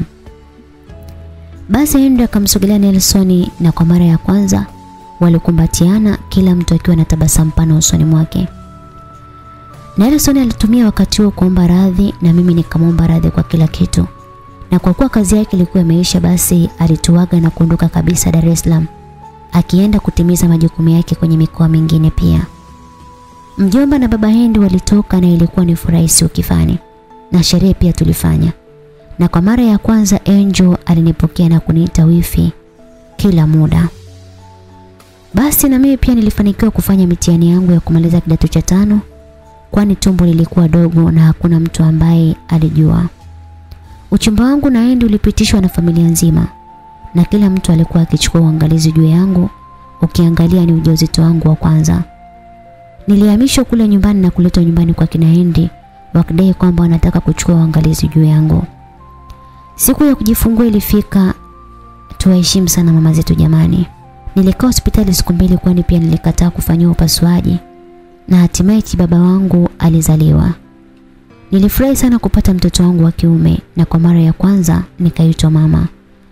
Familia na ndugu walifika eneo la tukio na kwa kuwa ilikuwa ni wadi ya private basi walipapamba pale. Kulikuwa na bashasha kila kona. Nilijisikia amani sana. Mjomba wangu alikuwa akiniangalia na machozi kumtiririka. Hatimaye familia imeongezeka bwana.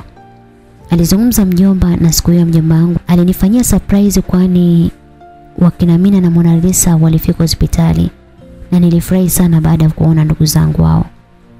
Watu wote wakiwa wadini kwangu, alifika Henry na maua na zawadi zingine. Kila mtu alikuwa bize, yani kama hawajamuona vile. Huwezi amini. Nilikuwa natamani kupaa ili nifike hapa, alizungumza Henry. Nilijifanya kama simuoni vile na nilikuwa bize kuzungumza na Mina. Wewe shemeji yuko wapi? Nataka kuangalia mtoto kafanana na nani bwana? Alizungumza Mina. Niko hapa jamani, kwani amnioni au? Alijibu Henry. Sijui yani tangu amepata taarifa ajaja wala hajapiga simu. Nafikiri amenitelekeza. Wacha nimuulize mama. Niligeuka na kumuita mama Henry ambaye alikuwa busy na story. Mama, Henry yuko wapi jamani mpaka muda huu? Au hataki mtoto? Nilimuuliza. Atakuja mwanangu usijali, na hisi ni foleni tu. Tuliendelea kumwigizia kwamba hatumuoni lakini Henry alilia sana. Alilaumu sana na kujiona kwamba ana mikosi. Maana siku ya furaha yeye haonekani. Na mbaya zaidi ni kwamba hata mimi ambaye nilikuwa nikimuona simuone. Jamani inatosha inatosha. Mtaniulia baba wa mtoto wangu. Njoo Henry wangu. Hapo ndo kila mtu akaanza kucheka. Henry alicheka sana baada ya kuona tumemweza. Basi kwa uwezo wa Mwenyezi Mungu alinijalia familia bora yenye upendo. Nilipata mawifi pambe na mashemeji pambe pia. Naam msikilizaji na huu ndo mwisho wa simulizi yetu nzuri iliyokuwa ikienda kwa jina la Only I Can See You. Mtunzi na mwandishi wa simulizi hii nzuri ni Patricia Anton. Anapatikana kwa nambari 0783642267. Asanteni kwa kuwa nami kuanzia mwanzo wa simulizi hii mpaka mwisho. Niwatakie usikivu mwema wa simulizi nyingine nyingi na nzuri kutoka hapa Simulizi Mix Channel na kwaherini.